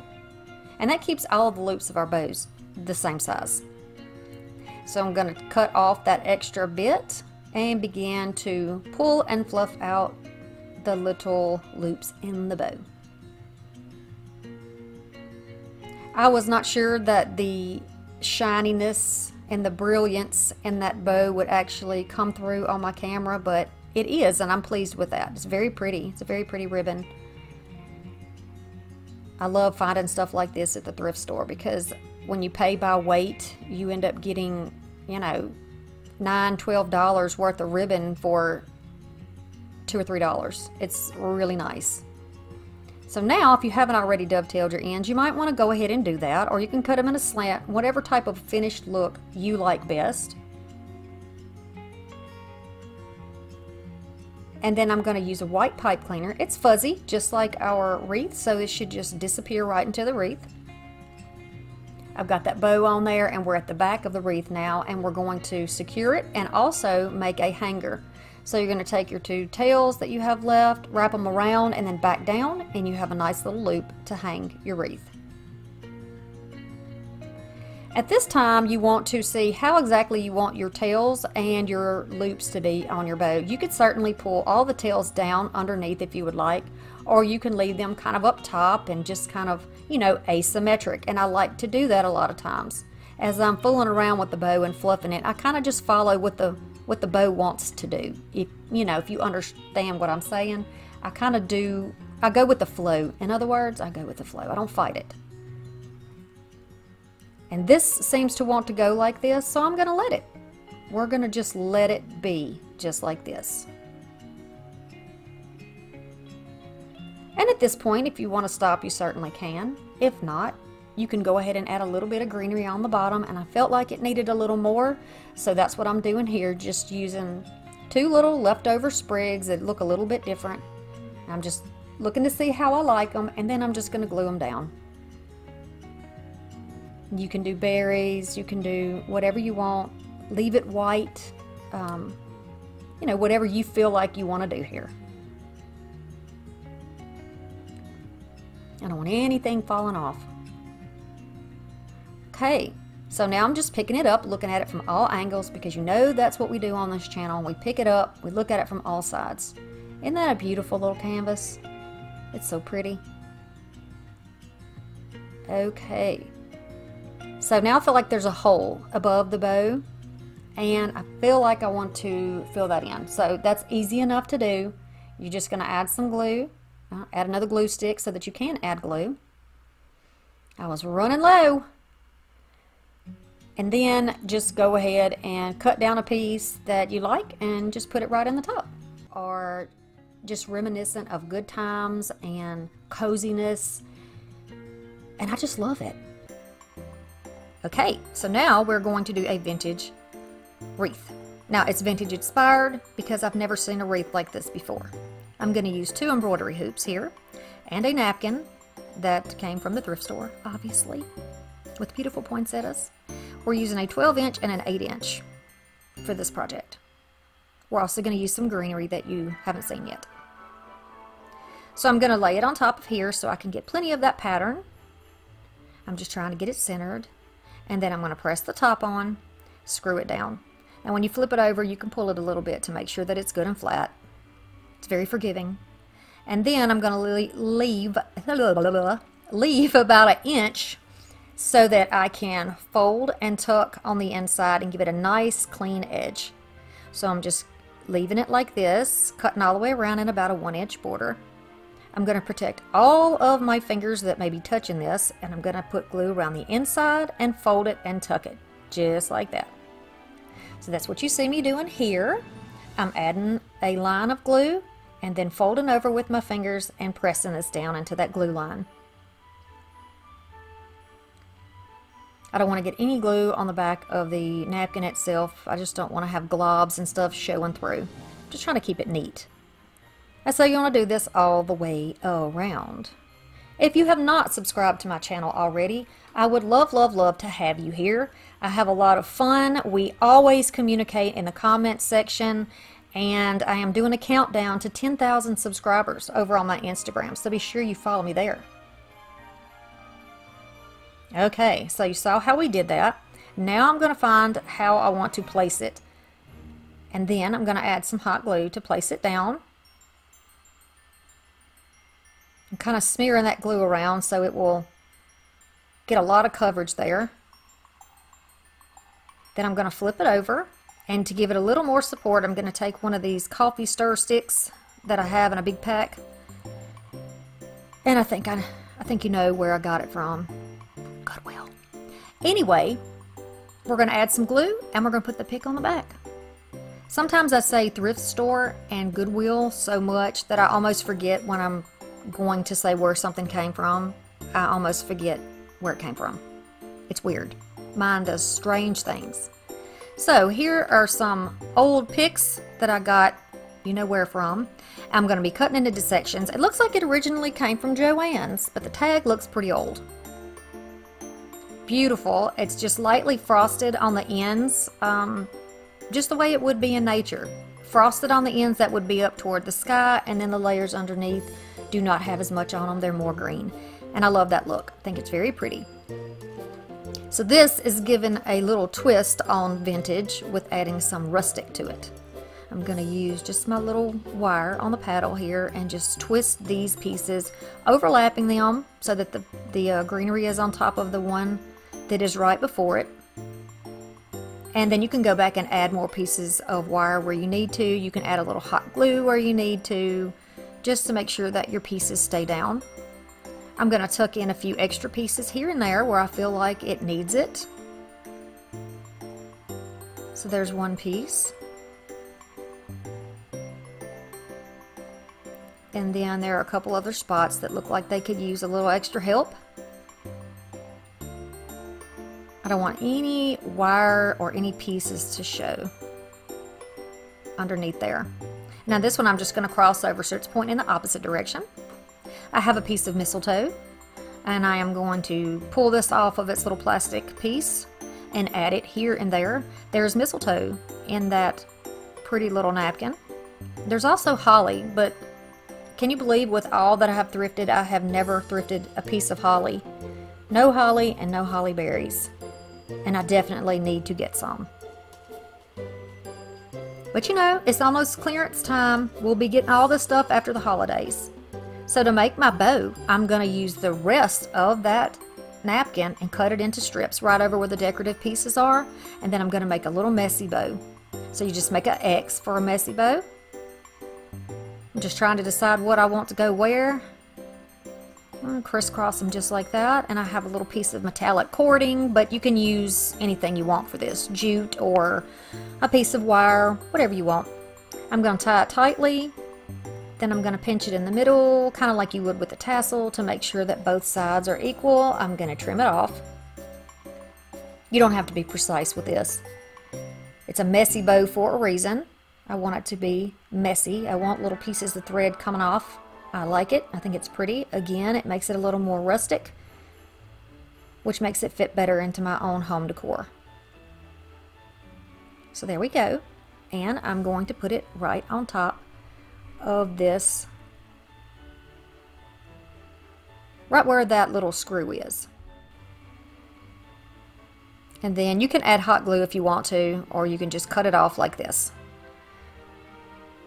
And if you cut the little pieces of ribbon short enough, they'll kind of, you know, stay where they need to stay because they're fairly light. Then you make any type of hanger that you want to put on the back and glue it down. And then over here we have that pretty rustic doubled wreath. Eyes. Okay, we're going to start off with some of this it's like a burlap ribbon with gold snowflakes on it. It's about six, five or six inches wide. I got another piece of sparkly burlap and then some deco mesh from Dollar Tree, an 18 inch wire wreath, some pipe cleaners. And first we're just going to go ahead and put this together, get this out of the way, then I'll show you what else we're going to use. We're going to start on the inner two rungs and go to each one of those little jointed pieces in the middle and just wrap it around one or two times to hold that in place. Now you might want to go ahead and jump over that little divider there just to make sure that your pieces don't slide back and forth. If you want to do that, now you can. If not, you can do it once you start placing your materials down. All the way around here. And that was easy enough, right? You might even have an 18 inch wreath that already has the the pipe cleaners on it and that's fine you can use that um, this will end up with 18 of these little pipe cleaners. So we're up to the top now and in the center we're going to wrap those around those outside two pieces. And we're going to do that all the way around. You can use florist wire you can use pipe cleaners you can use really any color pipe cleaner because it's going to be hidden in the end whatever you have on hand and it's Christmas so I'm using up some of my Christmas materials here. This is my beautiful deer who will be added on here. It's just an ornament that I got at the thrift store. Be sure you follow me on my social media, Pinterest, Facebook, and Instagram. Okay, so we've got this deco mesh. You can find this in the Christmas and the fall section. And we're going to lay it right over the top of this ribbon underneath. Then I'm going to kind of bunch it up or kind of accordion pleat it in my hand. Going to hold it tightly and go down and find a place to start. I'm starting on the inside because I want that little tail to go inside of my wreath so I just thought it would be easier to start on the inside section. I'm wrapping that around and you can see how it slides away from it and that's what I mean there. You'll want to wrap that pipe cleaner kind of around that center bar. If you do that, now it won't be pulled up or down. It'll stay right where you put it. Tuck your loose ends down. Then you're going to take a ruler, and go down 8 inches, and just begin to bunch this. I started off wanting to make 10 inch segments, but I didn't think I was going to have enough ribbon, and I was correct. So I went ahead and changed it, and what you're seeing is me doing little 8 inch poofs. I'm going to go back and forth all the way down. So here's 8 inches. I first went to the outside. Now I'm going to pleat it in my fingers and we're going to go to the inside.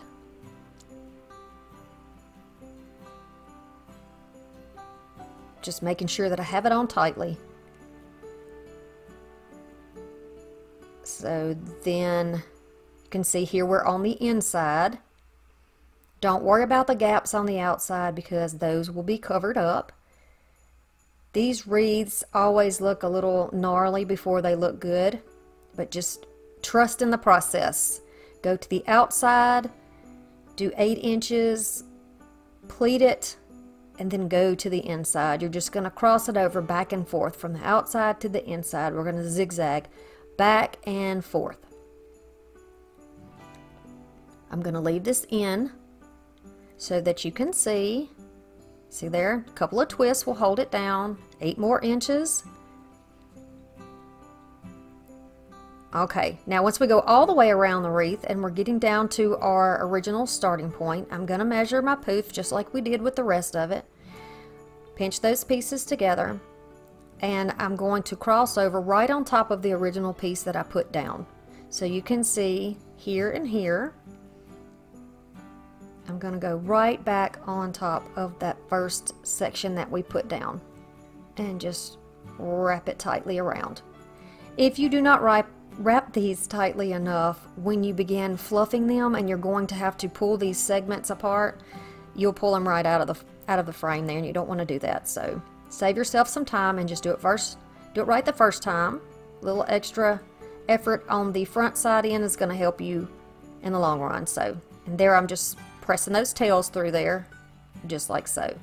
Now, I wanted to add some of this. This is like a, mm, it's, I don't, I can't even tell you. It's almost like a plasticky material or some type of a coated fabric mesh that is gold. And I thought, wow, for glam, this is going to be stunning. Plus, there's a lot of highlights in that deer that are bronze and gold. And I thought this would really make it look uh, really nice. So I'm just going to loop this over back and forth, same process. Start on the outside, move inward. Now, difference here is I'm not going to use a measuring device on these. What I'm doing is looping them over so that it sits right on top of the other one. If you do that, then the little poof underneath is all you need to help measure. So that's what I'm doing here. And I'm going to go from the inside to the out. You can see me crossing over inside out in the same pattern that I did the ribbon and the deco mesh. And see here, this is where I ran out and I have a gap. So I'll show you what to do. Don't worry, this does happen sometime with wreath making, not a problem. I'm going to take the end of another piece and I'm just going to overlap them like so. Press it into that wire and then twist it tightly down. Now you have a continued length of ribbon. See? No problem continuing around and we're almost done here. Once we get back to our starting place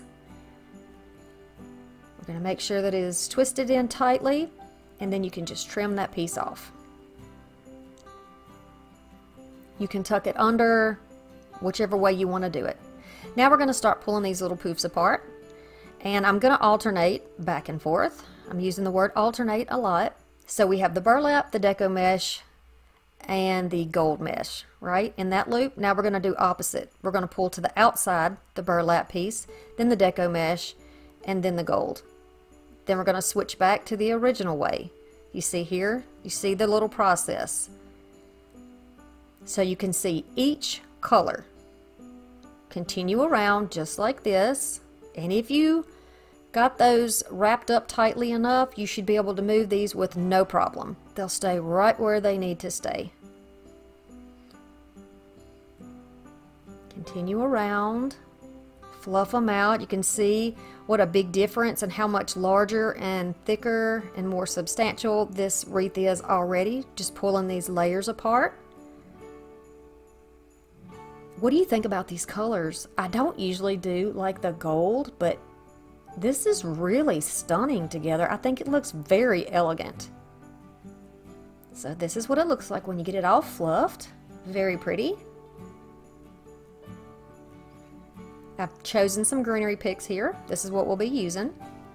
But we're going to go ahead and cut our ribbons into 9 or 10 inch pieces here. I think I'm doing 10 inches? 9 inches. So because we have 18 and I have three different types, we're going to do 18 pieces of each ribbon. I did run out of that gold mesh up there. So I went ahead and substituted a sheer ribbon that has some gold wire on the edges and you'll see that shortly. Go ahead and dovetail all of your ends to give it a nice beautiful finished look. This is going to give it some texture. I'd also like to add at this point with these ribbons, um, it's really good to give yourself a lot of variety in your ribbons. Different textures, made of different materials, Wire always helps when when you're making a wreath. Um, it's not always necessary if you're using shorter pieces, but you know what I mean. You know what I'm saying. So we're going to just layer these together just like you saw me do, like an X and then one in the middle. And then you can move those around and decide which piece you want to be on top, which you want to do in the middle. And I thought maybe that brown and bronze piece looked better in the middle. Kind of separate those two gold pieces. You really won't be able to tell once it's placed down in the wreath though. I'm going to use these handy little clamps that came from Dollar Tree. I use these for wreath making all the time. So here's that other ribbon I was telling you about. It's got the little wired edge. And then here's the original ribbon. So I have nine of each set. And we're just going to alternate them. So you're going to pull it out of the pick. It's just simply the little clip just holding it for you until you're able to get it where it needs to go. And you're going to pick your section, starting on the outside. And you're just going to press it straight down in the center and twist it with a couple of loops. Then you're going to have your ribbon bundle right where it needs to be. You can fluff it out now. You can wait to the end to fluff it. You can do a little here, a little there, whichever way you want to do it. As long as it gets done before you hang it up. Okay, so we're alternating now. We're taking that other type of bundle and putting it to the inside. So all the ones with the sheer will be on the outside. All the ones with that gold mesh will be on the inside. Continue around, make sure that you're grabbing all of those pieces, that you get them all in there where they need to be. You can move that stuff around, you know, make sure you're finding it and placing it where it should be. And look how much more full it is already. Once it's fluffed up, it looks really, really nice. It is so high end. The results of this wreath even shocked me. So I hope that you stay to the end and you see this beautiful wreath. It's really got me rethinking the whole gold thing. Don't be concerned about those green pieces. They're a different color. I like it like that. I can tell exactly where I'm going, what I'm putting where. Those tinsel pieces will be wound back down into the frame or cut off, whichever way you want to do it. I'm going to use mine just as they are to hold down my greenery picks, so I'm not going to cut those off. I'm going to leave them just like they are. Continue all the way around. Fluff everything. Touch everything, move everything around. Make sure you don't have any folded over pieces because sometimes they get jammed together. Just want to make it look pretty. Have intention with everything that you touch on your wreath. Just continue around. I know I'm not completely in in your view there, but you get the idea. So I'm going to take these little pieces of greenery picks. I'm going to fold the stem on itself and twist it so that I have a little loop there. It just gives me a little something bigger to wrap around my wire so it won't slip out and I don't have to completely gob this thing down with a ton of glue. And hot glue can also damage your deco mesh, so just keep that in mind. Okay, so we're going to continue around. I think I had like mm, seven of these picks left over. I'm just trying to go through my stuff. If you have followed me for a while, then you have seen my wall of flowers, and the amount of stuff I have collected and not used is ridiculousness. So I'm trying to go through and use up a lot of things that I already have. And we're going to continue around here just twisting and tucking in what we're not going to use because I'm not going to be needing those pieces of tinseled pipe cleaner for anything else on the bottom of this wreath. So it's time to tuck those things away and be done with it. Just going to fluff those in. I'm going to leave three pipe cleaners on the top untouched because I'm going to need a place to put a bow and I'm not sure where I want it yet. Now this is a pack of pine cone ornaments that came from Dollar General according to the packaging and my the person who donated all of the supplies to my channel um, this was in that bunch of stuff. So I'm using it. I'm happy about that. I'm glad I'm getting to use those things. The 8,000 subscriber winner is aware I've got her address and her package will be going out today on Monday. So I'll be happy for her to get that. If you've received anything from my channel, please let me know that you have received it when you do receive it because I just want to make sure that it gets to you timely and that it does arrive at the right place. I'm not a scammer.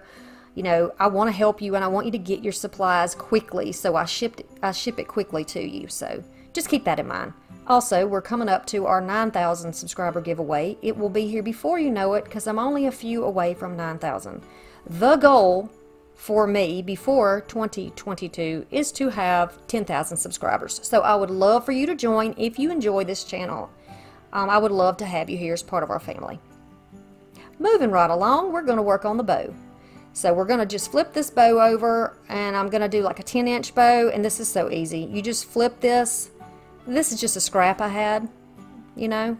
It, it, you maybe after Christmas you're running low on supplies. Go ahead and do what you can for your winter decor. Go ahead and use those pieces. So I'm just going to make a bow with this, just flipping it over, counting my little tails. I know that I want to have uh, two loops on each side. And then of course there'll be little tiny tails that are on there, but they aren't a big deal because you we're going to trim those down. You can leave them there. You can you can treat them however you want, but you'll see that in a minute. So here we go. So this is a little over 10 inches. It's 11 inches. Then I'm going to take this sheer striped ribbon that I have been using in the rest of the wreath. I'm going to fold it over. What did I do? 10 inches there. And I'm going to fold that over a few times. I think I end up with like six loops on this one. So fold it over several times.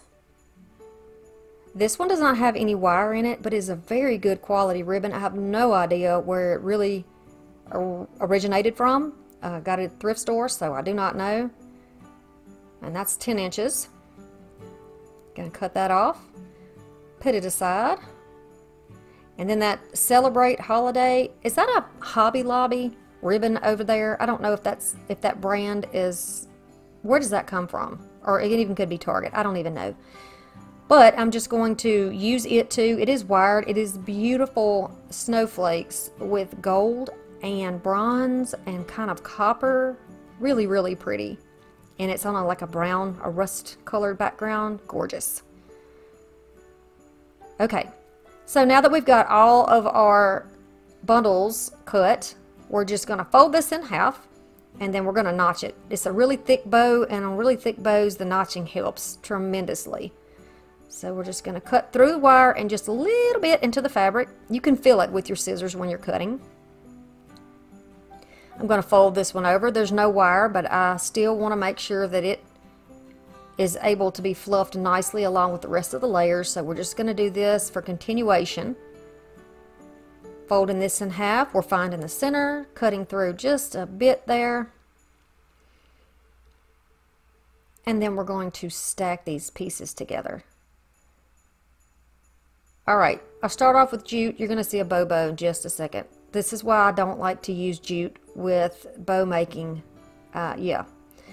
So anyway, we're going to go in the notches. I'm just slipping that straight down into the notches, like so. We're going to do it with the next set, just like that, and then with the ribbon that is underneath it.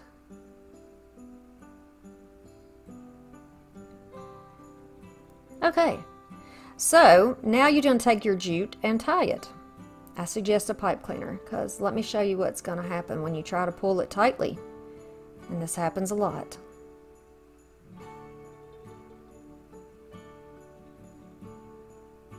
Alright, so that first of all, you've got to use your hands and really hold it and try to make your ties without moving your finger because as soon as you move your finger, it's going to slip out and it is not going to be as tight. So this is me attempting to keep it super tight.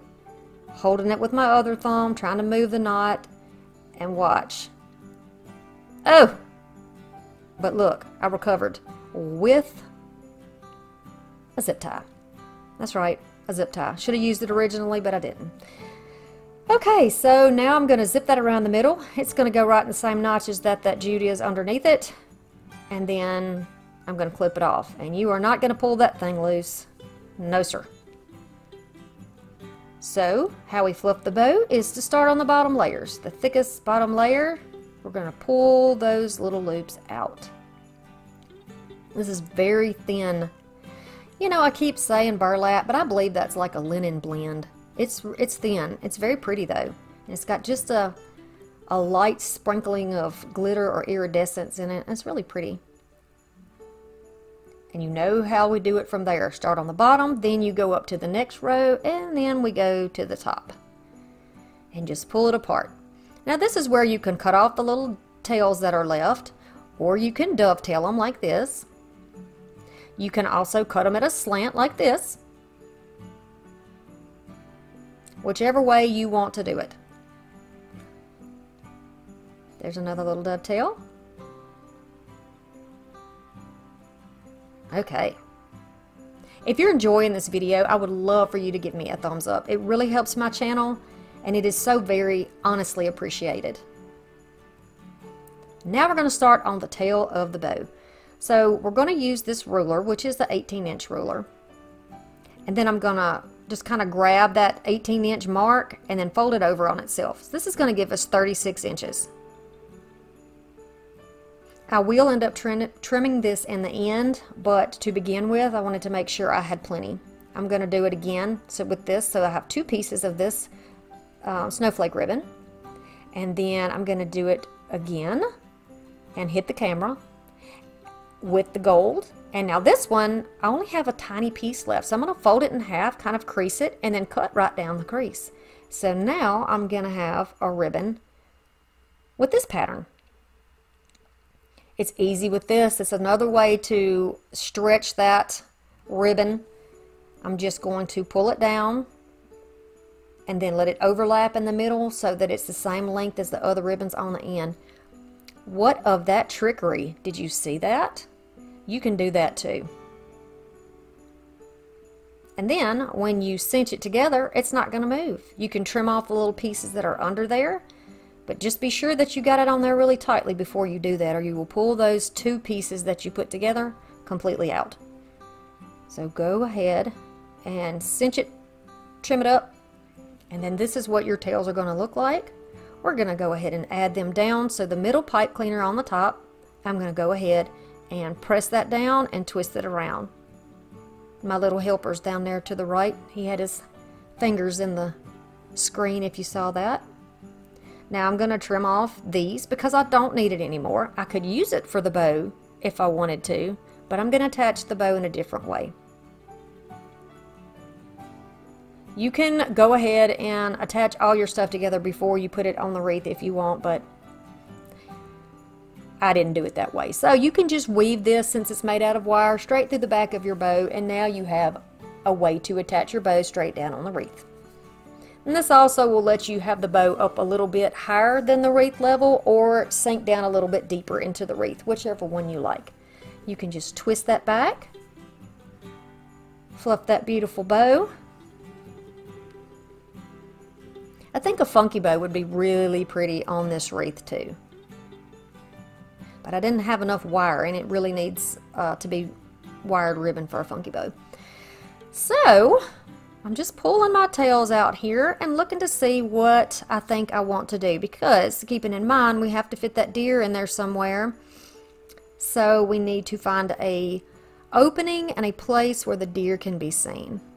So I'm just gonna trim up how I think this would look good here and there. And I do like this shorter especially because there's going to be a deer in there. And I, I really want him to be noticed in this wreath. Because you know I'm a rustic girl so I prefer all of my rusticness.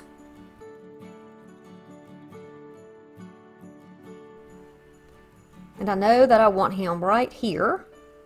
He does have a hole under his chest which I don't show you there but I knew that a dowel rod would fit and that would be a perfect way for me to have him stand in there without gluing him onto anything. So it almost looked like he's leaping through the wreath and the greenery. So I've just poked it down into that wreath form. I just wove it. I know you can't see the bottom and I do apologize for that. So I've put it underneath the top one and then underneath the bottom one. And it's just kind of through the, just poked through there. Then I'm going to use the pipe cleaner and just catch it around both sides so that it doesn't shift back and forth and add some hot glue to keep it still. And there he is leaping in the center of our wreath. Always, always, before you hang it, fluff it, put everything back where you want it to be, do your final critiquing and your final trimming, and then you'll be good to go. So here is my beautiful, elegant, rustic glam wreath. Genuinely, genuinely, I'm excited to have each and every one of you here. Keep on commenting, keep on asking me questions. I love to talk to y'all. You can see that in the comment section. We're going to start off with this wagon wheel wreath, which was originally from Dollar General several years ago. And I took all the picks off so I could use it again. I've got new picks. And I've got these little metal trees, um, houses rather, from Dollar Tree. And they come in three different colors, so you can use whatever you like. But I like the, the metal for this wreath. Cut your picks apart because we're going to make new picks. Got two little picks that came from Dollar Tree with a couple little things on it and I'm going to beef them up. So I'm going to add some white eucalyptus to it and I'm going to add another greenery pick with some frost on it and I'm just going to use these pipe cleaners to hold them together. You can use floral wire, you can use floral tape, zip ties, whatever you want to use. I'm going to make several of them that are somewhat similar. And then I think I made two of those and then I'm going to make a few more that are a little bit different and you'll see those as well.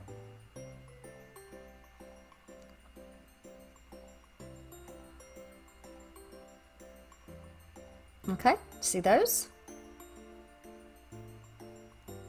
And then we're going to wrap these together. A little bit different, but it's all in the same theme. Everything is going to match nicely together. You can bend them out. They are mostly on wire, so just bend them, make them look how you want. Nothing needs to lay flat. And then start placing them around where you think you might want them. I always do this first. I don't always leave it in the video, but I always lay them down first to decide what is most pleasing to my eye. And you know it's going to be different for everybody. You know, everybody's going to like something different, and that is fine. Your crafts and creations are yours. They bring you joy. No one can tell you that it's not right. You don't need approval, is what I'm saying. Be confident. Do it with joy in your heart and be confident. Okay, so I'm just using zip ties here, but you can use, you've seen me use floral wire to do this too. You could certainly use hot glue if you wanted because this is just like a MDF wheel. Whichever way you want to do it will work fine.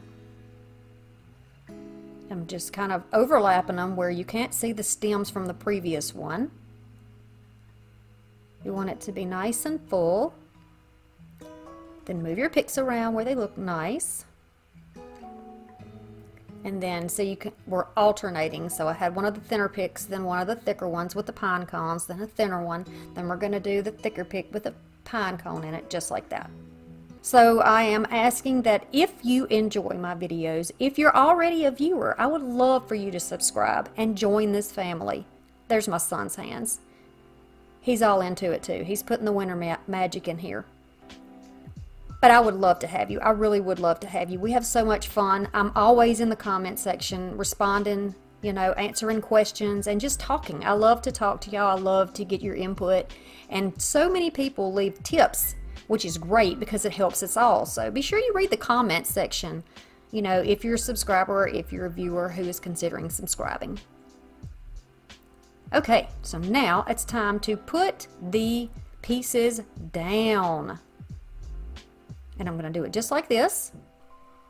You can put your houses on here any way you want to, but I'm trying to get mine centered in an area where the back is open so that I can put my little flickering flameless candles inside. So I'm trying to leave a space in there where I can get those pieces back on the inside. So just like this, I'm gluing it down. And don't worry if you make a mess, you know, just put something underneath your surface because sometimes, you know, you put glue where it doesn't need to be and it's dripping on the table. It's okay. It's just crafting. It's supposed to get a little messy, right? So press them on down there and then add in your pieces of greenery in the additional spots that you want them. You're not going to see the end of this clip either because for some reason it disappeared on me. But uh, definitely, definitely stay tuned to the end because you will see what it looks like all together. I'm just adding in some more greenery and then I'm going to add some of those little Christmas trees just like this around the houses. Thanks for watching. I'll see you again soon. Bye.